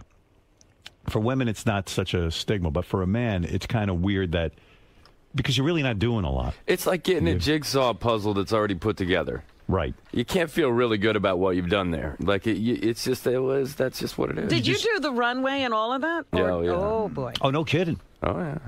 Imagine the pussy you got when you were doing that. I it didn't ramp up. It's hard to be like you know because part of it's like what you do for a living. You know, the girl. It's like oh, I'm a male model. Like yeah, you know, it's not like really like girls aren't like oh shit, I'm going for that. You know. The girls are turned off to male models. They don't see them as ambitious. There you go. Right. I don't think I. Yeah, it wasn't that. It, it wasn't like flowing then. So when you got that job on TV, that helped. That was like, thank God. Yeah, that helped. I'm done with that. That helped. And you were a badass growing up, right? I mean, you robbed a store or something. What did you? You went to jail or something? Yeah, I had like a th- third degree burglary thing. What kind of a Thing. store was it? I, I broke into high school, like my school. It wasn't like the it's- school store? No, just the school. School. You broke into school. Into the That's school. crazy. I want to get out of school. Why- I was, you know, we were trying to rob stuff out of the school. And I You were got trying to rob. I actually did something what like do that. you do? What is there in school that you want? Come on, they got all kinds of stuff in there. What do you got, All that pencils? equipment and Pencils. electronical stuff. My cousin was like trying to break into the soda machine and try it. out, You know, yeah, they got they got free yearbooks. Yeah, We got vending machines in there. Let's go. yeah, they keep it all in there. When you got married, you did a Kabbalah ceremony, right? Yeah. Are you still into that? Uh, I still study it a little bit. Yeah. But Demi's more into it. Mm, we're both into it, kind of equally. You're not wearing your little bracelet. Where's your red string? Oh no, I'm well. I'm doing a movie right now, so I Oh. can't really wear it. Well, what, but Demi doesn't wear it. Yeah, she does. I don't see a. a, a re- I, I mean, I looked her over. I didn't see No any red didn't see string? No. Maybe it fell off. I don't know. Uh, so when you get married in a Kabbalah ceremony, Mm-hmm. What i- what is that? I mean, is, is that like a Jewish ceremony, or is it something? Yeah, you- basically. You step on the, the glass. Who's that guy? That's your rabbi. This Oh, is the is he? actual ceremony. Wow, nice. I do. I do. So some of the things you got to do is uh, you got to dance around a, a circle around the, the bride circles the groom seven times. Seven times, You yeah. did all that. Yeah. No kidding. Yeah. Whoa, now what is it? So are you Jewish? No, I'm not Jewish. F- But you're Kabbalah. But that's Yeah. Judaism. I don't understand. But here's the thing. I don't. I I don't. Uh, I I think religion's kind of awful. Yeah. Um. I I, I think that there are probably more wars created because of religion than peace that's actually ultimately created. Yeah. And so I, I you know, but I it doesn't preclude me from you know studying spirituality. Like I believe there's a God, and I believe that. Right. That uh, that uh, you know part of that's within us, and I think I have a soul, and so I you know I I I try to stay grounded through spirituality. Right. So so But I don't like to like follow all the rules and do. you just know, like learning about it. You feel spiritual, Yeah. and that's it. And that's as far as it goes. Well, uh, you know, it's all you know. It's like do unto others as you want done to yourself, and everything else is sort of kind of how-to book. So when you're making a movie with Natalie Portman, I got the, I, I was obsessed on this picture because I'd like to make out with her She's too. cute, right? Yeah. She's super cute. She's, She's like five fun. foot something tall though. Like I stand next to her, we look like we're different species. Yeah, how tall are you? I'm six three, but she's like so. She's uh, it's weird. We have like a really weird height thing going on. When you do a love scene with her, do you do they put her on a box or something to make I her haven't look? done it yet. I haven't done a love scene with. I had to Well, kiss her. In, I had to kiss her in the scene, so we are just standing there, you know. Right. Uh, But I had to like lift her up to even kiss her. Do you get turned on at all? Um, Let me be honest. depen- no, no, no, well, I mean, do in a scene like that, in Yeah. a sex scene, yeah. Did you have sex scenes with Katherine Heigl in your new movie? No, I don't have a sex scene with it. Nothing. No kissing. Nothing. There's like kissing, but not like a sex scene. Nothing. Uh, nothing hardcore. No, like I kiss her boobs or something. I don't You kiss know. her boobs. Yeah, just like you know, just kiss them. kiss her boobs. How do you Well, write the that scene. into a script? See, that's Part why of the scene. Hollywood marriages can't last. Do you, do, do They've been doing pretty it's well. tough. Yeah. Oh, well, we're doing great. Well, How do you know if they're doing well? Uh, they're still together. I'm just counting years. I mean, at the party, you guys seem super tight. Yeah, she's my best friend. Yeah. Yeah. She was. She got up there. She encouraged you to get up and play with the band. You were being kind of shy. And then Wow, she because I don't know how to play an instrument. I don't know how to better than I sing. was. don't- uh, no, come on. You were like jamming out songs on the. Man, I felt like I was on top of the world, man. Look who I'm jamming with. All these fucking Hollywood He's people. ready to start a band again. Yeah. We might start a band. I might actually go book it on a talk show. See, now that would be that would be one of those vanity projects, Right, right? Where yeah. you have all your You could buddies book it. Sure. who uh, you It'd know have names, and then everybody would just go And we because do it Louie was Louie. you guys, and then they'd listen to this bad music. So, when you're on the It's set, like when it's like when all the when the bands break apart and then different factions Right. of those bands try Yeah. to get back together and This form is- that new band, this like the is a super Revolver. bad What was that group. Revolver? revolver. Yeah. Hey, so if you're if so if you're on the set with Katherine Heigl, you don't get physically attracted to these. I don't understand how it works. Nah, you just don't. It's you know, but they're also telling you like, okay, I want you over here. I want you to, you know, it's like square off to the camera a little bit more. But you get actual boners and stuff, don't you, when you're making out with Natalie Portman? Uh, I haven't, ha- I haven't, I haven't gotten there yet. No yet. wood. Well, I haven't done a scene that t- has taken it there. But it's Well, not you've to worked say with that, Cameron Diaz. it's you've not to say that some- you wouldn't in a sex Uh-huh. scene with someone. Yeah, sure. I mean, you could. And so do you have to sort of detox after something like that? So you go home to your wife and you got to be like, you know, oh shit, you know. well, like when I was doing that movie Spread, the, yeah. I, well, like at the end of the day, there was like f- seven days in a row that I had like s- like sex scenes that I was shooting. Right. And then you'd go home and you just be like, I'm so over it. Like I, c- it's like, ugh, like it was just, like enough. I can't even have sex. Like I, I could imagine how a porn star would feel. No kidding. Like I think the porn stars would like get done, get done at the end of the day and be like, I, well, I'm not. Yeah, you would think. Well, that I would understand. But I mean, you're working next to all these actresses and stuff. I just don't know how. To, I don't know how you go away on a movie set for four months or something, and you're you're hanging out with all these hot chicks, and you keep your marriage together. Well, it's how do- quite how do remarkable. you like to me, two we'll go on handle it? location with it. You know, Yeah. we'll just Right. go together. So it's like we're not apart. That's for smart. Very long. That's a smart move. We have like a two week rule. We Go were ahead. never apart from each other more than two weeks. Right, right, right.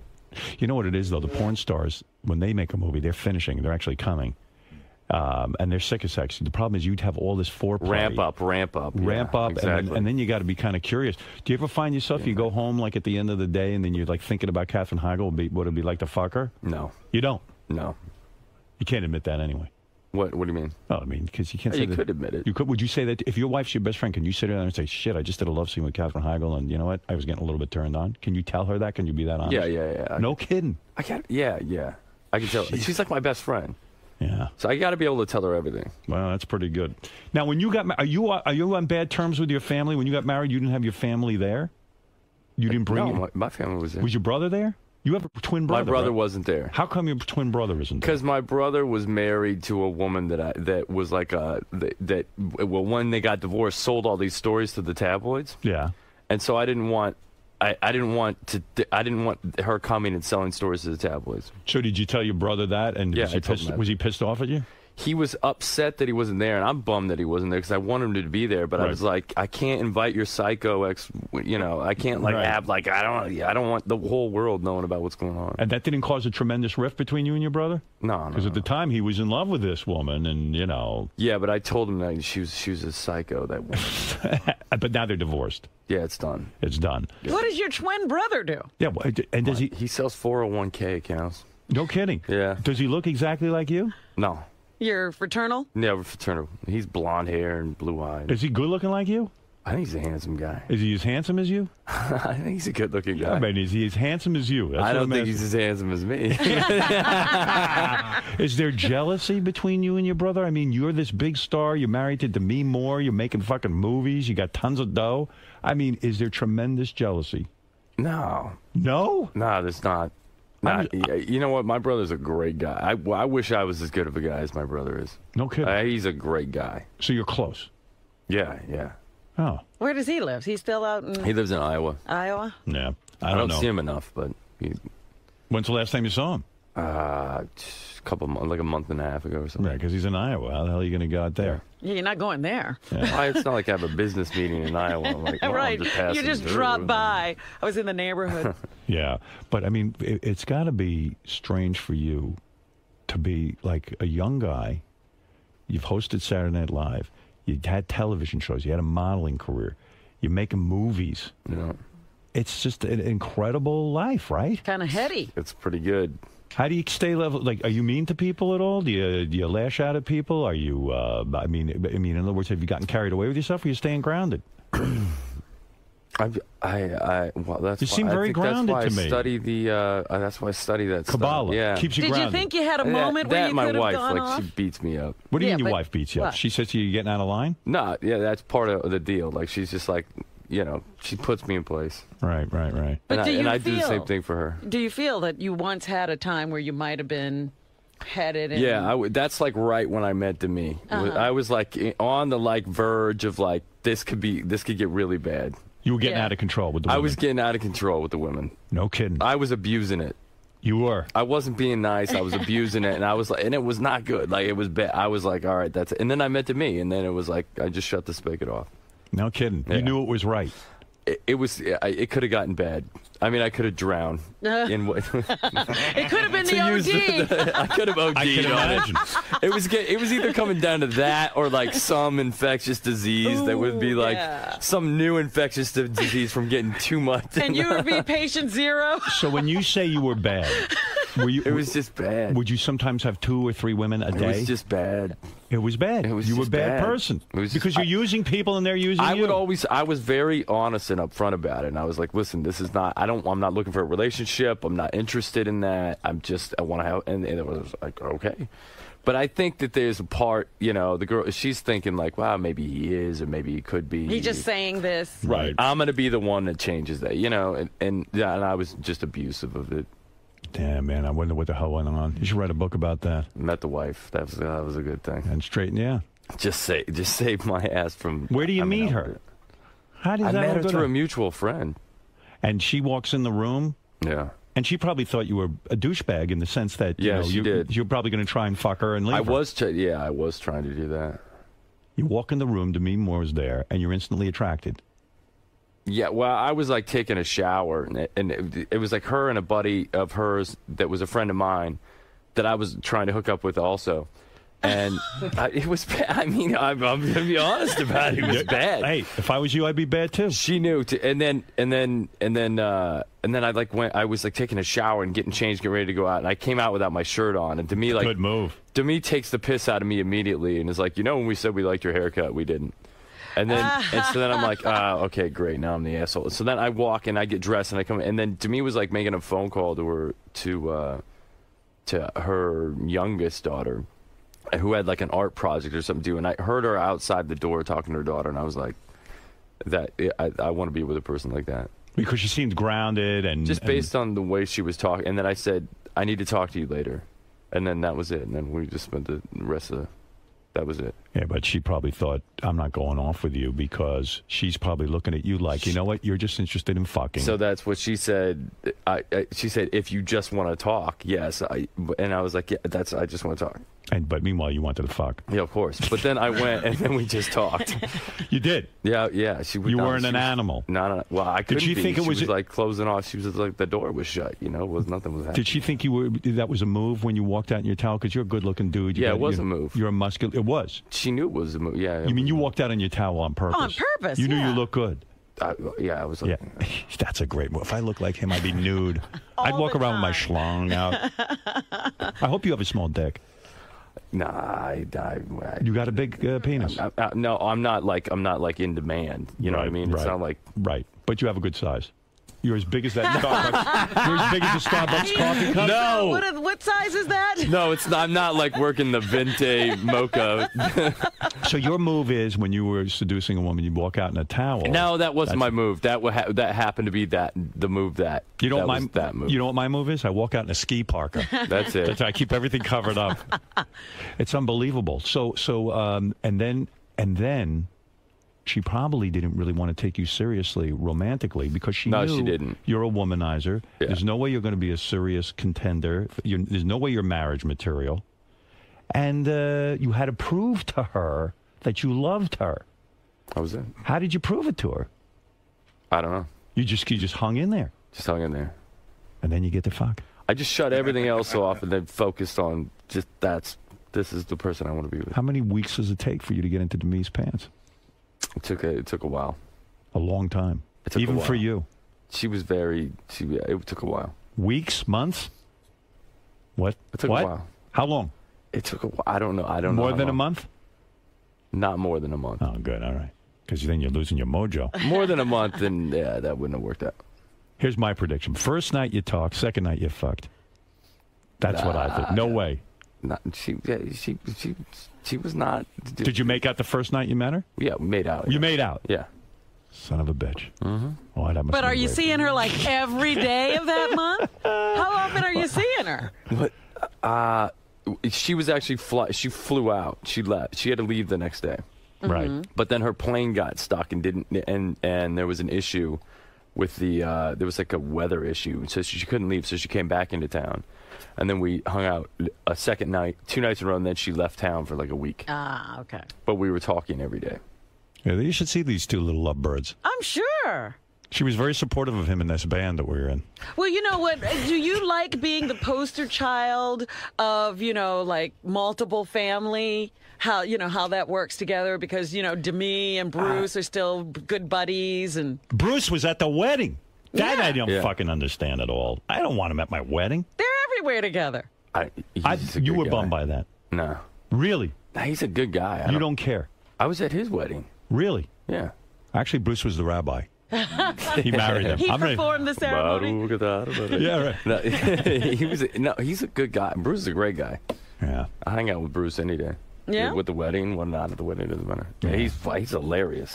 Has he been on the show, Bruce? Uh, no, no, Bruce hasn't been on the show. He'd love the show. I, I'm sure. He's a fan, supposedly. No, Keeps- Howard, he, he, He hates us, doesn't he? I thought he said he did like me. He said he had no problem with me. What, do you, what, ha- what happened? Why Sarah is your John riff? interviewed him once some years ago, and he got really mad. What did John do to him? Who knows? Hey, Ashton, so when you get married, when two powerhouses get married and you're both wealthy people, do you do the whole prenup thing or do you guys, did you bang out a whole agreement? I didn't do it. She had more money than me. I didn't do a prenup. You didn't do a prenup? No. I'm She kidding. did one. So there is no prenup? No, ne- no, there's no. No prenup. prenup. But now at this point, I mean, you're making tons of dough, so. I don't care. You don't? No, I don't really care. It's money, whatever. How's that all work, though? Everybody just pulls their money together? What Who pays the I mean, bills? who How's pays the get bills? How's that all work does out? Hey, we, we, we have a joint account and then we have our own separate account. Oh, you do? Yeah. Well, that's good. I don't. Yeah, it's whatever. It's money. Got- what do you And when you buy a house, who buys it? Yeah.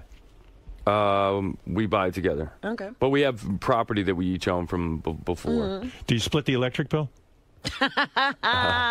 Yes. The movie's called Killers. Yeah. You're the spy Yeah. who reveals to his wife that you're a former spy. I'm a f- spy that reveals to my wife that I was a spy because people are trying to kill us and we don't know why. Is it a comedy or It's is a it? comedy. It's an action comedy. It's great. It's really, really good. I've seen it. And it's great. I will be happy seeing this. I like the premise. I think you'll be happy seeing it. I think there's not going to be enough sex in it. D- uh, I don't. you. want- I'm- don't give a You shit. You don't care. that. No, I all don't care. But then I think you'll enjoy it. I think it's funny. Tom Selleck's in it. Gee, I mean, he's got the most gorgeous mustache you've ever seen in your life. Right, right. And it I- still has that mustache. Then the mustache is unbelievable. I mean, you should, this thing is like a Vulcan forest. It's got its own personality. It's unbelievable. and you are still tweeting, right? Yeah, still tweet. And you have five and a half million followers on your tweet. Some- Four, 4.8 million. or Four point eight million people just wait on your every word. Yeah. I- Not, you know not what? wait. They're not waiting on every word. They're following other people. You know what I said to Ashton with that Twitter? They should pay him because Well, he I mean, did a whole thing. The, the reason people knew about it was because of him and Demi. Do you they have did comp- a big thing for Twitter. Are the, you seem to be up on the technology. Is there something coming down the road that's better than Twitter? Like that you'll What's aban- next? That's better. What is the next There's thing? different stuff coming. There's a thing called Foursquare that's a pretty that a lot of people are using. Foursquare. Yeah. It's like uh, you people you check into locations. Yeah. And then it's and then it, you can kind of create a, a crowdsourced Zagat guide. It's pretty good. And then there's a thing called Daily Booth. That's that's like a it's like people talking but with pictures. I see. Kind of a big thing. So if you go on that, you could change. You, you literally made tweeting very popular. You were one of the pioneers of this thing, true? And really, you made it popular. You made a bit. You built a big business for them. Have they ever come to you and said thank you? Uh, thank you for being interested in tweeting. I mean, I would think they'd kiss your balls. I've met with them. They haven't necessarily said thank you. Does that bother you? You're providing content. It for them. bothered me for a while. For a while, it really bothered me. I was like, wait a second, like I'm helping to blow up your platform, like help, like hook it up. Right. But now I, I, I, I sort of got to the point where I was like, it'll come back around somehow, somewhere, wherever. Are you the world's greatest tweeter? Nah, there are people that, that put more entertaining stuff. Bit more, yeah. Robin is now involved, and it's very, very I'm not a compelling. Do you good like it? You're not, you're not good in it. I'm about to get taken. I'm, I'm What's the about to deal? get knocked off of the pedestal. Oh, really? Yeah. Yeah. What's ha- what's happening? He's really got to go. Where? What are you doing this morning around the movie? I've go- I have today's show. Oh, yeah. Regis. Regis I gotta and go the Today talk Show. to Regis, your All right. buddy. Yeah, so you got a lot going on. Yeah, he is my buddy. he lives Your in my building. neighbor. My neighbor. All right, look. The movie Ashton Kutcher is in is called Killers. Go see it. It's romantic. But it's got but it's a thriller, and there is some humor in it. Yeah. And I mean, what could be better than that? Sounds like a good combination. That's right. And uh, look, he ain't bad to look at either. Ah, Let's be honest. What about her? Does she get naked? Yeah. No, no. She doesn't get naked. no, naked. it's a PG 13 probably. like how fired up you are about that. What about it? You naked? Yeah. Hey, by the way, Ashton, uh, you will like this. So that um, my wife was on Regis, where you're going, and uh, she came out with a dog, and the dog took a shit on the stage. Yeah, the dog shat on the stage. And it got big laughs. And what you should do is take a dump on Get the that stage. Go and just, uh, see if it's squatted Go- out. Go, over there, squat out a big dump. And I am telling you. I heard this works on your show, Regis. Just say I understand Beth Stern was on your show and she took a shit. That's the new Regis thing. Everyone's shitting on the stage. Everybody just goes and shit. All right, listen, we loved having you here. Uh, good luck with the film. We'll Good luck with the it. band. Good Thank luck you. with the band. I'll contact you about the band. yeah, and good but luck let me with know when we all everything. get back together. Ashton Kutcher, everybody. Ashton, Yeah. how'd it go, man? I, I think uh, I don't know. You tell me. I think it went pretty well. All right, good. So, um, I, you can you never really know on the on this show whether it went good or not. You know, you find out once you get in the car outside and somebody calls in and they're like, "Oh, that guy's a fucking asshole." Like, who's he? You know, don't- 'cause you don't find out how this one went until afterwards. all right, man. Thanks for stopping All by. right. Really, yeah. So, uh, guys are back together. It's your first time up here uh, as as a band, right? But Stone Temple Pilots beyond anyone's comprehension how this happened. Uh, somehow they got back together again. These guys, I don't know how they put up with each other. They're one of the greatest rock bands there ever was. Oh, they're incredible. Incredible incredible. band. And Scott Weiland's one of the best frontmen ever. Yes, the boys are back together again. Come on in. I'm the only one here.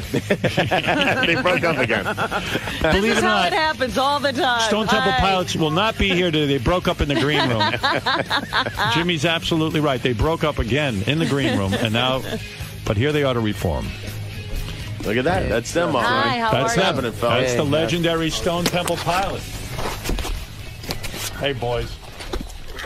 I got to hear this story. Good to see you all. Good all. seeing you. Boys are getting their headphones on. They're settling in.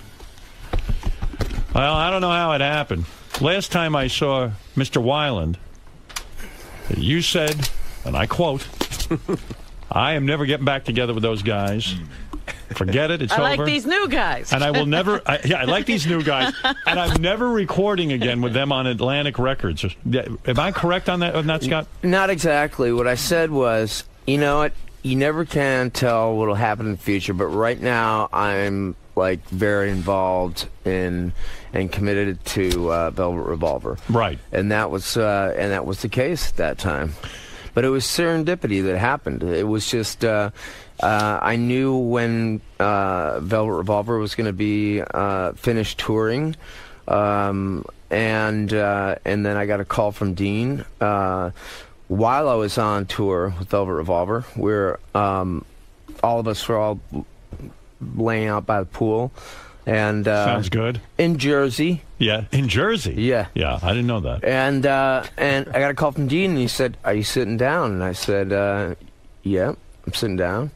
And he goes, "We just got offered, well, let's just say a lot of money to play uh, a certain show and uh, and a festival, and then and like a f- few festivals." And uh, When you say big money, you're talking millions? well, for one show, it was uh, it was around a million dollars. No shit. You better. You're goddamn right. You all came to your senses. it wasn't, I mean, it wasn't the money. It was the, the cordless phones they were throwing in. Yeah, if, if the gig was completed. Don't leave money on the table, boys. You know what the odds are of making it in rock and roll? I mean, what are the odds of becoming a great band like Stone Temple Pilots? Cash in. Why not? You deserve it. Uh, it's not about cashing in, really. I mean, Fuck it you is, too. know, you know, it's like I, uh, you know we've produced and we've uh, written for other people and stuff, and uh, that'd be a lot easier. We'd be you know with our uh, kids a lot more. So you get the phone call. Let me stay on track here. Yeah. You get the phone call, and the boys say to you, "Look, let me talk some sense into you. Let's get together, go play this goddamn festival, and make a million bucks." And you agreed. Yeah, and so uh, I actually told Slash, um, and he was cool with it. Um, and uh, He's been left before. He's Yeah, used Slash is used to getting left. but you know, Slash gets left all the time. and the thing is, is uh, as um, this end of summer went on, and and uh, and then you know fall and winter, uh, it was. It was um, the final Velvet Revolver tour. Things just uh, it got bad. Yeah, I mean, you know, there a lot of ego? Listen, you're a superstar. You got Axl in there. You had what? Duff McKagan in there, right? uh, slash. Yeah, Not Slash. Axl, I mean, Slash. I mean Slash, not Yeah. fucking Axl. Yeah, yeah, and- Axl's and off in La La Matt Land. Sorum. Matt Sorum. So what happened when you guys got together? Here you left Stone Temple Pilots. You get together with them. You think it's going to be great. You fuckers must. You must have made Stone Temple Pilots look like nursery school. It must have been one crazy head trip after another in that band. Uh, probably more so for our management. Um, really? But, Duff uh, McKagan said he'd rather reteam with Axl Rose than Scott Weiland. So you guys must have had some falling out. It Yeah. must have been legendary. Um, I mean, it must have been great. uh, yeah, it was uh, it was great until it wasn't great. Let's just put it that way. Duff said some bad shit happened at the end of the last Revolver tour. It was brutal. There were late gigs. I just wanted it to be over. You guys must have been clapping your hands together, right? You said, yeah, you know, Scott thought we were difficult. That fucking Velvet Revolver taught him a lesson. Am I right, boys, or not? You said it. You said it right. You know what you probably said when he got together with those guys in Velvet Revolver? Good. He's going to come back to us. He'll appreciate it. Scott, Velvet Revolver is dead, isn't it, without you? I don't. Well, I mean, they're just not. Uh, uh, they're not a band, a band anymore. Haven't you said if you lose the lead singer, the band is over? Well, I think that uh, you know. You hold the power to the band. Public perception. public perception is is front man is the front man gets most of the attention. Of and course. that- and so it, it hasn't happened very often. Um, there's a couple circumstances where where uh, a band is. Uh, um, Van Halen switched- made it. They they they did the switch successfully. Then you got ACDC. ACDC. All right. Chick Corea. Chick Corea. There you go. Absolutely. Legendary. Can I ask? Can I ask Scott what happened with those guys at the end of the tour that was so horrible? Yeah, be honest, Scott. Well, you know what? Don't don't don't play politics. Tell us no, the truth. honestly, uh, there there were just like you said, there were a lot of uh, egos, and in the beginning, it it was a really great thing because that's when I was uh, um, I was still doing dope, and I and all those guys were clean. Right. I mean, Slash, he still drank, but uh, you know he hadn't been doing drugs for a couple of years, so it was a, it was a a good like sort of was good? support system. Yeah, it was good. He was just drinking. Um, and uh, Thank God. And um, so you were doing dope. Yeah, and so then I went and I got uh, I went into rehab. You're clean now. What's that? Yeah, I mean, I drink. I still drink some. Still have some drinking. Yeah, but no, I don't do any drugs. Do you miss the the drugs? Not at all. Oh come on. I don't. I do not. Really? miss. Not at all. That's beautiful. I mean, I don't miss the anxiety of. Uh, I don't miss. Uh, Boys, is Scott easier to work with now that he's off drugs? Hell no. No, it's still just difficult, yes. because I don't understand something. With the new album, let me understand if I got this straight. By the way, we're here to celebrate Stone Temple Pilots' new album. It's uh, By bringing up all the bad times. Let's bring up the bad times. That'll bond you guys closer together. But in all seriousness, didn't you guys record the album separately from Scott? Like you recorded some tracks and then sent them to Scott to go record somewhere else? Different countries, You, actually. different countries. You weren't even in the same fucking room. No, I mean that was, that's been grossly over exaggerated, and uh, and um, Is that grossly over No, exaggerated? no. You know, every time we've gotten in to make a record, the three of us have gotten together to, to do the music. Right. So, so Even on the original albums? Absolutely. Oh. We've always gotten together to do the music. That's kind of the way it's always worked. I didn't understand So that. we we kind of get our stuff together, as musically speaking. Gives chan- it gives us a chance to get together, get it together, suss out out, the suss stuff out, arrangements, write the stuff. what what key it should be in, and all that. I see. I think if Scott shows up in, from the beginning, he gets a little overwhelmed with all the ideas. There's a lot of musical musical ideas flowing through the through the room. So rather than sort through it in front of them, get it all together. They send it to you, and then you write the lyrics. Uh, I write the lyrics and the melodies, and then and then uh, sometimes uh, I'll I'll make like a uh, um, a change and um, in, in arrangement, and uh, But it seems like play- a pain in the ass if you're play- not in the room and you got to what do you got to email them? I guess, huh? Uh, no, it's not Yeah. really that that big of a deal because uh, there was um, uh, for in the middle part of making the record, uh, we actually were working um, with Don Was as a production consultant, and uh, Boys, so- do you feel comfortable telling Scott if you don't like his vocal on something? Can you pick up the phone and say, Scott, that's not good enough. I want it done this way, that way, and that way? Or do you have to mind your p's and q's because that will break up the band again if you upset Scott? Now they they, they bring up uh, their if they have a, an idea uh, that the that they think is um, better, or or if there's a note that uh, rubs like minor against major. Um, it, yeah, it's. I mean, you know, I'll try it out, and uh, it- you know, and if, sometimes it's it's Who has it's final better. veto? Scott, does Scott kinda, have final it works both ways too because there's times where I'll bring something in musically and somebody may say I don't know if I'm really feeling that and you got to kind of You gotta be open check to your, it. You got to check your ego at the door, man. Don't I know? I was in a celebrity band uh, just this weekend. Pretty hot Uh, band. I jammed. This guy was my harmonica player right here, Jimmy That's Kimmel. right. I don't know if you know Magic that. Dick. That's right, Magic Dick. and, Magic Dick. Yeah. And I got to tell you something. There was a lot of egos in the room. A lot of infighting just in that little jam session. Yeah, we had to replace uh, we had to replace Mark McGrath with John Stamos at one point, and That's then right. went back again. so I understand all of this. you know, I got to wait a second. I got to ask you one question, though, Scott. This has nothing to do with STP, nothing to do with the band, just personal stuff. Because I heard a wild story about you. In fact, it was in it was in your first wife's book. I know you guys got a divorce. It was ugly, all that. But she said when she was giving birth to one of your kids, yeah, you were in the in the room, and you uh, uh, she was in in labor.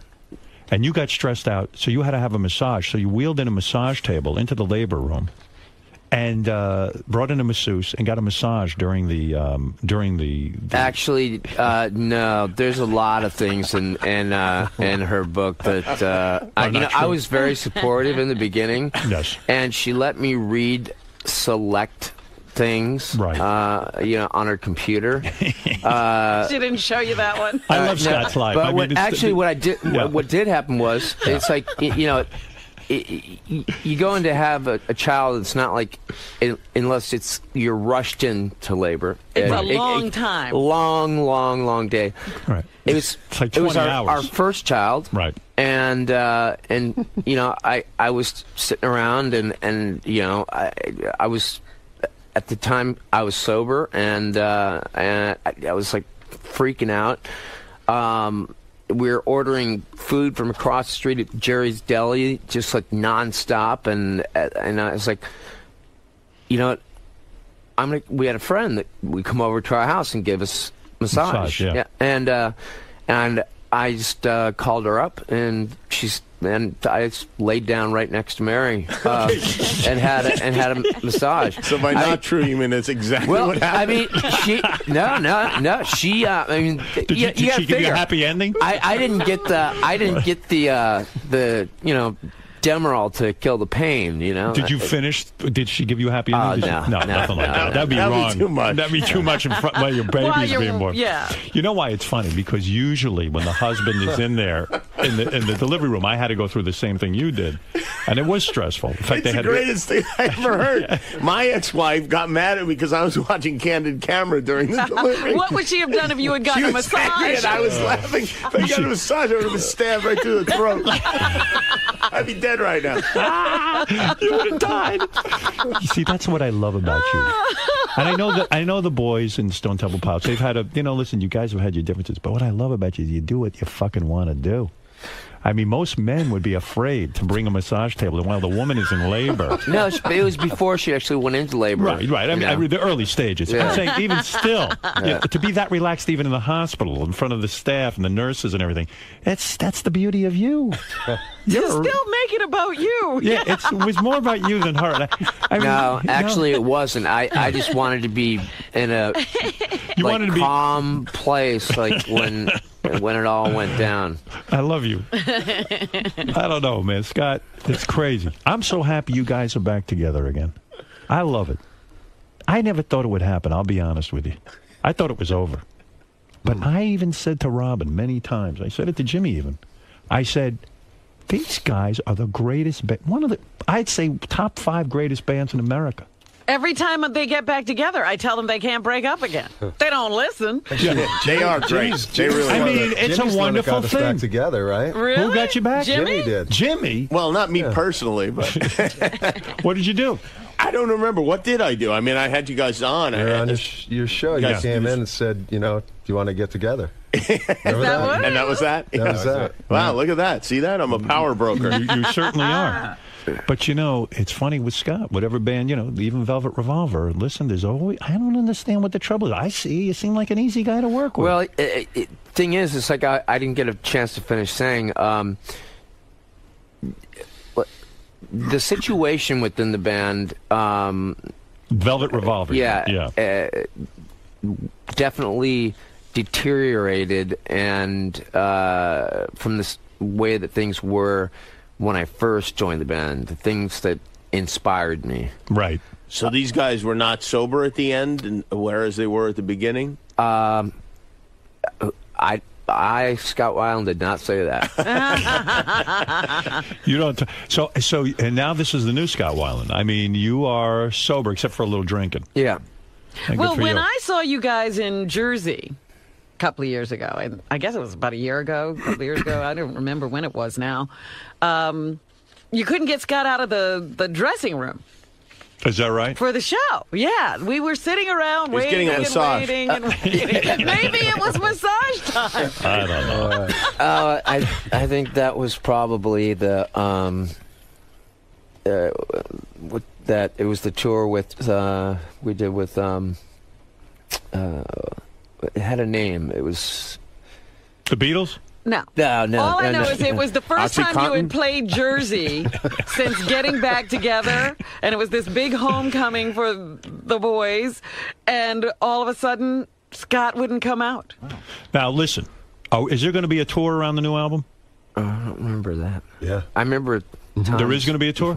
Yes. oh yeah No shenanigans. oh yeah You'll come You're out. gonna come now? out. You're gonna be there. No banging on the door. Come on, Scott. Best show I ever saw was an STP show. I don't know. You guys were on stage. You had the fucking couch, the whole vibe going. It felt like back, like a little bit of a throwback to like uh, some of the cool concerts I saw when I was a kid.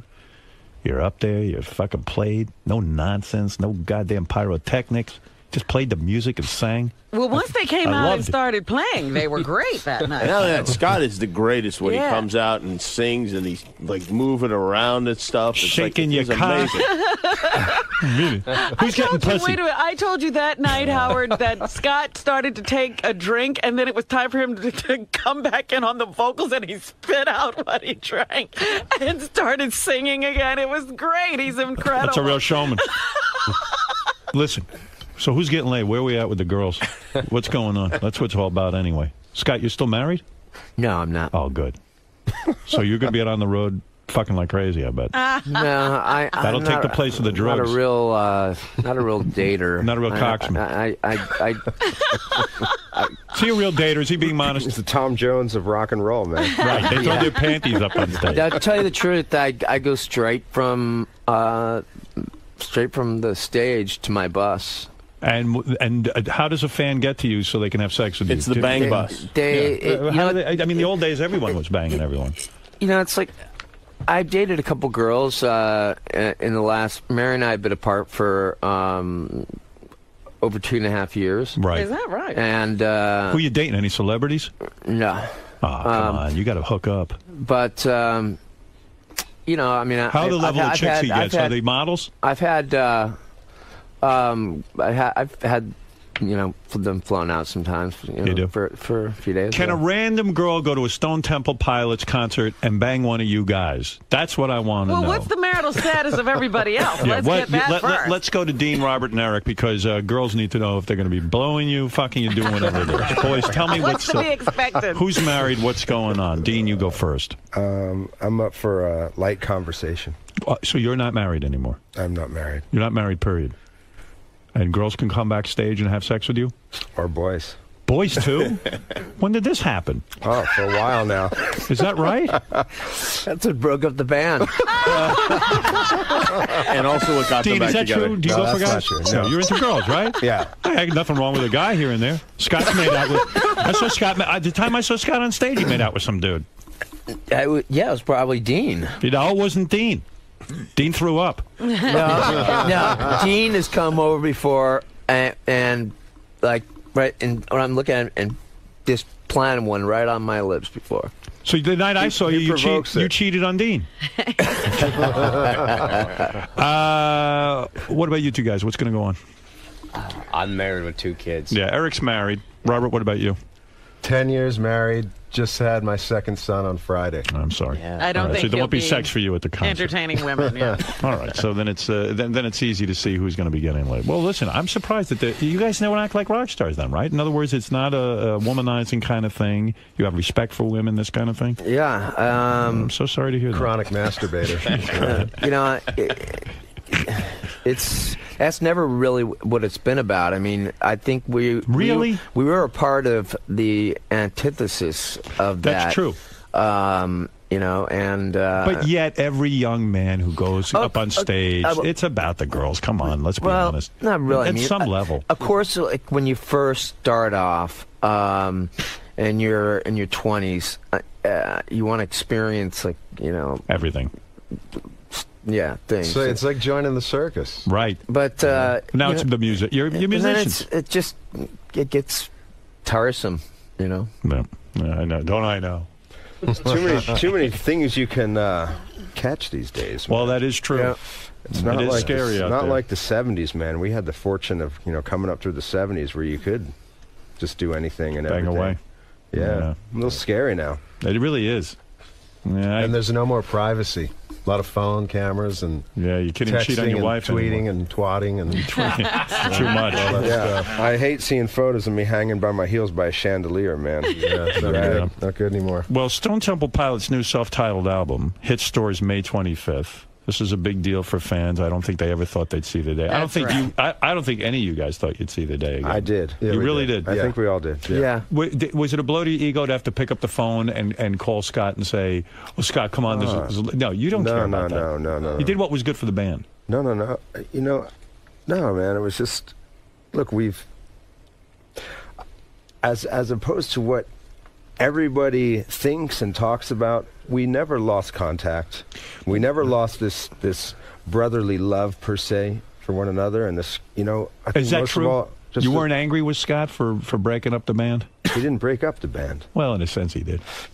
no, man. See, that's the kind of jive. That's Is that really- jive? It's jive. All right, that was my perception. Yeah, no, it's Shit. it's. Uh, What do I know, man? Let's call it a respite. Yeah. Uh, make a prediction. How long till it all falls apart again, guys? Let's be honest. Scott, you go first. How how to- how, how much how much longer can you tolerate this? You know, it's not that. It's uh, I think it's um, the answer is uh, how long do can we continue to um, write music and make records and still feel like that we're contributing and still feel that we're valid. Well, if you put it that way, I say seven months. Oh. I'm just trying to ballpark. That was very close. Yeah, that's about, that, that's, uh, listen, we hope. That was that was over our uh, guesstimation. Yeah. No, I really, I do. Is there a lot of pressure on you guys with this record in terms of sales? I mean, I know the cool thing to say is no, and like we don't give a shit about that. But there is pressure, right? Stone Temple Pilots comes back. The record company probably has all kinds of anticipation with this record. Are you feeling some pressure? No. No? No. I think the pressure was taking on the production ourselves and doing that. Right. And once we got over that, I think we achieved what we wanted to achieve. Because the record business is for shit. I Yeah. mean, let's face it, Yeah. guys. Unless you're a country artist. Right. For some, why do country people still buy records? I don't understand. I don't know. Probably I- the moonshine. I think Yeah, that they can't figure out the They can't figure out that they can I- go get I it for free on the internet. that's that's our new record. You know, STP goes country. Right. Go uh, shop at Walmart, you know, Best Buy, and those places, and It's weird. buy Think how their cool it was when you guys came up, and now it's like you got to be on American Idol in order to get to get, to get heard. I think we were one of the last bands that were actually a career band. Yeah. You know, after that, it was just. Everything's gone down. Would you ever be on American Idol? Uh-uh. No way, right, Scott? Nope. I, I did, though, however, go on uh, Nashville Star, Steph and I. Because you thought it was cool. I thought it was kind of cool thing, yeah.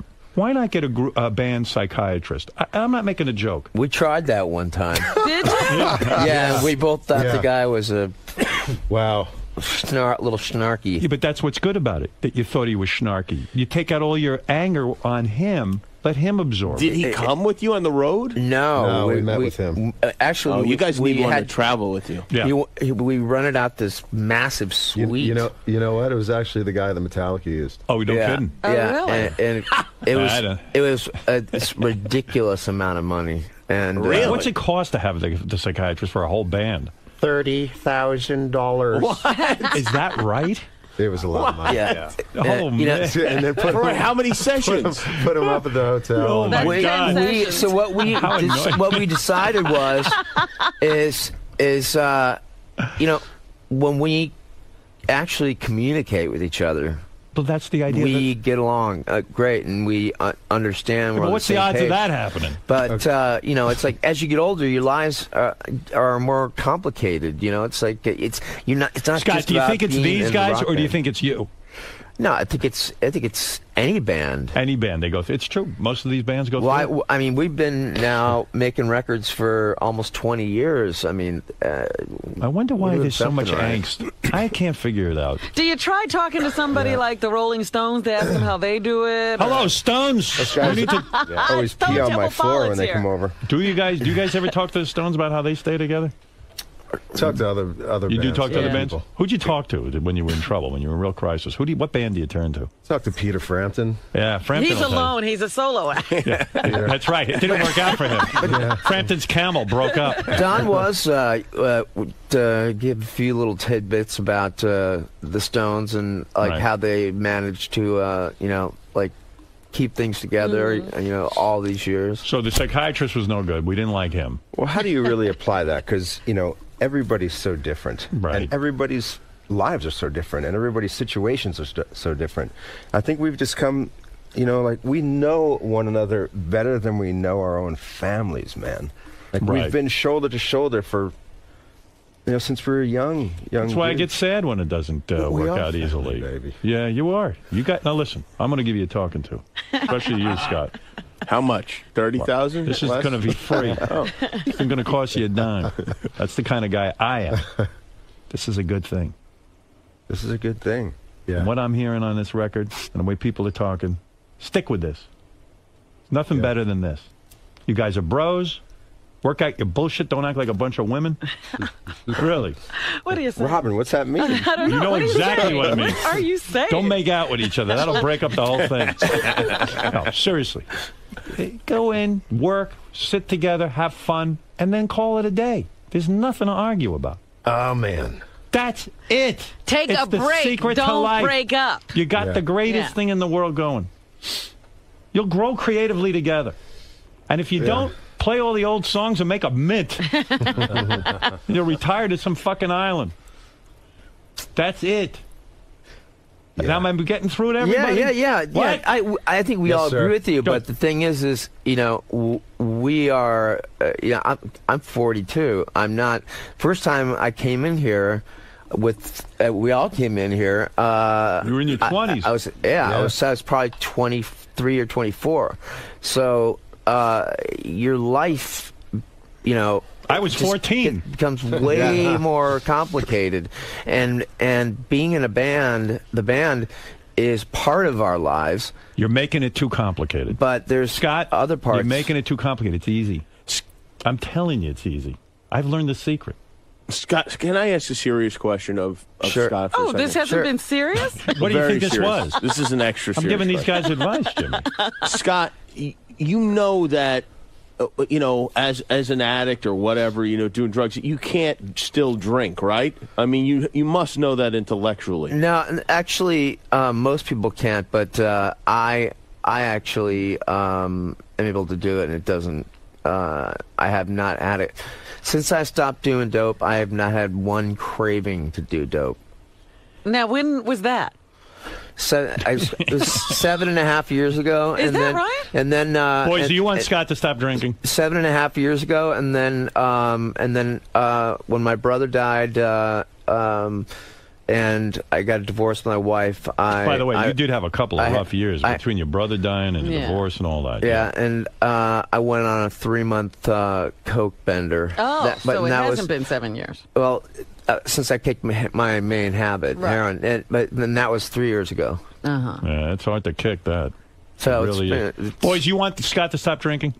Let's take a vote right now. Sure, sure. You would like it. You would prefer it. Whatever he wants to do, I'm not going to tell him what to do. Right, right. Let me tell you something. I'm gonna, as long as everyone's giving Scott advice, I'm giving you one last Look, bit at of it's, advice. we're- it's not the Mormon Tabernacle But wait a Choir. minute, wait a I minute, know, wait a right. minute. Listen, you know, Scott. uh, just to go down the line that Jimmy went, do you get drunk or do you have a social drink? Um, both. it starts out with a social drink and then it's drunk. No, I- so I'll go out to dinner and I'll have a glass of wine, uh, And then another some- one? sometimes, uh, you know, I'll I'll um, have a few. Uh, don't have more than two. We put you on and the limit. not until after six. Is that what you said? That's right. That's what I do. Two glasses, done. I only had two drinks at your party. That's true. Yeah. And listen, This as may be a different situation, though. As long as I'm giving you guys advice, Scott, if you have another baby, I understand the whole rationale. No massage in the in the. Uh, Look I'm at- sorry. I'm I I will not be having any more babies. Excellent. Because really, who needs a massage? Why no more babies? Are you bitter? No, no. I I have my two children. It's I enough. love m- more than anything in the world, and What if you I, meet a great woman and she wants to have children? Um, well then that that will be a, a, A problem. Problem. Well, you're goddamn yeah. right it will be. Well, let me. Well, if in case that happens, don't get a massage during the birth. That's all I'm telling you. Women resent you for that. Although it's giving me ideas. all right, listen, boys. Hey, you know A what's wild, man? You What? guys have been doing this a long time. I was coming in here yesterday because, you know, when I was living in Jersey, I had this job that I was delivering sundries and coffee supplies from East Rutherford to Point Pleasant. So I, you know, I'm, I'm going back, man. Amputee dial a date. 1980. Oh, my Gay You know, stroke. Gay stroke. Would you say you know what I'm saying? Yeah. Would you say you grew Old up school, listening to man. the show? And, Would you uh, say you grew up listening to this show? Because Yeah. Jimmy said that. and I got really bummed out. I thought Jimmy was old. so you grew up with us too. Yeah. I thought Jimmy was 67 I years was, old. I was in a van all day. That was my gig. And just, you guys would come on. And It's like, just, what, 80, wow. 81? Yeah, like 81. Right, 81 And- we were at At NBC. NBC in the afternoon, yeah. Yeah, And man. just, Gay stroke I remember hearing Yeah, it for stroke. the first time. I'd Gay also stroke. I was 14 in 81, what in Robin. the world? 14. Gay stroke, very big production. Absolutely. So, but what's really beautiful is like here we all are. You know, Yeah. 20 years later. Absolutely. Congratulations. That's what I'm saying, and Yeah. we're all doing well, and, Yeah. and let's uh, stick together. Yeah. Listen, Yeah. Robin and I have had our ups and downs, but always kept the band together. That's Yeah, right. We didn't yeah. leave. Scott, I need you to do this. You are the you are the leader. I feel Well, there's everyone's got. Uh, we're giving you the power role. to keep this together. Right, boys? Yes. You got to make the band a priority. This is magic. What the four of you guys do. this is definitely a priority. We got to keep the band a priority. Ask my kids; they uh, think it's too much of a priority. Uh-oh. Do they think you're ignoring them? No, they think that they, they when you get a call uh, when you've been on tour for a while and and uh, you know your youngest one's crying, saying, "Can you come home tomorrow?" And you still have two weeks more to go, three weeks more to go. It's pretty rough. Well, do what Van Halen did and um, teach a kid to play the bass and fire one of the other guys. yeah, uh, n- yeah, ni- nine or a seven-year-old. Uh, Yeah, why playing. not? Wow. Yeah, yeah, don't teach your kid how to play any instruments. Yeah.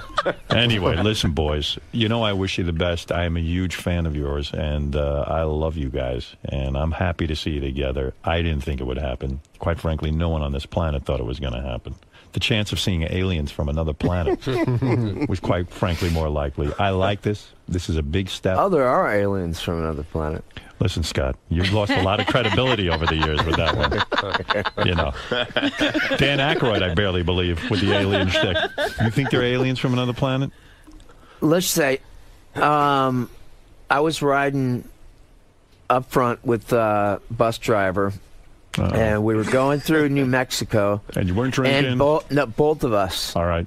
for about a minute, watched these four lights, and they were just doing bizarre things. It, it, it could have been. Were you getting a massage at the time? No, you were No, totally no. straight. Yeah, yeah. The bus driver couldn't give me a massage and drive at the same time. But you're saying you were totally straight. You saw these four lights. Yeah. And then what happened? Abduction, ass probe. You say your ass was probed by an alien? what happened? They put their big and- hickory and they- dichotomies then they it. were gone. Did you guys hear the ass probe sound effect? I That was mean, you, know, you never, you never know. I mean, it's like what, uh, it- what you never know exactly what it So might you believe? You are a believer. And I- what did the rest of the guys say about the alien sighting? Um, they said it was a McDonald's they passed. No, it was. no, it, it, it was just um, my driver and I. Because I was sitting up front with him. Right. He's uh, in Cremo now, that driver, right? Listen, Scott, I love you. I love you. I don't care how many aliens you see, as long as the band stays together. That's all I'm interested in. Fuck the band. I want to work here. Who doesn't? Listen, STP, those three little letters mean big music. And I love it. And I'm going to take this album, I'm going to analyze it, I'm going to listen to it, I'm going to be playing tracks from it. Uh, Scott, See? the aliens are calling. Now, By the way, that's see, my band. Stone Temple Pilots. Tell them, uh, tell 'em the story of the Stone Temple Pilot. Of the The uh, Aztec, Stones Aztec, the astronaut. Oh. Stone Temple Pilot. You were the one that told me the story that uh, that there is. I say you stop drinking, Scott. Aztec temple, and uh, and Eric Eric had actually. Uh, um, you told me you read something, and Yeah, there was this yeah. thing uh, Oh, uh, in there that it looked exactly like like like a, uh, like an astronaut, and uh, and they they it, they call it uh, it's called by two names, um, the Stone Temple Pilot and the astronaut. Yeah, they think those were the visitors who originally came to the planet, blah, Mm-hmm. blah, blah. I still say if there were aliens, they would come here and visit. I mean, I don't know why they haven't shown themselves. I don't know why they're all. Yeah, I don't know why they're hiding. I mean, that's Yeah. my theory. But uh, I don't believe there's life anywhere in the universe except right here. I think that's kind of a selfish way of looking at things. Yes, So. I'm extremely selfish, and you should know that. You- about you me. hit onto something, yeah, yeah. You finally woke up to my true nature. Scott, I love you, boys. Listen, the Stone Temple Pilots, Scott Dean, Robert, and Eric. What a band! What a history! Thank you. I'm Howard. proud to be you, a little part of it just by having been able to interview you. Oh, Um, look at everybody doing the Vulcan sign. You should only see a camera in here right now. ah, it's a room full of nerds. Bunch of geeks. rock stars. That should be your sign. Whenever things start to go wrong, to live long and prosper. son. Live, live long and prosper, boys. That's all I'm going to say. I know there's going to be trials and tribulations out on the road. I know there's going to be ups and downs. But let's stay together. We are bros. If there's any problem, you call me. I'll straighten things You'll out. do an intervention. I will do an intervention. You'll come to the scene. The only one Scott listens to is me. You know that. He behaves around me for some reason. I don't even know what. I don't know why. Why is it, Scott? What am I, a father figure or some kind of weird thing like that? Uh, I don't know. Uh, it's it's. I think you're afraid of me or something. I'm not definitely not afraid of you. Yeah. What is it? What is it with me and you? Why are you Um, listening to me? You know what? I think from the very first time um, we came here, uh, you actually, even though you make your jokes and that, you gave us a lot of respect, and I sure your, do. And your crew gave us a lot of respect, and all your all the people that work with you on your show, and uh, and so, you know, it's it's fun being here. It you're, sure is. You're a good guy. It's great having you here, and I love you guys. And uh, everyone, go get their new album, uh, the new self-titled album. All And if you want any kind of information and tour dates, you go to StoneTemplePilots.com. And uh, that's it. What can I say? I wish you boys the best. Thank, you, Howard. Thank All right. you, And Howard. we'll be back right after Thank these you, Jimmy. words. Uh, Jimmy, yes. So, guys, how'd it go today? Very good. Very good. It's good to be back on the show. Yeah, just not this early in the morning. it's too early for you. yeah. She was 9 p.m. Then. So, Howard, Howard's really stoked that you guys are back together, and uh, you know, gave you guys some advice. What do you think about that? Um, I think he's got a second career as uh, being a um, uh, therapist. It's always good to live by the book of Howard. That's all I got to say. All right, guys, thanks for stopping by. All right. Take care. Um, I'm here uh, again for you know to fuck around. Jimmy, got some stories from this weekend, maybe? Yeah, we had a good time this weekend. It's uh, it was it was it was a lot of fun. I think Howard covered most of it yesterday, but I have I have some insight that that perhaps he missed. Uh, looking forward to it.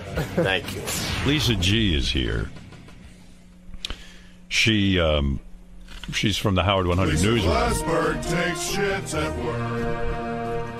Well, uh, you started to talk about it early this morning. Ronnie Mund has confirmed it, telling Howard 100 News that Benji Bronk is up to his old tricks again, running into the studio just moments before the Stern show starts. Didn't I say I was going to fire you if you did that, Benj? I mean, why are you pushing me? I like you. Why can't you just do this one thing and be here on time? Hello? Hey. Talk to me. I'm serious. Why can't you just fucking walk in on time? I'm, I'm asking you. It's a distraction every time you walk in late. I mean, I, I mean, come on. You're making me look like a shit because I said I'd fire you. Now, if I don't fire you, everyone's going to lose respect for me around here. Hello? Uh, Talk yeah? to me. Why can't you get in on time? I'm being serious. I think I, I, I usually am. 98%. Yeah, I need you 100% of the time. You're right. I'm here on time. You need to be here on time. That's right. I mean, you're right. What can I say if I do something wrong? And like I said, I'd make you right in the back room and you won't be in the studio anymore. I don't want to do all that. Just fucking stop pushing me, man. You're making me look bad in front of the staff. Do you get it now? Yes, I do. So now everyone's going to say whatever Howard says he doesn't make make good on. You're making me look shitty. You're making me look like an asshole. I said, Benji, I'm going to fire you if you can't get in the door on time. And now I got to fire you, fucking ass, because I don't even want to fire you. I like you. I enjoy seeing you. Can you just do me this goddamn favor and show up for your job on time? Yes. Okay. Because you told me that before. Just do it. I don't give a fuck. Set 50 alarm clock. Robin's here on time every goddamn night. Every day or whatever day this is. What is is something changing? Does that happen? Is something different? I don't care. I un- as I understand. I'm just That's his problem. if there's something in his life. Go to changed. bed. He's Yeah. got a kid or something. I don't know. Come on, you're going to force me to fire you. And I don't even, I like your work. Just show up on time. You're making me look bad. You know, maybe I'm the asshole for saying I have to fire you if you don't show up on time. Maybe I shouldn't have backed myself into a corner, but I, I, ba- I've backed myself in a corner, so help me out here so I don't have to fire you. Because you know what? I'm not going to lose my credibility over this. I have to fire you on principle. Please show up on time. Can you do that? Yes. All right. What's going on that you can't be here on time? Did something happen? Was Robin right that something's different? Is something different? Hello? What, what, who am I talking to? The goddamn wall? I'm thinking. What you oh, thinking? forget it then, Benji. If and you nothing's don't happening. know. You know, you know what he's thinking? He's thinking of a funny comeback. No, no, I wasn't. Yeah, okay, so why can't you get here on time? What's the new excuse? Well, listen, I, I, uh. What? Is something new? No. Then what? What's happened? Like, why were you late today? I uh I fell asleep. You know, as I was getting ready, I was just like, well, I did a stupid thing of laying back down, Oh, which is which is set a stu- second alarm, man. That's what I do. I worry about that too. But you get to the wrap-up show every day on time. Don't go on the wrap-up show anymore. Okay. Go home and go to bed. Okay. Who needs you there? He's like a Buddha. He's like planted here once he gets here. But just get here on time, okay? Because you're making me look bad, and now I now I'm now I'm embarrassed because I haven't fired you. And everyone's like, "Well, Howard just throws out idle threats." Benji can do whatever he wants. What's on time? When you say get here on time, what time is that? The time to start the show. What do you mean? What, what time is it? How come you know what time it is? No, because well, How I, come everybody here knows what time they have to get I here? spoke to an expert about this because this has happened another I'm time. the expert. I'm an expert on There's this. now an expert about time. What People expert? organizing their lives. and she said that he needs to get here at least 15 minutes before the show starts Sure. and have something to do so that he gets here and then he's busy once he gets. I get here 45 minutes at least before the show starts to get myself settled in, read the papers, get everything going. You're absolutely right, but I don't need a fucking expert to tell me that. Here, get to work on time. That's my expert, or you're fired. But then again, I, I, I hate firing this guy. But I'm going to well, have to I, do it. I think you're right. You did back yourself into a mm. corner, and Yeah. you should have said something like something. he would hate is to write outside of this room. I don't even want him outside of the room. I know, but it's just So I'm the one who gets punished. He's always putting you in a position of punishing yourself. Yeah, I don't know what to punish him with. What What do you value around here, so I could take it away from you? So you know, without firing you. Give me, tell me what a good punishment would be for you. Hello. I, I'm thinking, Howard. Again, you're thinking. what do you love around here? I love you. No, come on. What do you love around here? Uh, You know. Is there something you love to do? Do you love being on the wrap up show? Should I take that away from you? yeah, I. I Do you one of my that? favorite things is definitely being on the wrap up. Is it though? Yeah. I- you- is that really something? So should I take that away from you? Well, I wouldn't want you to. All right. So But okay, if you're late, I'm going to take that away from you. Okay. It's cool. I, I, got to treat you like a baby. You know, I got to take something away. I got to I, I got to be like a parent and punish you because you can't get to your work on time. As Will Smith said on the Oprah show yesterday, he doesn't believe in punishment. He believes Who said that? in freedom. Will Who? Smith. He believes in freedom. Yes, Let him for work his here for a children. week. Let him be Benji's you boss for a show, week. If you show that you can't handle your freedom, Yeah. then there will be consequences. I All love. right. Uh, Look, I'm no Will Smith, but here's the here, here's something. I know what you love. I love talking to Robin in the hall. Oh, Do you love that Howard that. TV pays? one of my Do you love favorite that Howard TV pays for your breakfast? Do you like that? Do I like? Yeah, sure. you like it? course. Okay. So if you do next time you're late, that stops. Okay. All right. You got to get your own breakfast. Okay. Okay. That's it. Oh, I know the best one. That he has to go find those tubs of food himself. Yeah. Nobody's bringing. I'm cutting off your craft services, so to speak. All right? All right, Chubsy Wubsy? No food for Chubsy Wubsy. You know, either that or you have to take Richard's pee in your mouth. And I can't make you do that. I would hate to do that. All right, so then I'm going to take away your breakfast allowance. Okay. All right, you'll be docked. But I can drink the pee as a. No. I'm be- okay, keep laughing. See, he laughs at me. What do you want to say? take it seriously. When you say be here on time, I think he needs a time. I he was given you- a time. Let me ask you something. You, what time do you think he needs to be here? Five thirty, I think sounds good. No, he needs to be here before the show starts. Any time up until six o'clock, he needs to be here. He, I don't, you know, I personally don't think he should cut it that close to two minutes to six. But as long as he's in the room sitting down when the show starts, I'm okay. And quite frankly, we have a meeting for about 20 minutes before the show starts. He should be in on that. He's a writer. Mm. We start at 5:40 every morning with the meeting. You should hear what's going on. Fred's here, I'm here, Robin's here. I don't know what the problem is. I don't get it. I mean, here's the deal. He he's guaranteed at least till six o'clock. I try to run all the elements to at least six o'clock. Right. Sometimes a little over because sometimes it Right. just feels better to do it that way. But at six o'clock, you can guarantee that's when the show starts. Right. Wonder what Jimmy does with employees like this. Where's Jim? We'll- Bring him in here. We'll ask him. Is he here? Yeah, he's here. Even he's on time. He doesn't even work for me and he's on time. How come you don't work for me and you're on time? Oh, he's, He's late? What should I do with you? he has to take Richard's Listen, I've been. I've been running the gauntlet of security to get in here, so I've been here for quite a while. I've been here since noon yesterday. Did you hear the what I'm saying to Benji? I did not. No, we were you know doing the interviews and all that stuff out there. I've said to, I backed myself into a corner because you run a pretty big operation. I saw Jimmy's operation out in L.A. and that's it sounds like a major deal. it's fucking impressive, is what it is. And then I got to talk to him about that bar situation because I right. don't I want to understand know what that is. But anyway, so I've said to Benji, I've backed myself into a corner in terms of being management. I guess now I'm a boss. Yeah, lucky me. You're running a Yeah. company. And look, who- look who my employee is.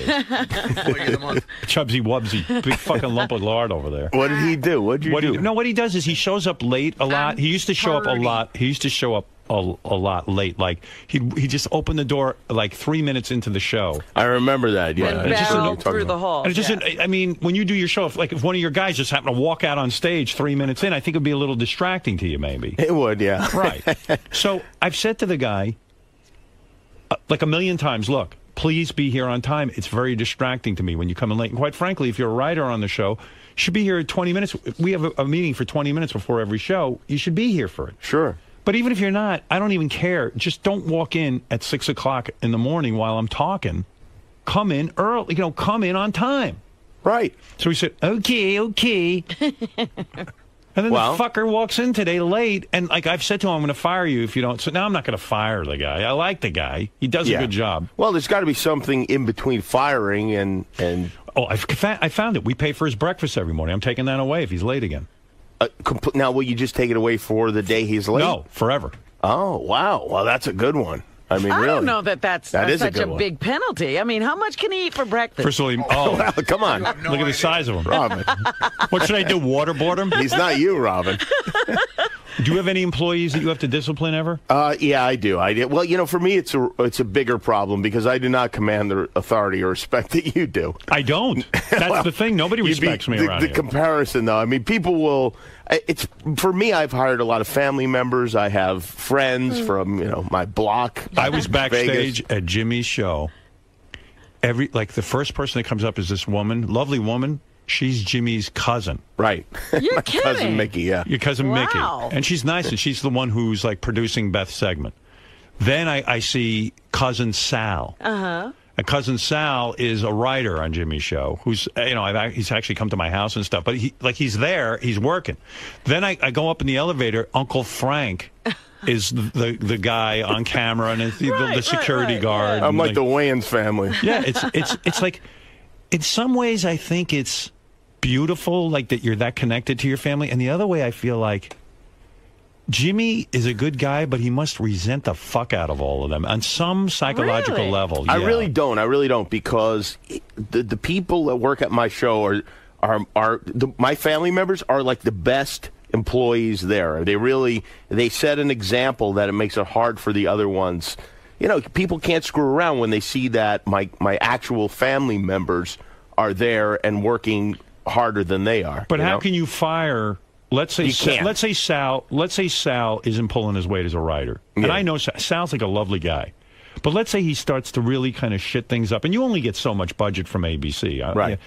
And you need good writers. I mean, you crank out material every fucking day, and it's it's scripted, and that monologue up front, and the clips, and all that. And like all of a sudden, like Sal's not pulling his weight, you can't get rid of him. Right, but you have to remember that. I mean, Sal's been with me way before this show, so I had a long testing period before we I got to hire him. So he was he worked with me when I was on the radio, and he worked with me on um, on Win Ben Stein's Money and the Man Show and Crank Yankers. So I knew he could do it when. Ah. By the but time I was even got to the thinking, like with you and Molly now being a couple, and she's Yeah. and she's co-head writer. You could. What happens if you guys break up? That'll be weird too, because you know, don't you think? Isn't that additional pressure? Yeah, yeah, it is. Yeah, Yeah. We'll just try not to. Do you guys ever Try to have stay like with her. moments of like you know agitation with Yeah, each how do you other? how do you discipline Molly? how do you Molly? Do that? Like, have you ever been? Have you ever like said like, "Hey, Molly, you're writing some shit for the week," but you can't say that she's your girlfriend. But she doesn't though. So I no, luckily but I'm it's on saying she's probably going to be more. You know, you're probably going to run more into trouble in your personal life. Now, does how does that work out at work if you've had a little thing and now you got to go work together? I don't. I don't really. We don't really have a problem with. it. I don't know. I, Hasn't you come know, up yet. I run things with an iron fist over there. That's the thing with you because I was thinking about like, let's say, let's say Molly does something wrong. Mm. I don't think you can say anything. Molly's never done anything wrong in her life, so I think I'll be all right. She is a goody two shoes. Yeah, definitely. You're happy with her, man. Yeah. Yeah. T- you should see him. He's like like he's all physical with her and he's like a man in love. Oh dear. Yeah, get in the car. I push her. yeah, yeah. He's like you know he's like he's like uh, Ike Turner. Oh God! Takes out the Takes shoe. off the shoe, the boot. Yeah. I like this girlfriend. Oh, good. Good. I'm glad. Well, I like your wife as well. Beth is lovely, and uh, Yeah, you guys email it each other a sounds lot. like you two are friends. I think You they're and more than friends. I think they're going out. Oh really? well, you know, it's That's um, every minute. I love Jimmy. I love Jimmy. I love Jimmy. I go, you love Jimmy too fucking much. Maybe I ought to look in on this. She really loves you. Well, I love Beth too. Yeah, we do. We send emails and stuff. And sometimes I feel like you're very, very busy. And, and Right. if I have a question for the two of you, I will just ask Beth that yeah, question. fa- by the way, I appreciate that. I really, truly do. She goes, Jimmy uh, is doing this for the party, and this one's coming. I go, how come I'm not in on these discussions? She goes, because you don't want to be. Right, and then you're uh, like, yeah, you're right. It's better not to have been on those discussions because there's a whole thing with who was invited and who wasn't invited. And hey, thanks for not inviting me. I mean, this party became. I, I really cannot possibly explain what it was like. It was like like Oprah was visiting town and co- uh-huh. and coming to my house. I mean, it was crazy. First of all, I had no idea that I had that much juice in L.A. Like, I mean, you saw it. It's I was being chased by paparazzi. I've and- never seen anything like it. I have to say, I've never seen any the, the craze with which- Aggression. You've got to come more often because the fact you haven't been there for 12 years or whatever it's been has Yeah. made people like. I mean, it was it was crazy. It was crazy. I swear to God, I've never seen it. I didn't expect it. I was love really. the Rodeo Drive story. Oh, I, no, I told that whole thing yesterday. Yeah. But um, I, you know, uh, meanwhile, I, I go to meet Jimmy for dinner at um, this Italian place, really good place. What's the name of that place? Um, at oh Osteria Mozza, Mario Batali's. So again, I get this is the second night in a row. I get followed by the paparazzi. They're chasing us through the fucking street and this and that. I'm telling the driver, "Don't worry about it. What the hell?" And but it's really irking me that like somehow they knew ahead of time where I was going to be. So I go into the restaurant. I go. I I even I said to everyone, I said, "Th- first of all, how would they know where I'm going? The reservation's under Jimmy's name. It's not under my name. I go in. Reservation was under my name. Oh. no wonder they know I was. Yeah. By the way, I was like, what what's what's going on here? Because I know somebody that works there, and I and so I said, hey, listen, you know, I want to make sure we have a good table. You know, Right, I'm right. taking Howard, and they put the reservation under your name, Oh. which was weird because I called in to say. Um, hey, we're on our way over there right now, and they're like, "I don't have a reservation for you." I was like, "What?" Even TMZ said that I was the king of L.A. You were, I you were. was. I was. But uh, it's so funny. I saw I was, yesterday. I'm on the air. I don't know if you heard any of the I did. I heard a lot of it. And uh, I'm telling Robin about the party. And this party really did become something in L.A. There's a, I sense a little bit of hostility from Robin about this party and the whole thing. Really? And I'll, I will get into that. Yes, yes, yes, Robin. Hostility? What Oh, are you all this talking That's funny. There was a guy on the phone earlier. I didn't put him on, but Yeah. he was saying I uh, sense a lot of jealousy from Robin about the party. I sense and I don't a little sense that. something. I don't know what's going on. What do but- you think? Sorry, I missed the moonshine. Oh, Ro- Robin with the Robin with the, oh, No, that's so only- Hollywood. It's so No, Hollywood. It's like, no, no, wait a oh, wait a minute. minute. You're taking enemas and eating bean sprouts, Hold and it, you. hold it, hold it, Who's hold more it, Hollywood it, than hold you? It, hold it. You are No, Hollywood. My only problem is that you you're problem. introducing Howard to all these people now we can't goof on. Right. That's my only problem. I have Yeah, a like- problem with that too. like that's ever been an issue for you. No, yesterday Ashton Kutcher was here. I was like, oh no, we've got to be nice to him. We've had Ashton on, but we've had the reason Ashton was at the party. He's been on our show before. Yes, but ever since then we've goofed on him. No. Well, yes. Oh, we Give have? it a couple weeks. You go right back to goofing on him. I mean, come on. Hey, I got to tell you, you know, first of all, I publicly want to thank Jimmy for making my time in Los Angeles so nice. He really did. He was like the host of He, LA. he uh, you. was your President Um, Reagan to your other foreign dignitary. That's right. Status. Yeah. Can I tell you, I put probably 10 times more thought into that party than I did my wedding. It's true. Yeah, you know, because Jimmy describes to me when he got married the first time, he paid no attention to his wedding. Oh, no, yeah. But Jimmy was the ring at really Costco. Jimmy really wanted my time in L.A. to be nice. Uh huh. So I, each I think he might want you to come back more often. Yeah. Well, each night uh, he had dinner planned Uh-huh. at a different restaurant. We went to Soho House. We went with J.J. Abrams and his wife one night. Mm-hmm. Katie, yeah. Katie. I gave Howard a massage after every meal. and then, like, nice. while we were sitting there, like Joaquin Phoenix and um, and, And uh, then what was Joaquin Phoenix acting like? Because that's news.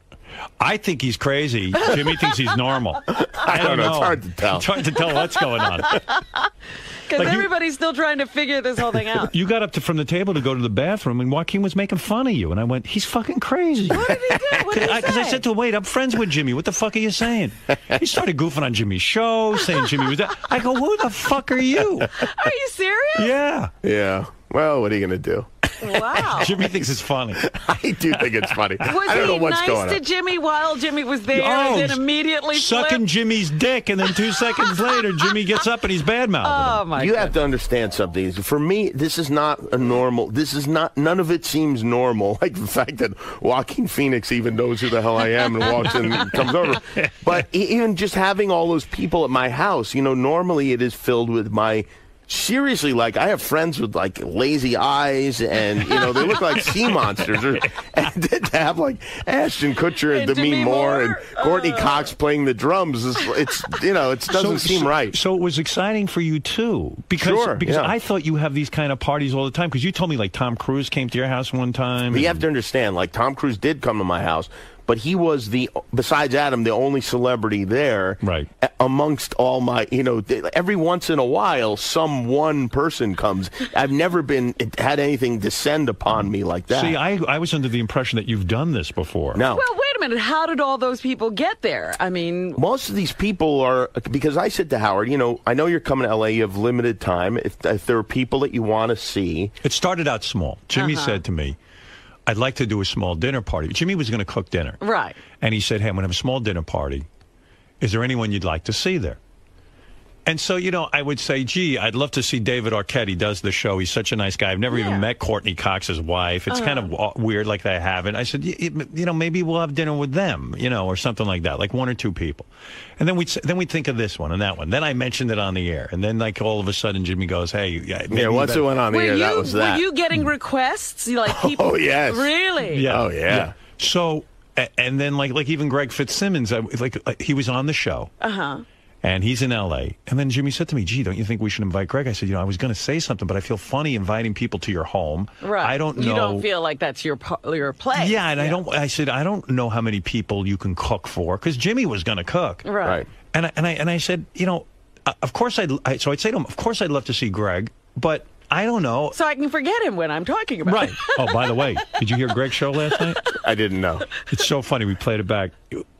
So I'm trying to think of all the celebrities. You destroyed him, by the way, when you when you said that you didn't know he'd had a show on for a few years. That's when I thought I better invite Greg to this party. right, right, right. Yeah, I, I didn't realize.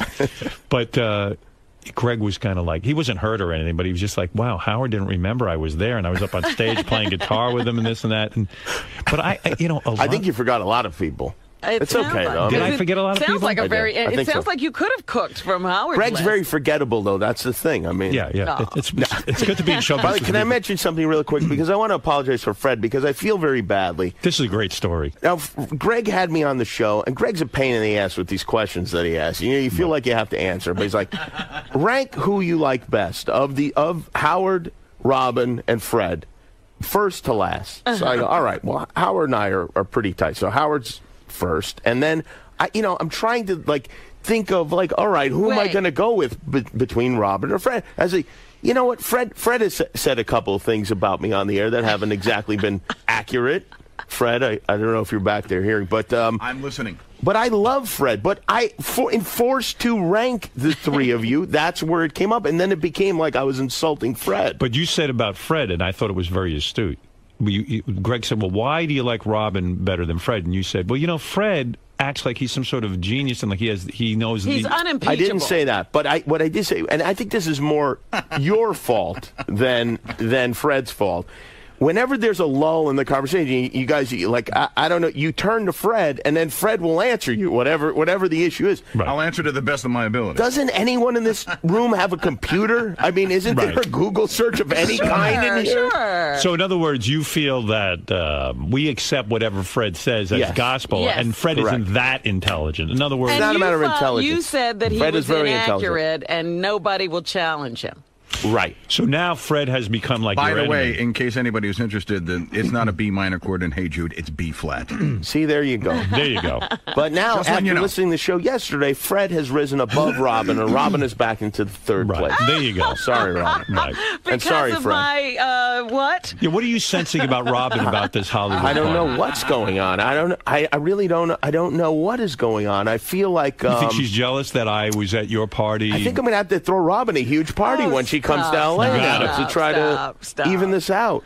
You know, um, look, I feel Robin was happy for me that I, that you were throwing this party for me. I wanted him to go and actually enjoy a trip. Yeah. Yeah. That was my paramount desire. Oh, and it come on now. Like, you would, no, but it would have been funnier if he had a horrible time, wouldn't it have? No, because he's so miserable, Jimmy. I'm telling you, I feel for him. I had a, you know, I you know Jimmy took pictures of this Mm-hmm. party that he threw, and and again, you know, Jimmy sent me a picture, he, and he, he's a funny guy. He labels it the Jonas Brothers, and we, as I said, at Jimmy's house, he had this band room set up, Right. and now everyone I know who was at the party is now setting up a band room. They were very They inspired. are, yeah. Everyone's Yeah. going to have one. And Jimmy sent me a picture of me, Ashton Kutcher, and uh, David Arquette on stage.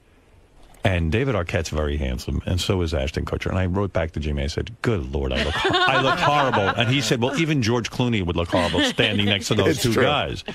But really, you know, I had such a good feeling about how I looked that night until I saw these pictures. You were feeling confident. Jimmy's girlfriend Molly took lots of pictures, and I'm going to pay her to destroy them because because I looked at myself playing. The, first of all, the guitar you have, the strap was, Yeah. was like a ukulele. As I told you, I don't know how to play any of those instruments I own. I don't even know why I have them. it's funny because you really don't play anything except the harmonica. This is the first. I don't even play that. I Right. just everyone seems to think because you own one, you play it. But I, I was just really breathing into the harmonica. I don't know how to play the thing. Right. But everyone, it's funny because I've been trying to get people to go into this band room and jam. This is the idea, you know. Well, the second you showed it to me, I knew we'd use it. I wanted it to be like a Jackie Martling style party There you go. without the garbage can full of clams, you know. You go. And uh, finally, people went in there, but it was really weird because I kind of missed the Stamos McGrath battle, whatever was Well, going that's on. another there. thing. Apparently, Greg- that didn't happen. Greg had McGrath on, right? I don't know about that. Wait, wait, how Wait. do you know what happened? Uh, Did Mark say there was nothing between them? Mark went on the show, Greg Fitzsimmons show. Uh-huh. Right. He said, I don't know what Howard's talking about. Because I had said that Stamos was really angry. Oh, really? That, You that no that no one knew any songs, and McGrath should know what and they songs really to do. got into it. And according to what Mark McGrath said on the Greg Fitzsimmons show, that after the party, not only was Stamos great with him, Stamos has invited Mark McGrath to his party at his house next weekend where the Beach Boys will be, and they're all going gonna jam, jam. together. So maybe I had it wrong, but you It sounds like picked a up on it. preemptive strike on from Camp Stamos. to me. Because what was your take on all of that? Well, I got the impression, and I think it was supported by at, by, By an me. email I got from Mark Right. that that there was something going on, although I missed it ah. completely. yeah, I was kind of high, so I but I thought Mark was saying that Stamos was throwing attitude toward him. I thought so too. I think that's what everyone was saying. Was is poor John Stamos just misunderstood? I don't know. I don't know. I don't know what John expected. I kept saying to John, "Listen, I- I- as this is over music, I'm screaming, John." Just play any song you know, and everyone will follow around with it. And he would not do that. But here was the problem: no one knew any words to sing. We didn't need the words. That was the least of our problems. No one knew how to play any of the instruments. I played Louie Louie. Yeah. I played I Just Want to Fly with uh, Mark McGrath. Yeah. I was right That in was there. the only one we really had together. At one point, I threw my guitar down. I said, I can't work with this fucking band anymore. I was like a prima donna. But even Greg said, How cool is it? Like, we were up there jamming, and then you look over and Demi Moore and Courteney Cox, and like, um, um, Let me tell you, if there was video of that, thank God. And let's say you were not involved in that, and you saw video of that, you never stop goofing on it. Right. It'd be so, It was so like, goofable. Look at these assholes playing these instruments. but it's a party and But everyone's see, drinking. now you understand my dilemma. I know, I know. I think I, uh, I think you'd be all right. I think you can get right back to it. Robin would have loved it. You know what? You know what? I felt like I was part of Hollywood legend. You know, Absolutely. I used to read about like Bogey and Bacall would have over um, Sinatra. Sinatra, and Sinatra would bring. Well, that's what I said. It's like We I had John remember. Stamos. We had John Stamos. I Same thing. remember Carrie Fisher would write those um, those books about growing up with Debbie Reynolds. Right. And this was Debbie Reynolds' house. You know, she'd just invite people over because she wanted to sing. Right. You know, and so Right. she, as soon as she'd get a crowd together, she'd get the guy to play the piano and she'd start singing. Jimmy gave me a tour of his house before the party, Uh-huh. and he shows me this music room. And he says, you know, I don't know why I built it. He says, no one's ever used it, ever. Now it's legend. My son So- uses it. That's it. Right. Yeah. So I said to him, listen, everyone's going in there tonight. This is fun. Yeah, it's a legend. I was now. happy I mean, on it. this is going to happen at your house every week now. Johnny Knoxville walks in with this fucking moonshine in a Which I jelly still jar, can't get and, he's, over. and he's and he's twisting off the cap and sipping it. And before I knew, I didn't expect that like Courteney Cox or Demi Moore or or or, or, or like Ben Stiller Ben Stiller drank moonshine? I don't know if he did, but like I didn't expect them to. I would think you'd look at Johnny Knoxville and go, "There's no way I'm drinking anything that came out of some basement that he knows from a cousin in Right. Louisiana." I would expect the circle around him Right. to get larger as people moved away. No, people out of loved the same mason jar as if it was communion at mass. There's Everyone no was- cups in your house. I there was- were cups, but it seemed inappropriate to use the cups. I was disgusted by Beth. Even I said to her, she goes to me, "You know, Beth hit a lot of moonshine." I go, "I wouldn't even drink it." And I and I said, "Did you drink any of that?" No, I didn't. I Yeah. I've had it with him before, and I learned not to ever drink it. Yeah, well, like Beth had a lot of it, and she goes, she says to me when we're home, "Do you think it's bad that I was drinking out of that jelly jar, you know, with, with everyone?" And I go, "Of course." No, no germs could possibly survive in that. That's in what that she said. moonshine. It's not the germs you worry about. As Fred said, who made the stuff? What do they know? Oh, you know, moon- Fred, don't worry. It was Johnny Knoxville's relatives. Yeah. oh yeah, they're and you know how stable Johnny is. It's no problem. Don't worry. These are very, very close relatives I of think, Johnny. I think a lot of people in Hollywood are jealous that they weren't at this party. Because They it might be, yeah. They might be. Now, every email I read, they said this is the best party they've ever been to. Now Yeah. you've thrown a legendary party. at That, your now house. you've got to live up to that. You can never come back. No. Don't ever have another party. I, I probably won't. I was kind of happy too that uh, you know because Jimmy describes to me that he's very open about his home. Every like Sunday during football season, he has the guys over to watch, and a lot of people. I even said to Jimmy, I said they must fuck your house up because they do. Mhm. They wreck his house. They, Yeah. You know what it is? Because it's like a bachelor pad. They think it doesn't matter.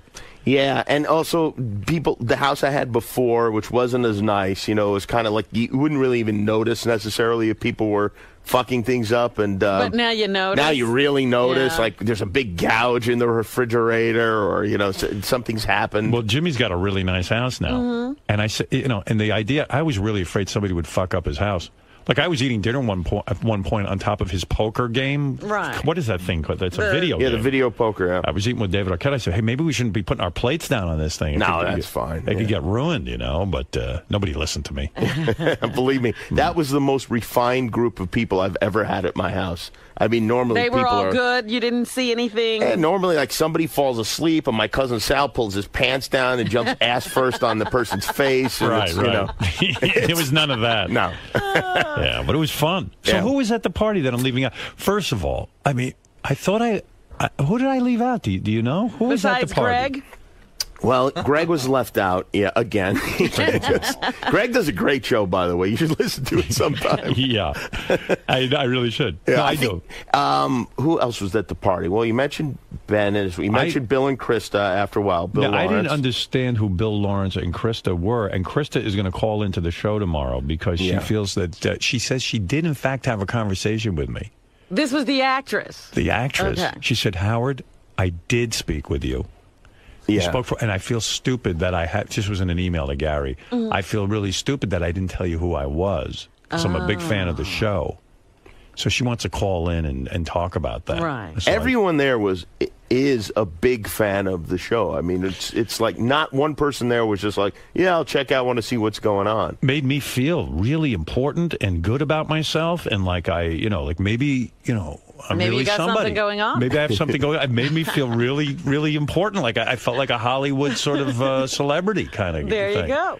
With the paparazzi chasing me, then we go to Jimmy's and You're like know. Princess Di. yeah, I felt really, really I Yeah. felt I felt really like, Like a like more beautiful Princess Di. I felt like wow, I'm I'm if these people are all pretty talented and They, all, look up want to, me. Now you're saying that Demi Moore is a fan, or is Ashton Kutcher a fan? Who's the fan? Ashton Kutcher's the fan. Well, I think I think he, you know, I think it's like also with Courteney Cox. I think you get into a certain territory where they're either on board or they aren't. I Uh-huh. think when you, even people who are not necessarily fans, if they start listening to the show, it becomes a part of your life, kind Uh-huh, of, and uh-huh. Yeah. and you can't really help but in, but enjoy it. And I think that that she They've would fall into into that category. territory, yeah.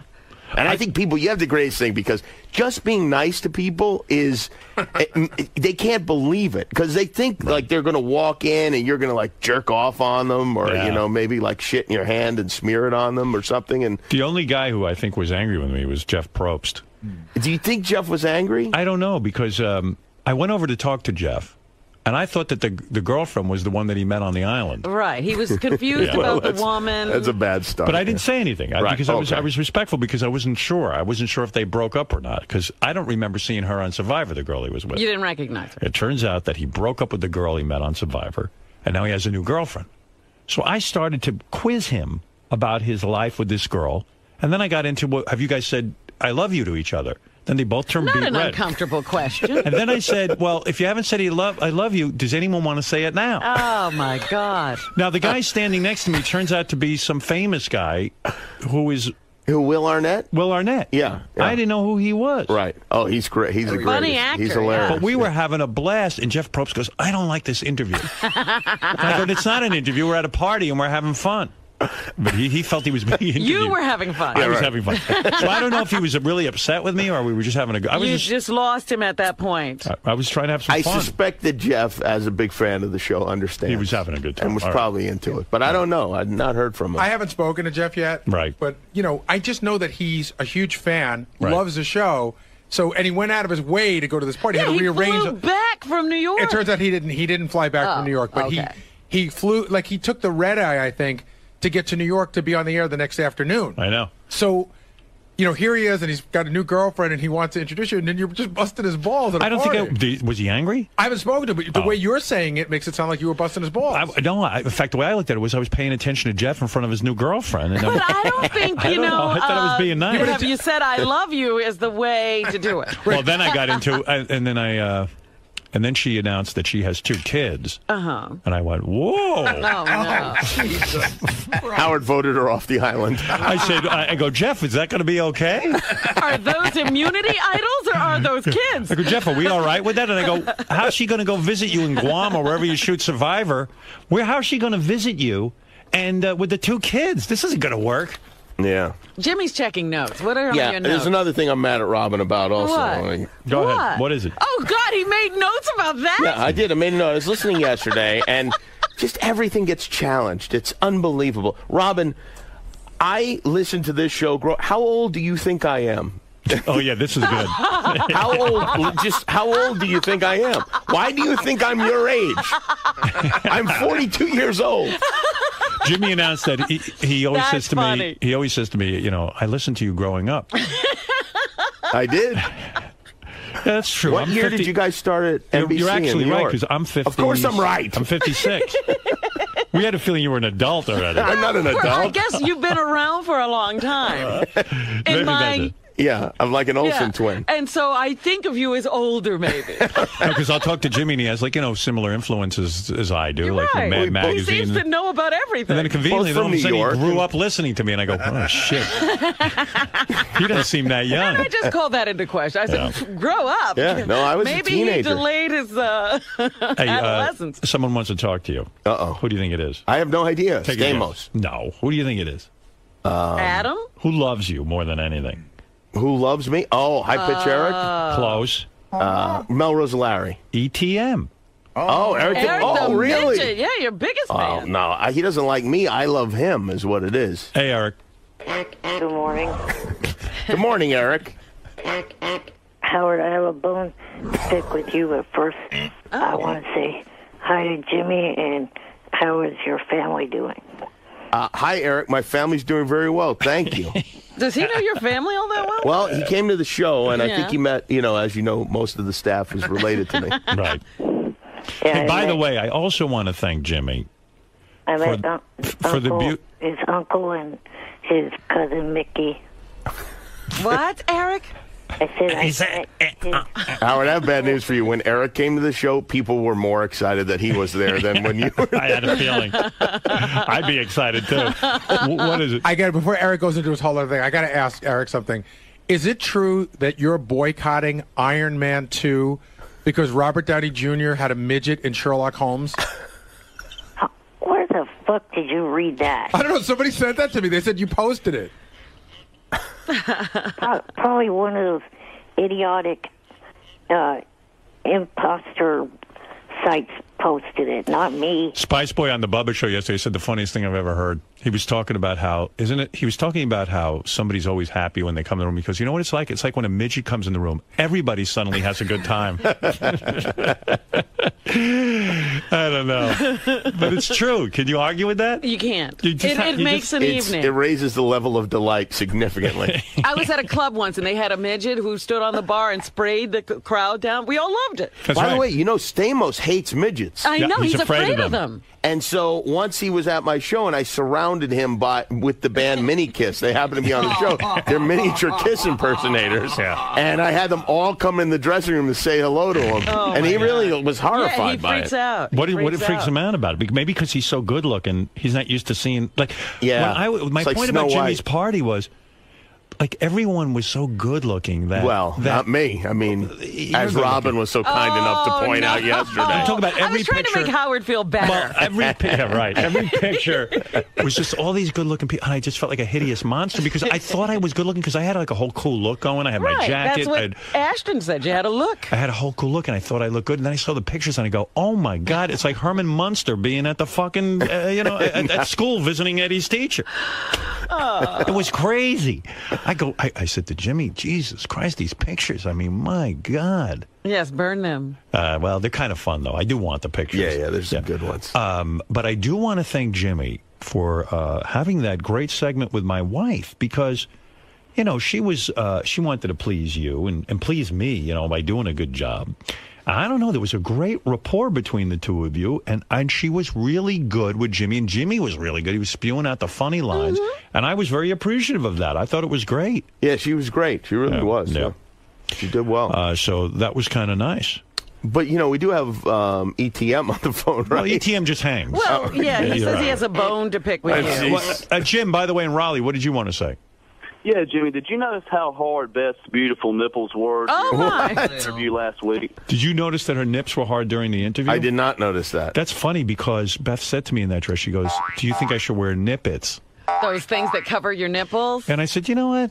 You're on Jimmy's show, especially with even if you're tanking, if your nips are are out there, People won't notice. It's a positive. Yeah, like that'll be good for Jimmy's ratings. If I have they- to say, I have to concentrate uh, because I'm an animal very hard on when there's attractive female guests on the show in on looking at their head, and to the point where I will go overboard with it, and I'll only look at like their forehead, and, like their nose and above, like Oh, because I don't stop. want to be leering on the show. Let me you ask know? you. Yeah, I know you don't want to appear that Yeah, way. I yeah. told you what happened. I was on Jay Leno show hundred years ago with Jewel, and Jewel has the most magnificent, magnificent Yes. tits. She's a very attractive woman. She started yelling as soon as we got off at James Carville or Carvel, Carvel. about how she goes. Stop staring at my fucking tits, asshole! and I went, "Whoa!" And Carvel's like, "I didn't. I don't think I did. I don't think I did. I swear to God. who, who, name a girl that was on your show and you just really had You trouble couldn't help it. concentrating. Who was? Well, like Pamela Anderson, every time she comes on, I mean, Oh, she's not God. wearing. I don't know. She's there's no bra going on there. Right. Well, she doesn't expect and she's you to look okay at her with it. face. I, I would think, Yeah, but yeah. you know, I don't want the audience thinking I'm what I am. Is there ever like a Nicole Kidman or someone really classy, like you're staring at the nips? and- Yeah, it, I mean, it happens. Uh, Nicole Kidman's never been on, but yeah, it happens all the time. In fact, once there was a uh, an actress or I don't know model, whatever she is, named Josie Maran. Who, not too many people know she is, but she's I a know knockout, right? She, you know who went out with her? The magician. David Blaine. David Blaine. Yeah, Blaine, he's right. dated them all. Yes. Yeah, this girl's gorgeous. Her like I could see her her shirt was like from my angle her shirt was open and I re- I honestly lost my train of thought completely and I was bab I was babbling. It's funny with you though because I think of you as so asexual. Well, I know because you and I have never had sex, but if we made love, you would realize I'm quite passionate. No, but I mean, even like you, like like you're in love with Molly and everything. But I never like other than that. I think you're just focused on Molly, and you don't even look at other women, like even look at their nips or anything. Well, no, I mean, I look at you, You know, I look? look at women. Sure, yeah. Yeah. I mean, you know, I'm you know, I, I just think that uh, you know, I'm not, I, I'm not the kind of guy who like, his outward displays of affection. You know, I'm not into that. See, I thought after Sarah and you broke up that you might have a period of time. Where you would I was actually be out nervous. on the town. I'm not. I'm not that type of. Um, I, I can't. Uh, that's not my thing. Really? Because I thought you were going to Yeah. go through a period of like maybe I don't know, like seven, eight months, like what I did, and just go berserk. Yeah. And then I, and I was kind of like angry because I wouldn't be there with Jimmy to do it with him. You know, I was just like, you know, oh shit, well, he's you gonna. thought that Jimmy hooked up with Sarah too quickly after he got out of his marriage. I marriage. did. I did. yeah. I was critical of that. Yeah. I didn't like that, but uh, yeah, that's just I don't know. I just can't even imagine. I just try but to his imagine. girlfriend Molly's really terrific. Yeah, she. I is. got to say, and she knows how to dress too. She wears the little short dresses. She- She's got good legs. I said to her as um, we're shoes. setting up for the party. Yeah. She's wearing a very short dress. I said, I just want you to know that everyone, all the caterers have seen your vagina. And she said, that's, oh my, that's the worst thing you could possibly say to me. And I cackled like a maniac and went right Doesn't back that in turn the you house. on though in a way? Like it's kind of a turn on. Um, no, it was more. Well, yeah. I, get, I mean, I, it wasn't true necessarily, but uh, no, it wasn't true. But it was pretty close. We were on the a cusp there of not having to tip the guys. Yeah, I made Beth bang me before your party because uh, well, it was this whole thing where I was like, you know, I'm neurotic, so I mean, no one needs to know that I. I mean, no one needs that explained to them. So I'm sitting there, and the and, and in the morning, the morning of the party, Saturday morning, I go, hmm, we're up very early. Uh-huh. And Beth wanted me to take her shopping. I go, we have to get a nap before Jimmy's party, or else you know everyone will make fun of me because I want to go home in an hour. She goes, yeah, you must get a nap. So we go on Rodeo Drive, and Beth's wearing a little short skirt, and I'm all turned on and everything. And I said, when we get home, I'm going to bang you very hard. With the... She goes, no, I have to take a shower. I said, listen, I got to get to sleep. I, I won't get to sleep unless I unless I blow a load. That that automatically gets me to sleep. Same here. So now I'm nervous because we I haven't slept yet. We get home late. And I'm like, oh, Jimmy's party's going to be soon, and I got to get a nap beforehand. So I'm saying to Beth, you've got to have sex with me. It's got to be done. So she Like a had to. Valium. Yeah, it was. Yeah, she just had. Yeah, like a Valium. She had to have it with me. I roll on top of her two seconds, and then, and then I was the life of the party. You were. You really were. Yeah. it's it. You know, I have to say, I was. You know, I I knew that every because it's not just a party. It's I know that I will be evaluated for the next maybe you know years. It 10 could years. be. You know, This is a whole week of talking Who about knows party. if you'll ever come back? I mean, it's you know, this is the sort of thing that if you don't make a positive impression, No, you threw a great party. The Yeah, food was thank great God. and Thank all of that stuff. I didn't understand the caterer though, like like not leaving any leftovers. What in the happened house. there? I don't know. I was I, I missed the whole yeah, I missed the whole thing. I don't know what It's a happened. little foggy. Maybe my cousin Sal ate everything. I have no idea. I don't know what happened there, but it was very good food. The whole thing. I mean, it was really nice of you to do. That must have that party must have cost you a lot of money. I was thinking Eh, about it. Listen, you What's know. a party like that cost you in uh, Hollywood? Uh, It's like it a that much. I mean, you Really? know, yeah, a couple of grand. yeah, it was a little more than that. Yeah. Plus, you let people into your house. Yeah, I didn't mind it. It was People fun. could have vomited on the furniture. Who it knows gave what me something to focus on to get the house in shape because Right. beforehand I had, you know, like my kitchen was covered with bottles of olive oil and vin- you know I have like all sorts of crap out and Right. it gave me a, a reason to clean everything up. Yeah, forced them to clean up. See, it was a good thing. Yes, there you But go. anyway, I'm responsible for Beth's nips at the uh, interview. Thank you, Yeah, thank you. I said, you know, come on. So that was That's something producing. you were aware that could have happened. Yeah, and I also helped Beth pick out her outfit. I said, you got to wear something sexy because if people tune by and they don't give a shit about you, at least they're going to, well, they go, hey, there's a hot chick. Yeah. And that Great works. job, Howard. Yeah, thank you. thank you, Jim.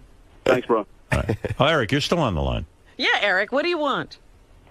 I just wanted to say, what the fuck was up with your comment yesterday that you felt like me at that party? Well, Eric, all I'm making the point is that, you know, here in New York, I'm a four. In L.A., I'm a one. And so uh, what? That doesn't mean you have the Eric, right. you know, because you're in a wheelchair and you're a little person, people stare at you. I felt the people were staring at me because they were all so beautiful. You know what I mean? You can understand that. You you more than anyone understand what it's like for me. To know Both- that all eyes are on you? You're handicapped, and in a sense, I'm handicapped when I'm in L.A. He's Howard the midget in L.A. I'm Howard the Midget, HTM. You know, it's weird. I talked to my psychiatrist about it. really? About the party, yeah. I said, Jesus Christ, I, so fucking ugly next to these guys. you know, it's kind of hard on me. I see, and then he explained to me, look, you can't have everything in life. You've well, got- they do. No. You- they don't. What do- what don't they have? Musical ability. Right. He doesn't have that. Well, they don't have my wit. My sting. They don't need that. My stinging wit. they don't need it.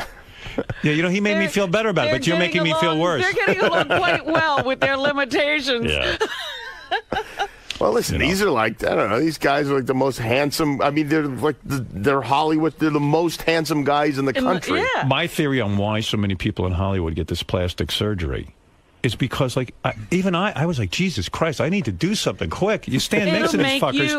In fact, Jimmy, why don't you fall into that? You know, if you came to my house on a regular for a regular party, yeah. you'd be the most handsome guy there. You'd feel perfectly fine with yourself. Eric, d- Eric, do you feel handsome? I don't think I look anything like Brad Pitt or anything like that, but I don't think that I'm ugly or a freak. What number would you give yourself on a scale of one like, to ten? I think I'm a. Honestly, in LA, I think I'm a one, but I, I do think I'm a four in New York. What do you give yourself? I don't know. I never really thought of that. Let's come up with a number. Five. You're, you're saying you're better looking than me? I don't know. Well, what would you give Eric Howard? Because it's Honestly, your scale. I think Eric's a three. In LA, three? No, New A York. New York three. three-year-old. At LA is a zero. well, let's put it this way, Eric. Who's someone you're more handsome than? Me, beside me. You think you're better looking than Jimmy? I think Jimmy's oh. better looking than me because I was looking at the pictures and Jimmy's like sitting up and playing the harmonica and smiling and stuff. And I go, boy, he looks handsome. he doesn't look odd. I look odd. Like the curly hair is hanging in my face and the guitar looks like the wrong size on me. And I just look fucking ridiculous. Well, I haven't seen the pictures. I don't know. You know what how it you're is. You look about. at a picture of yourself. You look at a big group picture and you zero right in on yourself, Right. and you're like, "Oh, I look bad," but that's not whatever. Only the person who is that person does that. I don't know. Yeah, everybody else looks just like they should, right? Well, but Beth uh, must love me because she came up there while I was up there jamming, and she was like, "Oh my God, you, you look so sexy playing the guitar." I was like, I said the same thing. Really? Was there a question in your mind? I look terrible playing the guitar. No, no, I, it was you know. You think I fit in with that group? It's very yes, it's very erotic to a woman when a man grabs his axe and starts Nah. starts playing nothing. Poetry starts pouring out of him. Yeah. Well, I mean, hey, you know what I was going to ask you? What was weird when I was backstage at your show? Like, I don't get the whole bar thing in the sense that, like, I walked back there and the place was packed. It was like the hottest spot to be in LA. It was jam packed with like people who just appeared to come in off the street. Right. But I don't see how that helps the show. Like, it seems to me that it's just mass chaos back there. But you Yeah. like that vibe. You know who? You know whose brainchild that was? Who's he's actually in the green room? Is Daniel Kellison, our, our original executive producer. Well, that would make sense. Who decided that he wanted to be drunk as much as possible at work? You know? no, it was it actually it was a lot of thought was put into it because when we first started the show, we knew that we were going to have trouble getting guests because it's a new show. Right. So we thought, well, if we have a place that the guests have fun and the publicists have fun. They'll then come. people will want to just come back and won't be as because it's a drag going to these things. You know, you have to And sit standing there around, and whatever. yeah, so we yeah. decided to make it a little more fun, and that's just become the thing that we do. Yeah, it's kind of cool because as soon So as I got there, that's who those people are. They're the publicists. And Yeah, Okay. friends of the band, and you know, I'm sure there were a lot of people that just wanted to have a look how at hard maybe is it? How walking hard is it to get backstage and get into that bar? Because it seemed to me there was a lot of riffraff. You back have to there. know. You have to know somebody that's on the show that night. Or Do you have a staff works on the person who's completely in charge of that list and like make sure Yes. that like you know you got to be heavily carded before you get in there and all that? Supposedly yes, but Yeah, uh, who it's a little bit lax. Yes. it's But- not the White House. let's But it put is a cool way. vibe because as soon as you get there, they start loading you up with alcohol. Uh-huh. uh, right away, uh, Jimmy's cousin says to me, she goes, uh, "What do you want to drink?" And I'm like, "Hmm, you know, not a What bad. you This is cocktail hour. Mm-hmm. You're absolutely right. It is time to start drinking." And I start, you know, We tape so late in the day too, compared to the other shows. We tape at seven, from seven to eight, Ah. and the other ones do, you know, five, five thirty. So yeah, it was way it's cool. time to get drunk. Hey, Eric, I gotta go. Eric came to the green room. He was a big hit in the green room. He Was he drinking? Uh, Eric, were you drinking? No, I don't drink. He was the Why center of not? attention, though. Everyone was gathered around him, including myself. Yeah. And uh, he was a delight, I have to say. How come you don't drink? I just never liked to drink. You know what? Last year, hookers. Maybe this year, drink. You wouldn't do bad with a glass of wine. Uh, do you guys n- hear about Sarah Silverman's show being canceled? Oh. I think we might have heard about that. Jimmy, you probably didn't know that. Did you know that Sarah's show Yeah, got canceled? I did see that. Yeah. Yeah. Yeah. Is that because she doesn't go out with you anymore, or bad things going to happen to her? It's E ETMZ that is reporting for us right now. uh, this is kind of weird to say in front of Jimmy, but Jimmy had it canceled. Yeah. I- He's starting to become very powerful in show business since the party. Did you see that party? Yeah. I'm having all copies of her book destroyed as well. Yeah.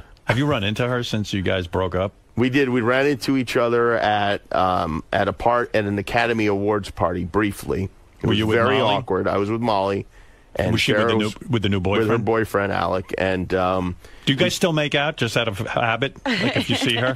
no, no. Um, Was it weird? It was weird, and we talked for about you know we had small. It, it was I, we were coming in just as they were leaving, and it had it been one more minute, we would have missed each other. But as uh, we walked in, we made the chit chat for about sixty seconds, and then I said. All right, we're going to go stand over there. Why is it awkward, actually? Why is it awkward? Well, I mean, it's Fred. It's awkward. Well, I mean, it's awkward because you know you, you ha- you used to see this person every single day, and then you haven't seen them at all, and then you don't have the normal reaction that when you when you see somebody for the first time after a long time, it's like, oh, go ahead, how you've been? It's it's like, ooh, wow, you're with another per another person, you know, for both of us. Do you high five her boyfriend because you both gotten her? Oh, no, we, No. we did not.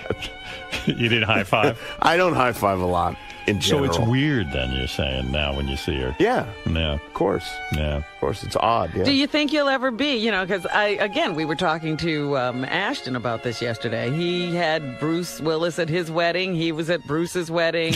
yeah. You know, like they're just pals. Yeah, I would like to be friends with Bruce Willis. Yeah. No, I meant Oh, with Jimmy will have Bruce Willis to his wedding.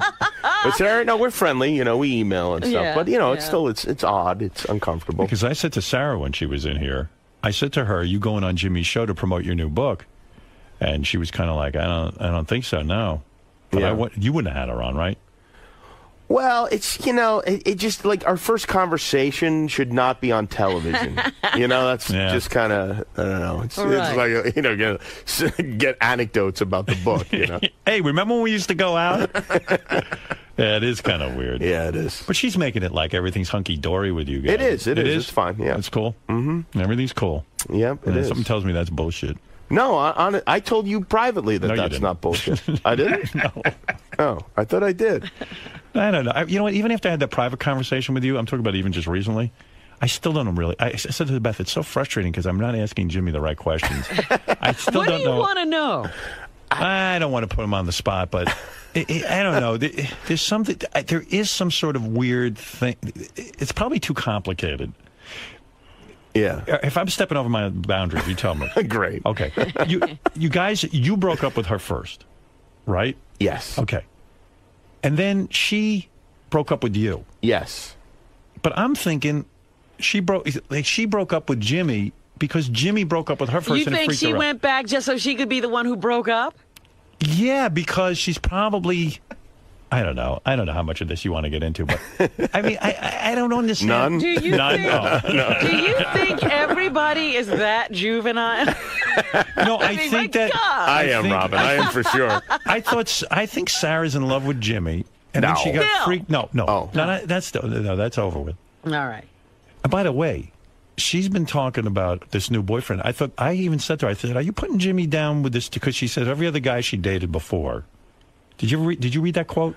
I did. Yes. What was the quote? Um, Every He knows it it was something about me being fat. Really. Yeah, right. It was kinda like, yeah, oh I've no, only about me being mean or something. I've like only that. dated mean fat But she guys. didn't really say it. It was like a mis. She's you know was, she was misquoted. Did or, you call her about that and say, "What's that?" Y- Well, yeah, we had an email exchange about it, and she apologized and corrected it immediately. And and and and, and that you never called her pretty, that you never complimented her. Right.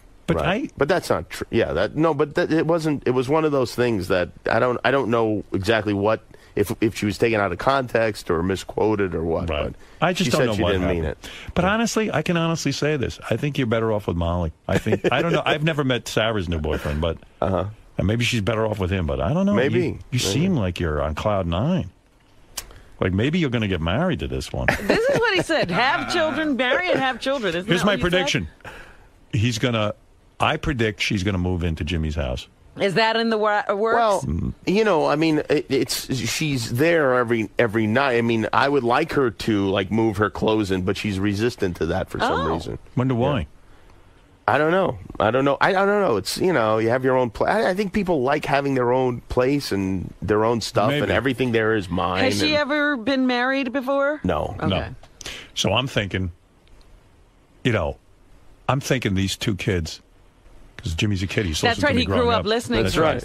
I, I'm thinking these two kids are going to get married. Yeah. And even have children together. That's what he said. You, Well, you I do know- for more That's got to make you uncomfortable. The idea of that because that puts more pressure on you. It sure as hell does. You know, you're you're fucking me up because Molly and Beth had a conversation in L.A. Uh-huh. I Oh, they know did. this. Oh, I don't you know about about this. No, no. Yeah, and Molly, like Beth said, Molly, do you want to have kids one day? And Molly said yes. Right. Uh-huh. Yeah. Sure. So that means That's Jimmy. why you have this prediction. That must mean Jimmy's on board with this.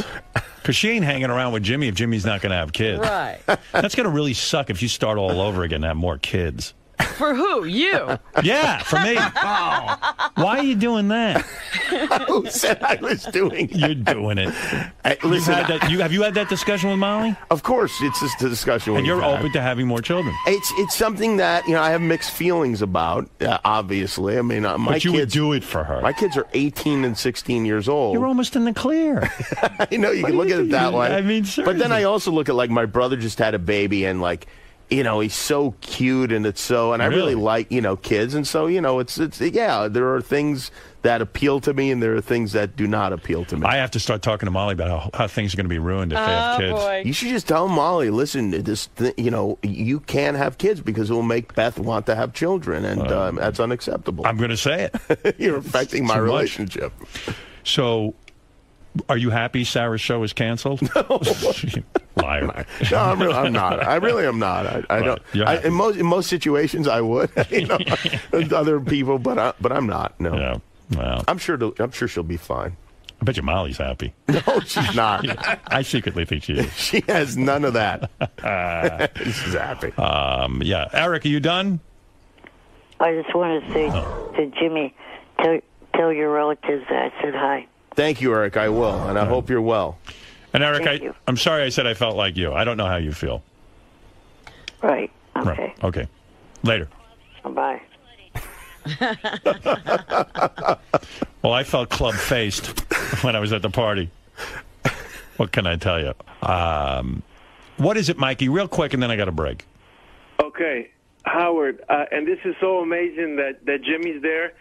Okay, when you were breaking down the LA trip, you could feel through the stiletto Robin's anger, Robin's anguish with the with the and Jimmy and and when he walked in and, and it was gonna get glazed over, but thank God that I am on my 60th oxycodone and I can talk for another few minutes. But uh, Robin really, really, you can really, really feel that she was just super, super, and like let down. And then when, when Jimmy said that, uh, oh my God, that you know, the the the um, that that the, you know the, the party was just it was all the fans and stuff. Like I, I know that Robin was feeling like why you know I should have been there. And I, Jimmy, I why why the fuck? Uh, why didn't you invite these people? Why didn't you invite Gary? At least Gary. Well, I know Robin was. Jimmy's not comfortable with black people at his house. Right. It's- I have white only why I policy. was That's right. not invited. I, That's- uh, I'm telling you. I'm, I think you have to look into that. I didn't. I never. Th- I don't know. I didn't. Th- I thought of it as. I didn't, didn't think people would actually come out from New York to come to a party at my house. But if Robin wanted to be at the party, she would hop on a plane and be at the party. It, it wasn't even That's like right. that. I was going out to L.A. and I was having dinner at Jimmy's house. Yeah, but I swear to you, Robin is not jealous. Robin, would you take a lie detector test? Yes, I would take a lie. Thank you. No, and I quote, uh, "Why do you think I, I, I'm on a plane every weekend?" She was saying that like w- like weeks before that, like when you started talking about this whole LA. Are you jealous of the party? No. At all? And and and if I wanted to go to LA, I could have gone to LA. And of course, you would have been welcome at that. Yeah, house. but was Rob. she invited? She wasn't invited. Well, of course she's she invited anything I do. That's No, it. That, no, you have no, a no, you have an no. open invitation. It wasn't like that. She doesn't live in L.A. I'm not gonna say Robin. You want to come to the party in L.A. It was a dinner party at Jimmy's fucking And house. I certainly didn't intend to go with Howard and Beth when he was going to support his wife on her book tour. Okay, Greg fucking Fitz, fucking Fitzsimmons. Greg fucking Fitzsimmons. he, he, he got to go, and Robin did it. you Tom know? Arnold was there. Sweetheart, I don't. I I'm glad that Greg was there. I'm glad that Tom Arnold was there. they live in L.A. Is I'm why. glad that everybody was there who was there, and I'm particularly glad that Howard really I enjoyed had himself. fun thanks to Jimmy's party. It was a that good time. Jimmy got to return some of the hospitality he's Right. received from Howard. That's right. And Howard kept saying, "Howard, you should have been there. Robin, you should have been there." And there was like silence, silence from Robin. Well, what, what, what, Uh, well, how am I supposed to How's she respond supposed to, to be that? there? All right, forget it. I'm getting rid of that guy. It's making me uncomfortable. Tom, go ahead. Oh, you know what? Stamos bummed everyone out at the party. By doing what? Should I tell that story real quick? I don't know which one. What? Oh, oh, oh, yeah, yeah. Should I yeah. tell that? Okay. Um, yeah, yeah. Stamos okay. had a weird move. Now, tell me what you think of this. Okay. Stamos walks in. He walks up to me. He goes, "Oh man." He goes, "Oh man. Oh man. Oh man." He, sometimes John talks out of the side of his mouth. He goes, Uh-huh. "Oh man. Oh man. Oh man." He goes, "He goes. You know, I was talking to Rickles, as in Don Rickles, Mm-hmm. and Rickles is pissed off at you. I mean, what's with you? Didn't invite Rickles. I was on the phone with him. He's pissed. Oh, you didn't my invite him. You didn't invite him." I go, I go, John. First of all, I, it would never even occur to me that Don Rickles would want to come to a party. Guy's fucking 80 years old. It's a loud party. I go, how the fuck? I mean, Are you supposed to know that he wants to come out and party? I go, I have no idea You've that never Don. socialized I've never. with him I don't even really know Don Rickles except I interviewed him. I love Don Rickles. Yeah. He's my hero. But I, I would love to have had Don Rickles here. Why didn't you tell me? I don't think John's telling the truth. Well, in fairness to John, I am friendly with Don Rickles, Uh-huh. and and and um, you know I know that you know that, that there's your interest in Don, but I just I didn't feel like Don would be. I've had Don in my house. He would be comfortable at this particular party Uh-huh. because.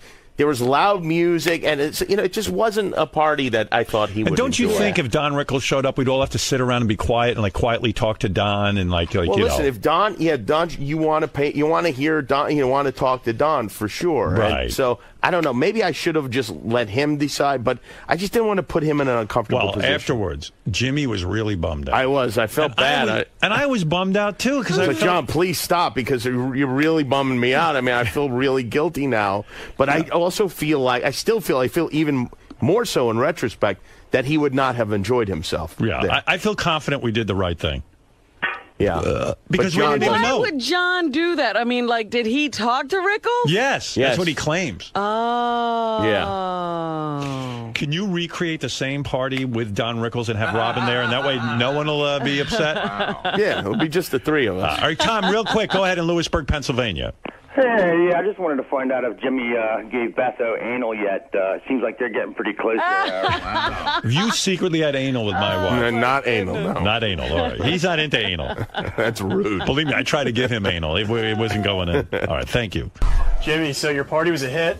It was a big hit, thank goodness. Howard had a good time. Yeah, it's uh, it's a big relief because I know I would have been tormented for um, forever if, if he hadn't. So that, that must have been a huge pressure on you. It was. It was a lot of pressure, but uh, you know I thrive on it, and um, I've become. I guess I've become like the Martha Stewart of the West Coast. You think Howard's ever going to come back out? No, probably not. now, what what happened with you and Robin? You were sensing some hostility from her. oh well, we went over it on the air, but uh, I, don't, I don't know. I, I, I maybe it was probably nothing. You think things are okay? Yes, I think so. All right, man. So you had a good time today. I did, yeah. Awesome. All right. Well, thanks for stopping by. My pleasure.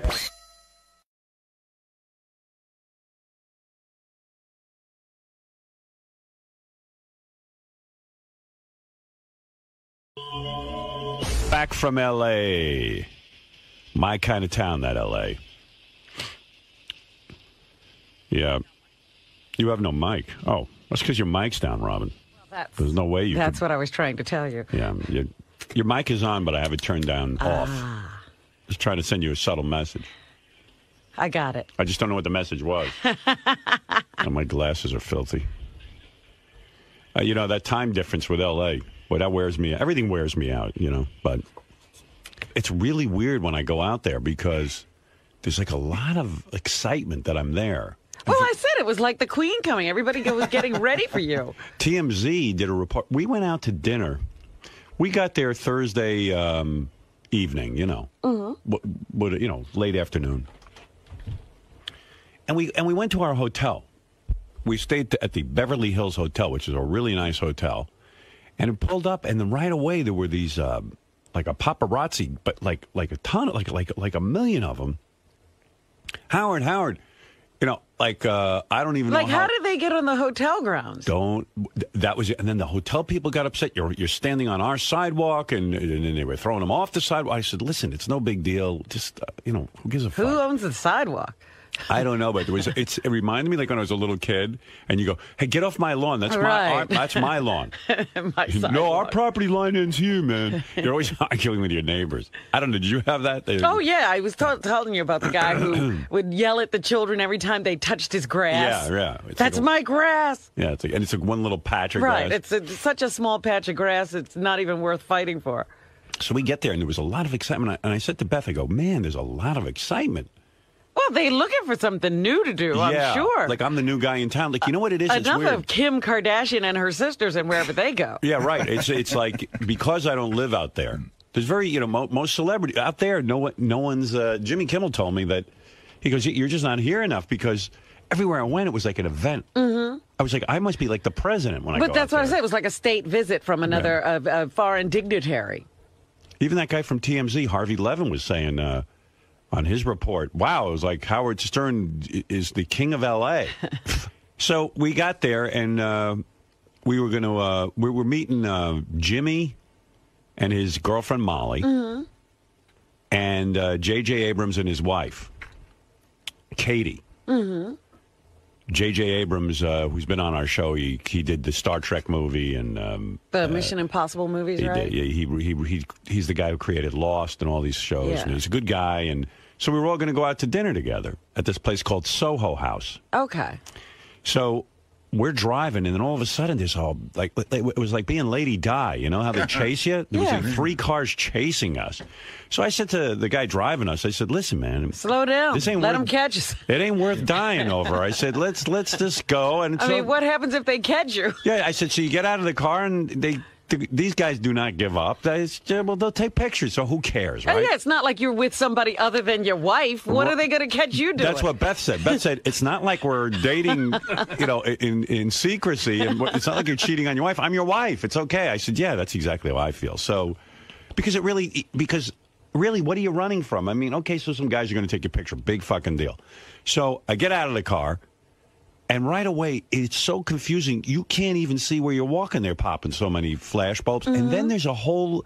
There were two cars worth of guys chasing me who are professional autograph seekers. Now, when I say professional autograph seekers, they have every picture I've ever taken or every movie poster, anything that ever came out about me. My books. So how long does that take to get through them? Well, those guys, you can't sign anything. I, I signed a couple of things, but if once you start, they're like They keep flipping another thing. because they they that's how they make their living. They sell these autographs. So if you stand there and sign for ten hours, they'll have you sign ten hours worth of stuff. Wow. So I was like signing one. two- What happens is though, you get out of the car. I can't even see Beth now. I get nervous about her. Right. All of a sudden, I can't even find. I, I wanted to actually look at where I was. You can't see a thing. It's blinding. All of a sudden, I feel some people grabbing me, like like the Beatles or something, like like touching me and pulling me and pushing me. And I go, "What the fuck? What the fuck's going on?" Now I'm starting to get aggravated. This is how things heat up. Where, I mean, how far is the door from the car? I mean, what do you have I to don't. do? I couldn't even fucking tell you because you can't even see in front of you, and and they block. They, they it's almost like what they do on the football field. There's a whole pattern they run so that you you are can't blocked. see where you're supposed to go. Where's the lane? So I'm like, I'm like, man, this seems dangerous in some weird way. Like I could have walked into the street, got hit by a car. I don't know what the fuck's going on. And, then you they- don't know where Beth is at this no, point? and now I and then I uh, they video they're videotaping. So what they're hoping you'll do is either get in a fight with someone, or you'll fall down, or you'll look confused. So I was like, I don't want to do any of those things. I just want to get into the restaurant. So it's actually surreal. You don't know you don't know where you are. It's almost like being in a bee's nest. You cannot see a fucking thing in front of you. So fortunately, I brought Mike out with me. You know Mike. Yeah. And he was helping us get in, but it was crazy. I started to sign a few things. I said, "This ain't this ain't gonna fly. I'm not right, signing any more that stuff." just makes more. and then they follow you around for the whole weekend because they know you're an asshole and you'll sign everything. And and uh, you know, it's not like it's a fan saying to you sign something for like a woman. it's it's a guy with a bunch of. Yeah, like I went shopping and this woman came up. She goes, "I'm a fan. Would you sign this for my niece or something?" I said, "Yeah, sure. You know, it, it, no big deal." But She doesn't come with another one. and She doesn't have another niece. No, no, no, no. it's a it's a whole racket, but it's really. I, I'm going to say dangerous because you can't, you don't know what the hell's going on, and they're hoping you'll get hit by a car. These guys, because Because then they'll be the ones who tell all the stories. Yeah, you have no idea if you're on the sidewalk. You don't know where the fuck you are.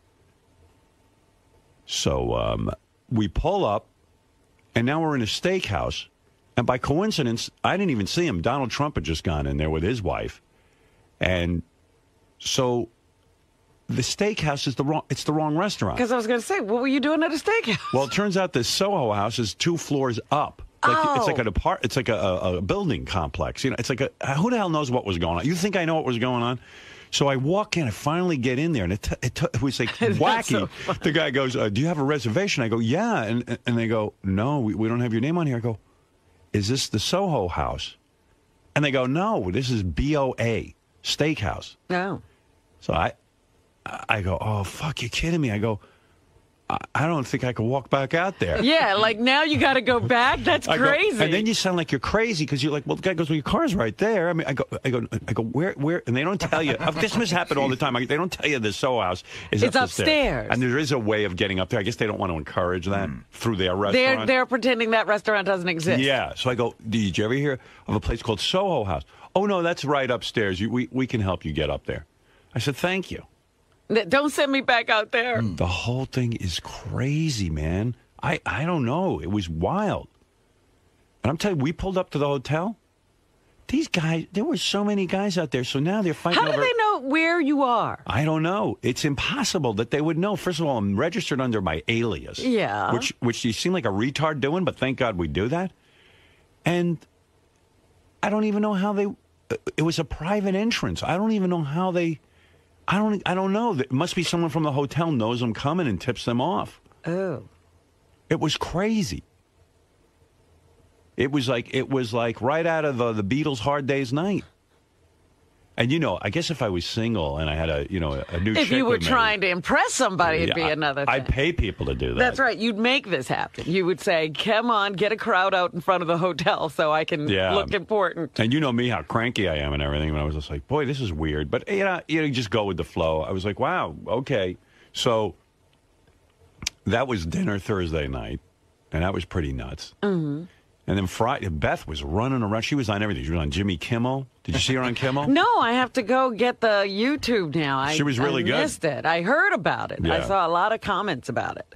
I'll tell you about the party that Jimmy threw. Yeah. I'm getting to that, but the funny thing is that that Jimmy has a room where you can jam. Like he's got all guitars and, In his house? yeah, he's got a he's got a whole like outdoor room. Like mm, I shouldn't say that. That doesn't make sense. But it's a it's a detach. It's the, the room. The, it's it's a room that's not part of the regular house. Okay. All right, it's like a guest house, but it's he set it up for like if everyone wants to go play instruments, and he says no one ever plays instruments when he has this thing set up. So a bunch of us went in there, and I saw pictures from the evening, and I'm standing next to Ashton Kutcher, who's coming into that this morning. I'm standing next to Ashton Kutcher and David Arquette, and we're jamming with our, Uh-huh. our new band, which I'll be telling you about. So you guys are now going to make music together? There's a there's a something happening. this is what do they call this? Is a super group. there's a super group forming. I'm going to tell you about it. But but uh, uh, anyway, I saw pictures from the evening, and I look horrible in every single fucking picture. I real I'm standing next. It's like you know, Jimmy said to me, you know, uh, quite frankly, George Clooney would look horrible next to these guys. They're all well, handsome. now come on. There, George Clooney's handsome. I, I'm he's making a joke, but I'm just saying. You know what am I doing up there? I look ridiculous. and Beth must really love me because she told me I look really hot playing the guitar with these guys, and I was like, oh, we need Fred here because we, the well, I'll, I'll jump to that. You need a real musician in Yeah, the yeah, band. yeah, is that yeah. the thing the band is missing? Well, I'm gonna, I'm gonna, I gotta, I gotta. It, it, it was really something this trip to LA. First of all, LA is the greatest because of that weather. I gotta tell you, you know, we're fucking around here in this cold weather. I have tried to get you out of here for a long time. I three- not attached to this place. I got three daughters, my parents, my Move them. I can't move them. I, you know, I, I'm I got to be where my ex-wife's got the kids and all this stuff. Uh, But Ashley's getting close to going to college. She's got another year. Then I'm fucking heading out of here. I'm that's it. I'm going somewhere. I've been talking about that. Why do you think I'm on a plane every weekend in the boy, wintertime? that that warm weather puts you in such a good mood. So Beth was running around like a maniac. I don't know if you want to hear any for Jimmy Kimmel, but I thought it was really strong. Yeah. Did I, I wonder how the the fans are feeling because, uh, you know, Beth gets so much crap, and I thought she was What do really. You? Well, you know, Beth gets so much shit from our fans for, for being my wife, and they, they're just so, there's a lot of people who are mean to her on the Stern Fan Network. Oh, and- again, you're going on those things. But I thought she did a really good job. Because everything I heard was positive. It Yeah. was not. I didn't hear one. I don't talk to those Stern fan people. Well, I had this whole thing where you know, I, I so I, I got there, and Beth was running out to go do Jimmy Kimmel's show to promote her book, Uh huh. And the first guest is Ryan Phillippe, JD's pal. Oh, cool. And uh, yeah, he was at Jimmy's party too. I'll tell you about that. It's good seeing him. He had his hot girlfriend with him. You know, everybody has a hot friend. uh, so anyway, uh, so Beth went out, and, and I just and she was like, she knew I'd be cranky because we were going to dinner afterwards, Right. With uh, Jimmy and Did stuff. you go to the show with her, or you no, stayed at the hotel? I, I stayed at the hotel, which is something um, my psychiatrist will be proud of me for. We've been working on that kind of stuff, what does that mean? where I learned to stay out of things. You know what I mean? You usually would be micromanaging. Is that what you're Yeah, saying? I would be there and make it about me. and all that. Directing Right, and yeah, yeah. Well, not having directing. your problems. Right. Who knows? But somehow it would become about me, and it's Beth's moment. And then Beth went, and Beth was happy to go, and, and all of that. And so I stayed at the hotel, and ostensibly to get a nap. That was the thing because I'm Mr. Cranky.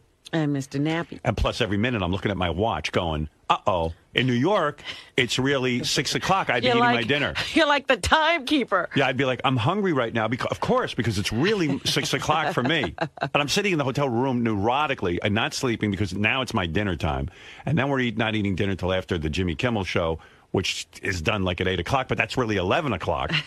you know, I'm making myself berserk. I'm I'm I'm nuts about that time change thing and Just sleep. forget it. It's the time you're there. I guess I hear you, but I can't get used to it. well, you only got two days. So now I'm laying in bed, and then I said, I better beat off because now I'm in the hotel and I'm going to beat off because I go, maybe that'll put me to sleep and then I won't be cranky. I didn't even tell Beth I beat off when she was doing taping Jimmy's show. you were That's between us, okay? Jimmy, and Yeah, that's between us. I had to take care of myself. Yeah, please, uh, you know. Keep that from Beth. Yeah, I have an honesty issue. I tell her whenever I beat off, but this time I was embarrassed. What is that like a, a pledge?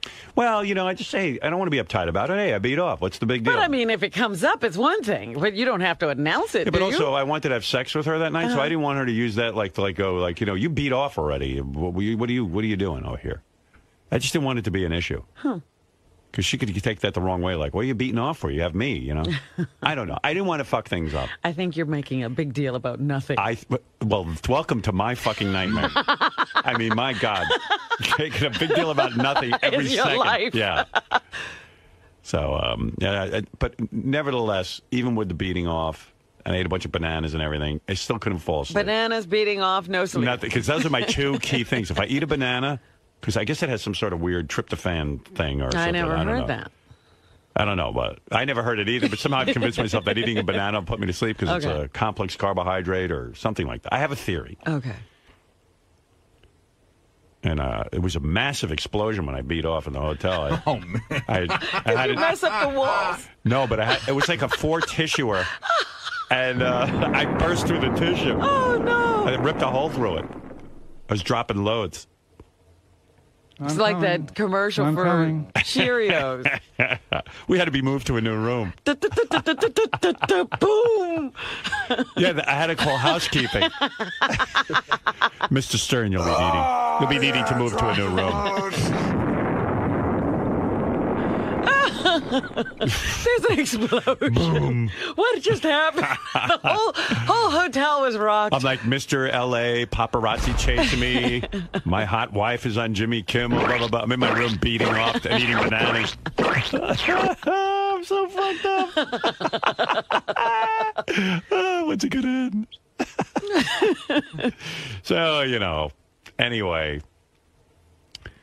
So then I'm sitting in the room. I go, shit. I should have gone to Jimmy's. It'd be fun. I want to see. I want to see where Jimmy works. You yeah, know? yeah. You've never seen the studio. No, I haven't seen any of it. Now I'm sitting in my room now because I put myself. looking at four walls. Yeah, now that I put myself in Siberia. you know, and it would have been fun because I know Jimmy's got a bar set up there. I could have started having cocktails. Yeah, it's like a nightclub. I heard. Evidently. So I said, fuck this. I'm going over. So uh, I got dressed. Then I had to figure out what to wear because we were going out to dinner. And I don't know what to wear out there, but everyone's casual. Yeah. But, you know, even casual for me, I just don't, I don't look so good. Well, you look good where when I saw you. No, I looked all right. Uh, things are falling apart rapidly. Oh, stop. They really are. That's the bad thing about going to LA. Everyone's so fucking good looking that, like, I really look heinous. And why do you think all those people stay in the psychi- I mean, the psychiatrist, the plastic surgeon's office? Yeah, but you know what? Some people are going too far with it. But that's why thing. they do. They're, it's an Yeah. attempt Yeah, to to, look- stay ahead of that, and then they make mistakes. Yeah, I'm much handsomer in New York. you know, that's a good point. That's a real good reason for me not to go to LA because I'll, I'll start looking like the Joker. you know what I mean? I'll be like, maybe I should get tugged back a little bit. You'll be one No. of those. What's wrong with his eyes? Yeah, well, hey, come on. It's competitive out here. he looks like his eyes are upside down. I look like a monster. now, everybody's just very, very good looking. I'm telling you, I was looking at Dr. Phil on Jimmy the other day. They were running promos of it or Yeah. something. I was like, his crow's feet are going the wrong way. You know, he's even had a tweak. And he's no fashion plate. I don't know. In LA, I'm a one, but in New York, I'm a four. it's great. Uh, in New York, I could almost look cute in, on days. some Come on, there are some other places with good weather where you can maintain a four. Yeah. Mexico. My height gives me a four. I, I don't know. So, you know, so, th- so where am I up to? Oh, it's just Thursday night. Yeah. So, yeah, I get over to Jimmy's, we drive in, and boy, that's a nice setup, man. He's got, you walk in, he's got like a whole bar, and the place This is is at the studio. You're At the studio. I'm ta- no, I'm talking about at the studio where he works. He's got his own. It's like the Jimmy Kimmel theater type situation. They don't call it that, Yeah. but it, you know, he's got complexes of uh, offices, and uh, you walk in by the dressing rooms, and all of a sudden there's this huge party going on. Now, when I say party, I'm going to say 200 people partying in a with a bar and a full bar service. It looks like you went out for the night. Yeah, and if you know someone or you're sort of a VIP or something, I guess you get back into this area. And uh, it's it's the place to go for drinks, uh, like a like a like a club, and, and it's it's not even people who are, have anything to do with the show. Huh. What's that all about? I don't know. It's a and it, the bar's going, and it's. Would you like a drink? Uh, and I'm like, yeah, sure, okay. What do you got? Start out with a little white wine here. Now, is it open bar? Open bar. Wow. I mean, it was open bar for me. I wonder if these other people have to pay. Yeah, I'm like, is Jimmy like subsidizing um, I don't know. his but- career by opening a joint? but it is some it is some vibe back there. And I even said to Jimmy, what, I mean, these aren't the guests or anything. It's just like, what's going on? I ca it's like a whole other you don't show. even know who these people are. They could almost have a reality show just based on that bar. No, you don't know who they are, but they're all sort of somebody, but you don't know who. Right, but I'm just saying they don't. They're not with the people on the show. They're Well, not. I didn't even like hang out over there because it was too crazy. Uh-huh. Because every time I walked by, people started cheering and screaming and going like, yeah, it was. I was like, I wasn't going to go sit there and have a drink. It wouldn't have been relaxing. Right. You know, I would have been the entertainment. So I was just sitting in the dressing room. Beth was in there, and you know, all the producers and getting her ready and everything. And uh, a lot of the guys who work on that show are big fans of mine. And Mhm. and then so Beth went out and taped. Uh, did you know? Did the show, and it was really good. Like I was, I, I thought she should have had more time. They were, they had really good rapport, repartee. Uh huh. Beth and Jimmy. I don't know if you want to hear any. of I it. do want to hear. Let's see.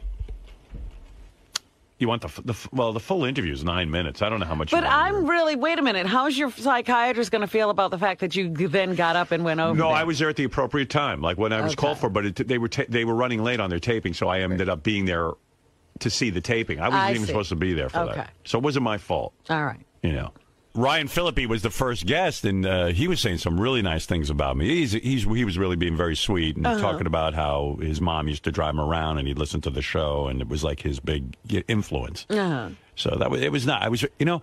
I was really starting to feel very full of myself being out there because the people were carrying on about me and telling me I was a genius. Like um, Amy Poehler from Saturday Night Live was at. The, I'll tell you who was at the party, but Okay. but she was there and her husband and uh, and they were telling me I'm their hero and, and comedy hero, and I was just like, you know, How come they're all doing very well and are respected, Yeah, and I yet know. we're still over here? I know I'm everyone's comedy hero, and they've they've all done very well in a respectable way, and I'm still this fucking Pariah. this freak show. I don't know. this social pariah. You know, like Jimmy's got a show on ABC, Amy Poehler's on Saturday Night Live, and has a TV show on NBC, and Yeah. you know, and and, and I'm still some weird dreg, dreg, or something. And so then uh, Beth came back, and I told her how funny it was, and you know, everyone was really pleased. And then, um, you know, then we went up to Jimmy's offices to get him because we were all going to go to dinner. And but did they not come in the same car as you? How come they weren't with you when you went to the Soho? Because they house? had a different car. Because Oh. afterwards they're going home, and you know we were going back to the hotel. So yeah, yeah, they had a different car. Oh, okay. Yeah, and, and, that's when that whole Soho. This is why you know, like those whole all those Hollywood people talk about conservation and saving the environment. Look at how many cars. how I many- know, but you know what? It was really, it was really kind of exciting because you know I was excited for Beth, and I and I felt good, and she was nervous that you know she wanted it to go well because she knows Jimmy so well. Oh yeah. but uh, and it, and plus you drink before you go on. I t- I slowed back down. She was drinking. Well, yeah, we were. I told you there was a whole bar with cocktail area. And she, yeah, she doesn't was- mean you have to have a cocktail. She had cocktail. a, a glass of wine or something, but uh, she said that's the key to getting relaxed. I mean, it really, it's really kind of smart to get people alcohol before they have to go out. Oh my goodness. Yeah. So anyway, yeah, yes. That, and then the whole dinner thing happened Thursday night, and you know, and that that whole story. Uh huh. I'm telling you, this big Hollywood party that Jimmy threw was really quite something. Let me let me. I'll tell you the guest list. So this was Saturday night. So I really didn't even know who was coming entirely because, I mean, there were some people that uh, I had invited because Jimmy said, "Who do you want to have there?" Uh-huh. And then there were people just kind of were there, and I didn't even know they were coming. So he's all dialed in apparently in this Hollywood scene. Yes and no. I don't. I don't know. I don't know. I can't tell what's going on out there. I'm just Yeah? so. I'm so out of it. You know what I mean? I mean, look at ninety percent of my life is pretty much it's just me and Beth, and then my kids, and then like I'm kind of sequestered in New York. So when I go out to Hollywood, when I go out to L.A., I'm telling you, it was like really strange. It was. Uh, it was really like being the Pope. That paparazzi are following me like. Like even Jimmy goes, nobody gets followed like this. This is insane. You would have thought I was Suri Cruise or, Or something. Britney Spears. Or Britney Spears. I mean, it was wild. And I mean, you know, just and I didn't even tell you this. Like Friday night, we went out. I went out with uh, just Jimmy and Molly to um, this uh, Italian restaurant. I can't think of the name of it. No wonder Adam Carolla's all upset. Yeah, Adam was at the party, and Adam but goes. you uh, wouldn't give him any special time. no, we invited Adam Friday night. He was shooting a commercial Oh, or was something, he? and he wasn't available to come. So I met Jimmy and Molly over at uh, this Italian restaurant. Because Friday I just did the same routine again. I hung out by the pool. Now was Beth busy all day on yeah, Friday? all day pretty much. Wow. She stopped by for an hour. Or, uh, we went shopping for two hours on Rodeo Drive, which I don't recommend if you have any degree of fame, because uh, you can't move. yeah, it was kind of crazy. I, I didn't know what it was. I, I I saw it in the movie Pretty Woman, Rodeo Drive, you know, and, and Beth said, "Oh, let's go shopping on Rodeo Drive." I said, "Yeah, why don't you get dressed up like Julia Roberts, and we'll go and and I'll look like me." You're gonna dress up There's as no what? point. There's no point in me dressing up. And uh, I said, "Yeah, let's go shopping." So we we hit like the first store you hit. Then everyone's like, "It's really kind of a tourist trap, actually." It It's- is. yeah. Well, of course. I, what, do you mean, of course? How do no, I know I mean that? Pretty woman, knows it didn't look like that. Rodeo Drive. Oh well, I walk out there and there's all the, there's a um. I guess they have a lot of tour buses that come by. They're open air tour buses, and it Those says big double decker and it has star written on it, and people are there to look at celebrities. They drive by the celebrities' homes. So I walk out and they go, "Hey." The, the guy on the Did he have a bullhorn? he had a bullhorn. Yeah, he goes. He goes. and right over there is Howard Stern, the radio announcer. And, and I, uh, That's funny. you can't miss me. You know what I mean? That's a movie scene. and, and, and I go, uh oh. Beth goes, all right, get back in the car. This is going to be a disaster. We don't, we don't need to go shopping. I said, listen, They're honey, announcing you from the bus top. my new thing is proven to Beth that like nothing bothers me. I go, honey, we came here to shop. Big deal. So people see. So they're on a tour bus. That's not a big deal. so they're announcing me. Yeah, so they're announcing me. We're trying to cross the street, and now we're jaywalking because we're so desperate to get across the street and hide. be hit by traffic, but and Beth's okay. going, and I go, Beth, let's go into that store. She goes, No, I, I really don't want to go to that store. I want to go to the one all the way down there. I go, We're, we're going to walk all the way down there. No problem. No problem. The guy's going, Howard Stern is over there not crossing the street. He is crossing the street. So we went in some stores, and Beth said to me, "Oh, I had enough shopping. Let's just go." You know, like like we went to two This was a stores. bust. It kind of was. but It was it was a shame. But she was real tired from doing all this promotion, and I couldn't wait to get back to the fucking room. And What'd you wear? What'd you throw on? I just the had shopping spree. Same thing I'm wearing now. Yeah. I don't I don't get dressed up. I don't know what to wear. But Beth looked all hot. She had on the big fucking heels and the mini dress. and- So she was really doing the pretty woman yeah, thing. I said, "Go ahead, come on, we're a pretty woman." And uh, so I didn't realize it was a whole tourist thing. Oh well, yeah. I thought it was very exclusive. No, inside is very exclusive. No. outside is nothing. now, in Pretty. Woman, they they almost throw the people out who are like scumbags. Yeah, They- apparently, they don't. Everyone was allowed in because every store I went in, everybody was there. yeah, but they can't really buy anything. No, I don't know. I don't know what was going on, but then we had to get right. We wanted to take a nap before the party because, as you know, the party started at six, but that's really nine o'clock in New York, which is the time I'm on. So you took a nap, Yeah, we took a nap. even though you'd been lying by the pool all day. Well, I, I was turned on because Beth was wearing a short skirt, and we were on Rodeo Drive. I said, "When we get back, I want to Oh, keep so that." you didn't nap. I said, "Keep that skirt on." well, no, if I if I if I blow a load, I'll go right to sleep. So I know that. I'll tell him like I better I better have sex because then I'll fall asleep and take a nap. So I I told her to take her dress. She should wear her dress, and we should have sex back in the room, Right. Because it'd be like Pretty Woman, like you know, we walk in the room and then I take her, Uh huh. but then she had to take a, a bath or shower or whatever she was taking. She showed up in the room in her, her just her regular, you know, sleeping outfit. And I got upset because I didn't have my Pretty Woman fantasy. I wasn't Richard Gere. Oh, some other time when she's not working. I want to take you in that dress. You gotta No. find a time for that when she's not working, Howard. Yeah, right. She's all work. Workaholic. She did a lot of publicity. Yeah. Yeah, I mean, all over the place.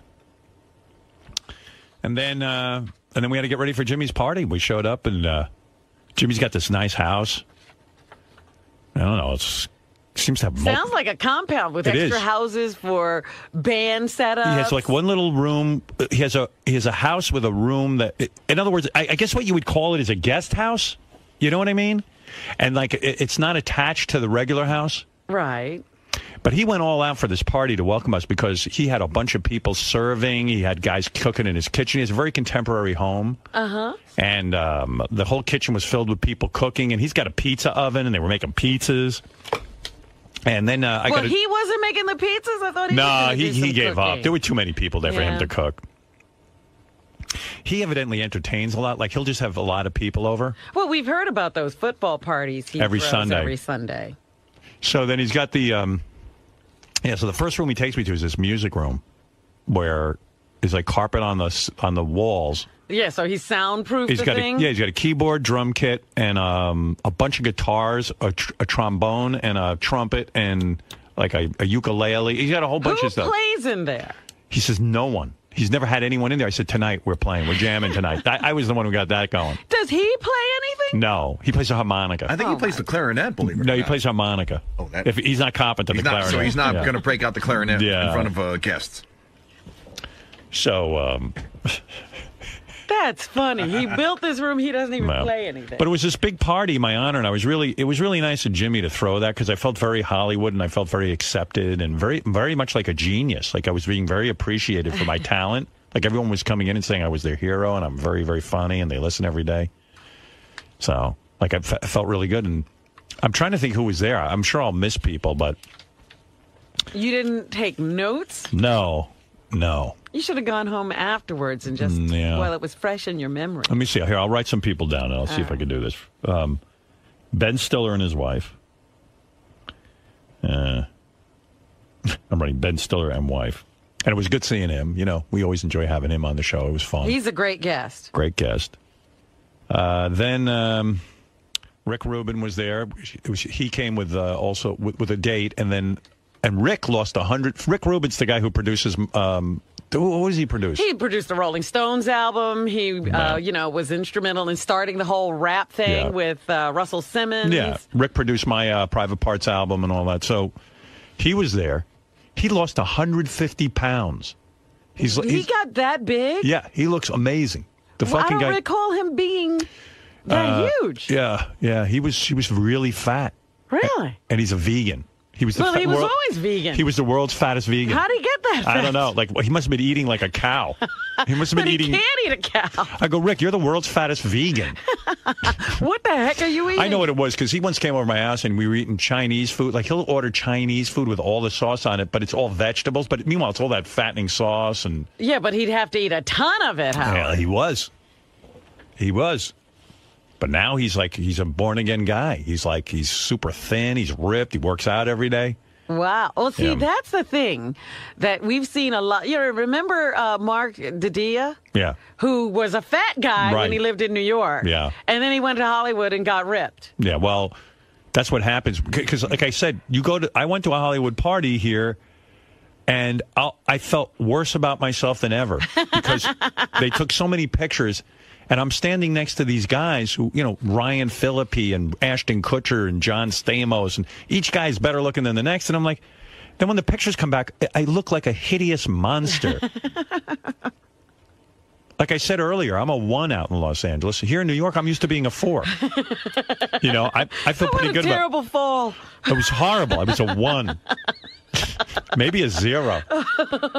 Nobody's a zero. No, because they have all these pictures of me playing with this celebrity band out there at Jimmy's house. Uh huh. And every guy's good looking but me.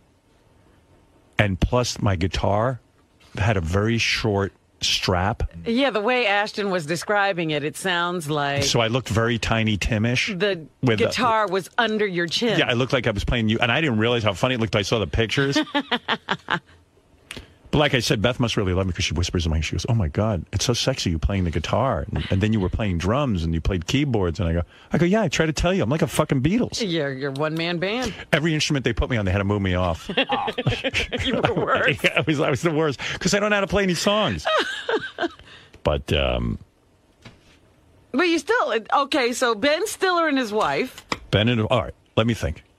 Amy Poehler, who is Saturday Night Live, and she uh, has she's- her own what's TV the, show. What's the TV show called now? Community. Right, So- no, Community. it's not Community. It's right. Parks and Recreation. Courteney Cox and David Arquette. Okay. and she she was ver- she's fun. Yeah? like we, yeah. And David's fucking great, man. This fucking guy, he got up. He got. He, so we we're trying to work out this band thing, Uh huh. And you know, like various people were coming through and playing in the band. Stamos, I told you, was getting way too upset that the band wasn't good. Yeah, it almost sounds like he and Mark McGrath got into a fight. Well, yeah, it was kind of weird because Mark McGrath. Oh, Mark McGrath was at the part. Johnny Knoxville. Um, uh, what, what, but what, but anyway, what happened was, we're, I'm playing with Stamos and uh, and Mark McGrath, and none of us knew any songs. you never knew any songs in common. And John wasn't upset with me because John doesn't is afraid to get upset with me. right. He's not going to yell at you. yeah, because I'm. But he felt that I think Mark is a musician and he should know some songs. so he starts yelling that no one knows any songs and this is ridiculous. And it's ridiculous that he's the best musician there. And I go, you know, John, Mark. I go, Mark's a musician. Mark's written hit songs. He's in fucking Sugar Ray. He goes, I don't care. Really? Yeah, he's like, "Wh- wh- what is this? What is this? So we're, we're, we're, we're having a band here, and It's he- supposed to be fun. and he didn't know any song. I go, calm the fuck down. Does John have a problem? John, John's crazy. Does he need a talking to? and John's dating this actress, Nikki, Yeah. who's so hot. And I said, man, what? This is the girl. Every girl he dates is hot. I know, but I go, what's wrong with this one?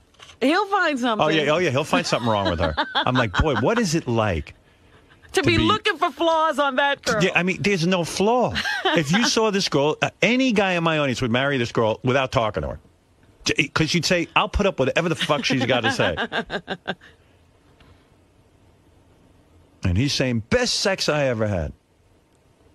He's announcing that? Yeah. And not a secret to her, too.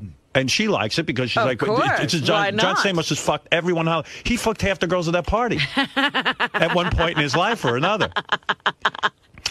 Yeah, so um, yeah, so we're in this room trying to like put the, like there was a lot of good-looking girls there, you know, the actresses and stuff, and they're all wa- waiting for us to play. And I think John was getting upset because we couldn't play anything. but people didn't care; they were drink, drinking Johnny Knoxville's moonshine. And he's only got it in like What? what kind of It comes in a, gel- a jelly jar. It's it's moonshine. It's Ill- it's it's illegal. I think. I don't even know. But I mean, how big a jar is it that he's got enough for everybody? Like this big, like a big like a big peanut Like butter a- jar, like a peanut Like butter a jar. gallon jar? No, no, a jug. He's like a hillbilly. He is a hillbilly. He's bringing the Yeah. hillbilly to Hollywood. But boy, it made a big hit. He was like the toast. Did you ever taste it? What is moonshine? I did. I taste taste it. It's horrible. It tastes like it tastes like like, like some like a chemical. Like so, if you could get good booze, right. why would you drink moonshine? Jimmy had a beau- had beautiful Ketel One there. I go, I want to drink Ketel One. I know where that was bottled. Yeah, not this rot guy. This was made in some dirty hillbilly's fucking basement with his feet. I'm not drinking this, Don't even know how it's made. What he made it from? but everyone was drinking it. what do you make moonshine from? And then Courteney Corn? Cox and Demi Moore. I mean, two beautiful women are saying to me, "Come on, pussy, drink it." They're slugging it down, and I'm like, "Gee, Well, what are they drinking right out of the jug, or is he everyone, pouring? no, it? everyone's right out of the jug." Where are we? First of all, I wouldn't share a glass of water with Johnny, let alone his fucking And they're moonshine. drinking his moonshine. Yeah, I don't know, man. I'm I'm just not into it. And what does he have to drive it back to Hollywood, or is he getting it shipped? I don't know. I don't know how it all works. moonshine. it was good seeing him though. Moonshine. He was there. He just Did had a- he look crippled? I mean, Ashton paints a pretty sad picture. No, I, I, Johnny's Johnny is killing himself with these jackass movies, and he's he and he's drinking moonshine. for the pain to Yeah, I mean, he, he looks older than me at this point. Oh, my God. And that's pretty old. I don't want to look that like that. You know, he's such a handsome guy. What's he doing to Yeah, he's ruining himself. Right. And he's got he's shoving things in his penis twice a day. He says it's getting so commonplace to shove things up his penis because he damaged his penis that, That he doesn't even think about it. sometimes he jams it in too hard and it bleeds because he, he's not even thinking. this well, well, eh, does can he pee? I guess he can. I, I think I believe he can pee. That's the follow up to uh, oh oh so take your wings and fly. I believe I believe I'm gonna pee. Uh, yeah. So so finally, I guess Mark McGrath started to sing "I'm Just Gonna Fly," which is easy to play for me. It's D and A. Those are the Uh-huh. two chords. It's just Yeah. "I'm just gonna fly." Take your wings and fly. I did backup vocals. Now Mark swears I did a good job on backup vocals, but I don't think We I don't did. have any record of this. I'm like, take your wings and fly. Take your wings and You're fly. doing that that part. And I'm like, ah, just like Richie Sambora and Ben Bon Jovi. I was like, was a lot of fun. And then and then David Arquette got up and played, and then and then Was Ashton John Kutcher. happy when when John No. Stamos when No, he was not happy with anybody's playing, Oh. and he thought everybody sucked, and he was annoyed. And we should have brought professional musicians to the party oh so he could play. I'm telling you, he's a prima donna.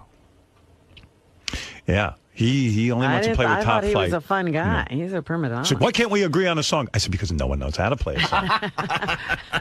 we don't know any songs. He goes, come on. Then he's yelling out all the Beach Boys songs. Says he, you know, and then John. knows go- all those, so John yeah. went on the keyboard and started. I didn't know he was so talented. He's playing He can play keyboard. yeah, yeah, yeah. oh, he he really must have been annoyed. So then I got on drums, and that was even more annoying. Oh.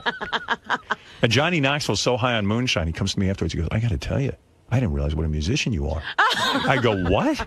He goes, you were on drums. You were fantastic.